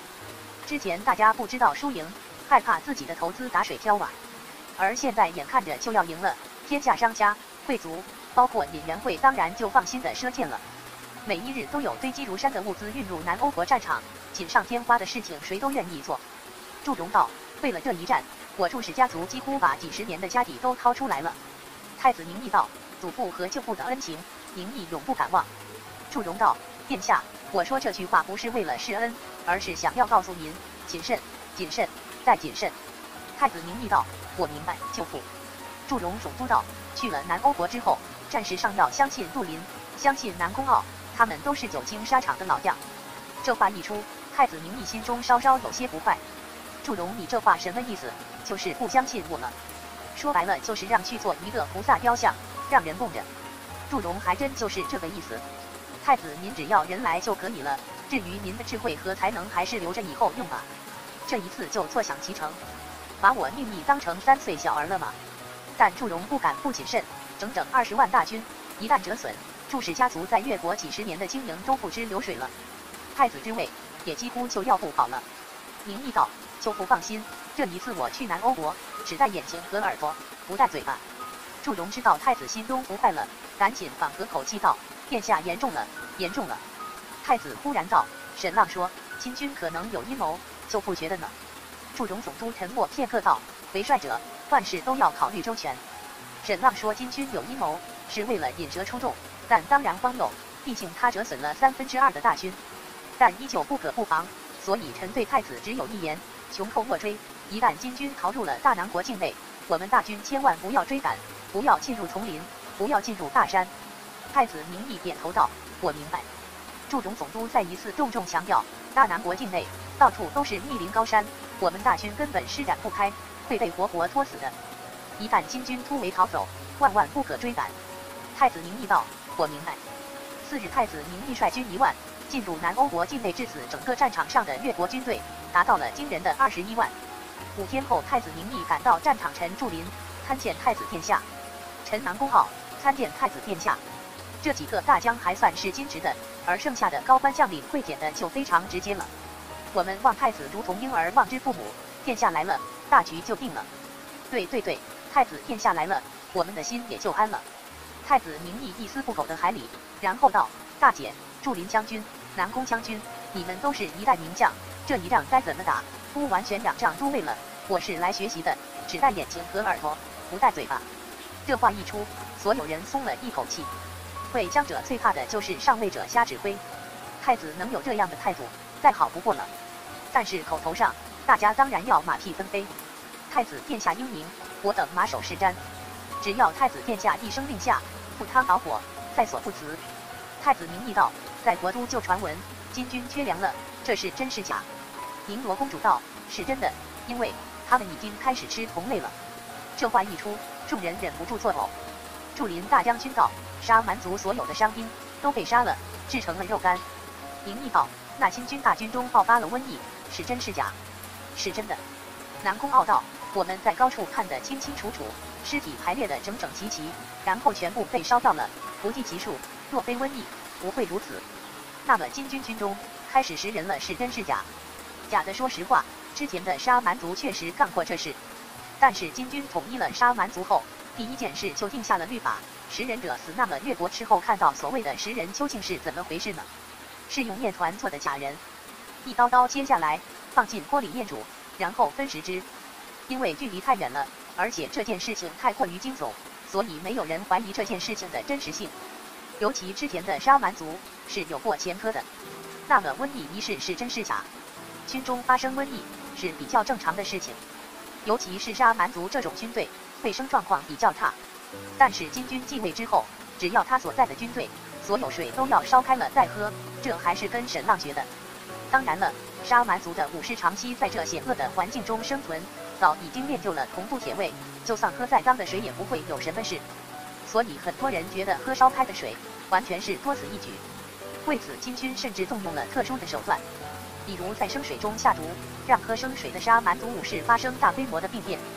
这群当然是治好了，但是却留下了可怕的印记，那情景惨不忍睹。从此之后，沙蛮族大军也开始喝烧开的水了。不仅如此，金军还引进了几百名大节寺的医僧，所以基本上不会爆发大规模的瘟疫了。那么怎么会有瘟疫的传言呢？很简单，让一群人包裹全身，去烧大量的尸体便是了。这次开战，沙蛮族大军有无数的死亡者。之前沙蛮族都流行土葬，没有烧尸体这一说法。现在金军下令大规模火化尸体，每天都烧，而且一天比一天多。而且抬尸体的人、焚烧的人，全部从头包裹到脚，从一天烧几十具到一天烧几百具。越国的斥候看到了，当然判断这肯定是有瘟疫了。人是很奇怪的物种，他们特别愿意相信自己看到的事情。更相信自己愿意相信的事情，比如杀蛮族食人，那肯定是真的，肯定是缺粮了。如果不是有瘟疫，为什么要烧尸体，而且还包裹得严严实实的？所以金军牛逼，完全将心理战术发挥到了极致，就算是演戏，也演到了极致。太子明义听之大喜，天时地利人和都在我这一方，这下子想要不赢都难呐。几位将军，那何时可以开战呢？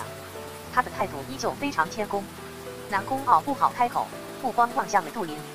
我们早已经准备完毕，随时都可以开战。祝林大将军道：“三日之后是十二月初九，王道吉时，可以开战。”南宫傲点了点头。绫罗公主点了点头。太子明义道：“那行，就十二月初九全军开战，消灭金军。”绫罗公主道：“如今战场上猛将如云，就不缺我一个女流之辈了。我这便返回南欧国都城了。”众人点头同意。次日，宁罗公主率领一万大军返回南欧国都城。如果俯瞰整个战场，任何人都会被震撼。纵横几十里的地面上，密密麻麻，到处都是军营，到处都是沟壑，到处都是木头搭建的临时堡垒，真的是无边无际，遮天蔽日。越国二十一万大军，真的是将整个黑水寨包围得严严实实。整个黑水寨只建了五分之一，经历了二十几年，倒塌了很多，如今剩下的不足三千亩而已。这寨墙全部都是木头建的，大约两丈左右，高度是足够了。但是经过二十几年风吹雨打，都已经开始腐烂了，风一吹甚至开始摇晃。想要依靠这个寨墙进行防守，几乎是不可能的了。这三天时间内，黑水寨的金军大营内显得非常安静，而且也没有食人，也没有焚烧尸体了。但这更加让越国军队相信沙蛮族缺粮，而且爆发了瘟疫。之所以不再食人。是因为知道决战要来了，所以把剩下的粮食全部放出来了。至于不再烧人了，也是因为知道决战马上爆发，瘟疫就算再蔓延也无所谓了。巧巧，金军都不需要演戏，越国这边都能够进行脑补了。那么金军这边为何知道大决战马上就要来呢？傻子都知道，因为太子名义的旗帜已经矗立在越国军营的每一个角落，高高在上。三天的时间，飞快而过。十二月初九。越国二十一万大军队正式对黑水寨发动了总攻，太子宁毅和金军之间的大决战就要正式爆发。按照宁毅想象，他和金军之间应该王见王的，应该如同史书中一样，开战之间两国的君主惺惺相惜，对话一番，饮酒击针。如果这样的话，宁毅一定奉陪。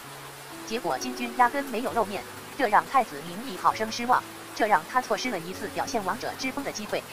朝阳快要升起了越国将领整齐注视着太子名义，等待他的一声令下，太子名义一步一步登上帅台。这帅台非常高，整整有十几丈，几乎能够俯瞰整个战场，也能够看到黑水寨里面的沙蛮族军队。名义每走一级台阶，内心都无比豪迈，就仿佛提前走上了王座一般。这一战之后，谁能阻挡我问鼎越国？谁也不能负王名元剑都不能，更何况是沈浪这样的土鸡瓦狗、跳梁小丑。等我继位，宁正要死，沈浪要死，金卓要死，心不兰，哪怕五年、十年之后，你也依旧是我的。放心，我等的及此时，太子明义甚至在内心感激金军，谢谢你如此强大，如此神奇，这才铸就了我的不是功业。沙金，你注定是我的踏脚石。你之前表现的越辉煌，就越发衬托的我命亦天命所归。等太子登顶帅台的时候，太阳猛地一跃而起，巧合吗？当然不是，宁毅计算着时间爬台阶的。而且第一缕阳光直接照射在这帅台上，照射在太子宁毅的身上。刹那间，他浑身金黄，锐气绝伦。几十名将领，无数越国将士昂首行注目礼，十几万大军仰头望着宁毅，真正万众瞩目啊！在所有人眼中，太子宁毅真就如同这冉冉升起的朝阳，让人不可阻挡。宁毅稍稍压制内心的澎湃，亲军呢？为何还不出现？还不让姑看看你？深深吸一口气，名义大吼道：“今日一战，将奠定我越国几十年长治久安！万岁！万岁！万岁！越国万胜！越国万胜！”二十万大军齐声高呼，声音震天。太子名义猛地拔剑，用尽所有力气高呼道：“开战！”将杀蛮族叛逆斩尽杀绝，顿时惊天的战鼓响起，十几万越国大军潮水一般朝着脆弱不堪的黑水寨涌去。大决战爆发，杀杀杀！战斗一开始就进入白日化的状态。这黑水寨的幕墙确实不堪一击，仅仅不到一刻钟，所有的寨墙就几乎被全部推倒了。无数越军涌入寨内，嗖嗖嗖嗖，杀蛮族的箭雨出现了，果然犀利无比。但这样的箭雨又能施展几波？尽管带来了巨大的伤亡。但比起越国大军的数量，又算得了什么？两支军队很快短兵相接，白刃战越国近二十万，杀蛮族不到四万。但是，杀蛮族惊人的战斗力凸显了出来。如此悬殊的军力，竟然战个旗鼓相当，没有任何计谋，就是鲜血和生命的撞击。整个战场杀得天昏地暗，血气冲天。太子宁毅站在高台上，长长松了一口气。在开战之前。他真的担心金军在黑水寨里面会有什么阴谋，甚至他脑子里面都想出了好几个惊悚的画面，比如大军冲入之后，发现里面几乎空无一人，杀蛮族大军全部跑了；又或者冲进入之后，发现到处都是陷阱，甚至设身处地站在金军的角度考虑，应该如何打这一战。比如大量挖掘地堡，几万人在一个多月时间内，足够将整个黑水寨地下挖得四通八达了。一旦进入地道之内，越国大军的人数优势完全消失殆尽，在狭窄的地道之内，完全可以将傻蛮族武士灵活骁勇发挥到极致。又比如用瘟疫战术，整个黑水寨内都是感染了瘟疫的尸体。总之，宁毅脑子里面不知道为金军构思了多少种战斗办法，因为他觉得金军是一个很厉害的人，一定会有阴谋诡计的。结果完全没有，竟然就是最野蛮、最直接、最血腥的战斗。这就好，这就好，就这样短兵相接。我几倍兵力与你又有何惧？金军都说你厉害，也不过如此而已。此战我赢定了。随着越国大军杀入黑水寨内，包围圈越来越小，越来越小。但是宁毅很快就笑不出来了。从场面上看，越国军队当然占据了绝对的优势，就如同茫茫海水包围了中间的一座礁石一般，但也如同惊涛骇浪撞击礁石，瞬间粉身碎骨。在两军交战之处。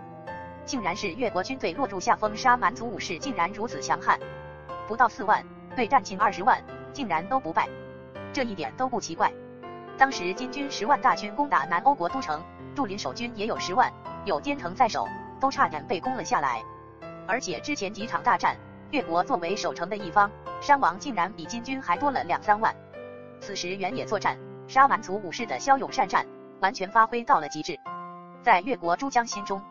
金军大军又是经历缺军粮事件，又是经历了瘟疫，肯定大量减员，而且士气低落。实际上，人家根本没有减员，士气依旧高涨。这群人都是疯子，从小都在死亡中挣扎活下来的，比这更加绝望的困境经历的多了。这点算得上什么？被四五倍的敌人包围当然可怕，但是比得上被十几条饿狼包围可怕吗？激战依旧在继续，厮杀震天，血流成河。越国军队几乎以惊人的速度消失，金军的杀蛮族大军虽然也在伤亡，而且数量惊人，但是他们越死越疯狂，最后简直就如同疯狂的野兽一般，主动冲上来找死一般，每一个人都仿佛要同归于尽的架势。而越国的军队越打越心惊，甚至开始左顾右盼，看后面的人还多不多，需要寻找安全感。这种极度血腥的战斗，真如同烈日化雪，每一分每一秒。都有无数人死去，杜林大将军头皮发麻，南宫傲心惊胆战。这群人为何不绝望啊？你们被包围了一个多月，为何不沮丧啊？站在高处的宁毅真的震惊了，他甚至颤抖朝着祝林道：“不会输吧？这杀蛮族的武士竟然真的强到这个地步！”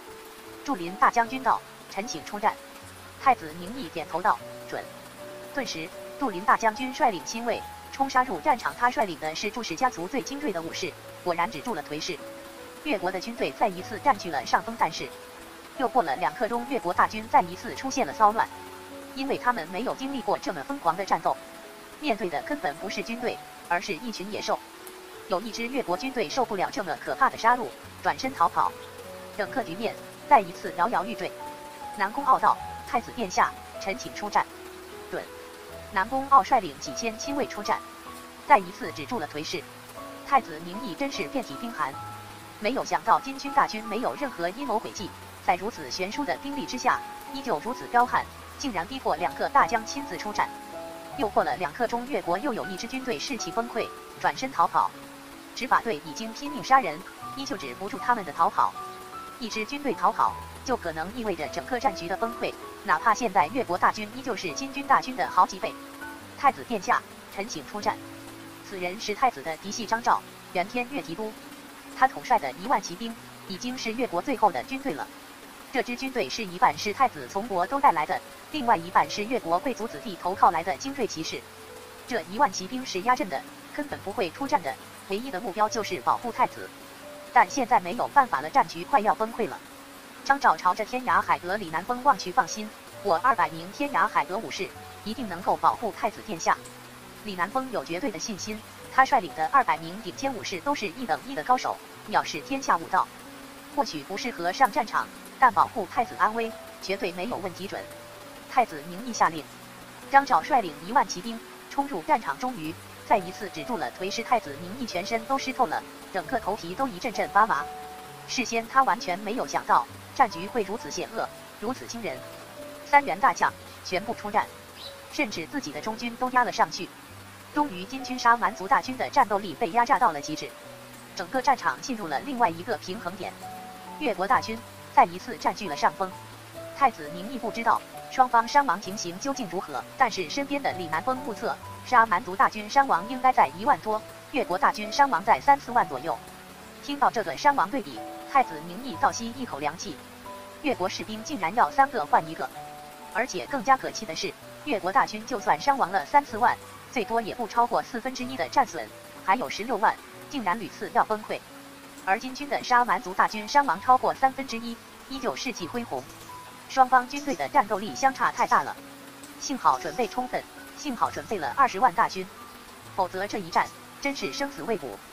此时基本上胜局已定了。这是一种事，一旦战争的天平开始倾斜，在没有外力的影响下，就很难挽回局势了。之前越国战局几次要崩溃。都有新的军队驰援上去，止住颓势。可是金军可没有援军，所以这一战要赢了。不好，金军要突围！李南风忽然道。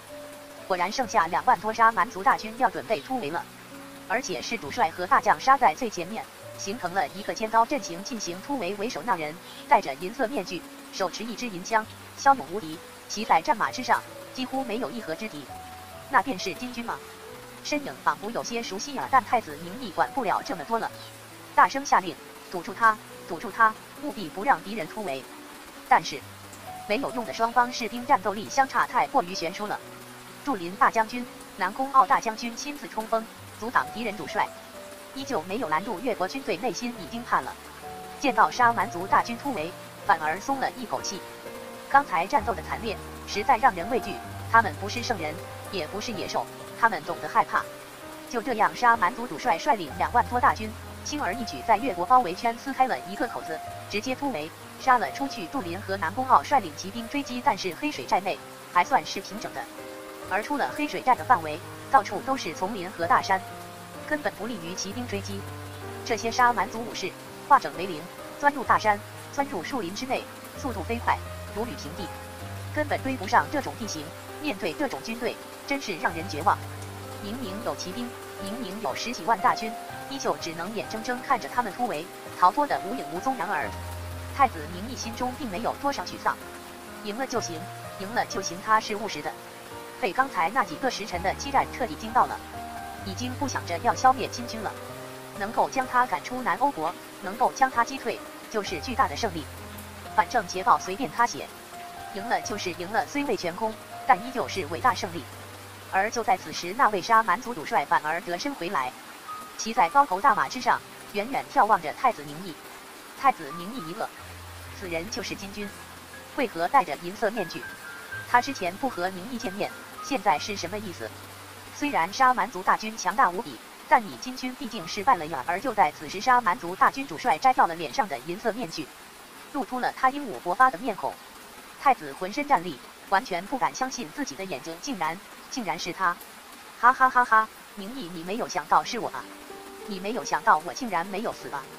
此人原越国镇远侯苏南，难怪银枪无敌，难怪刚才太子宁毅看着觉得非常眼熟，竟然是苏南！他，他不是已经死了吗？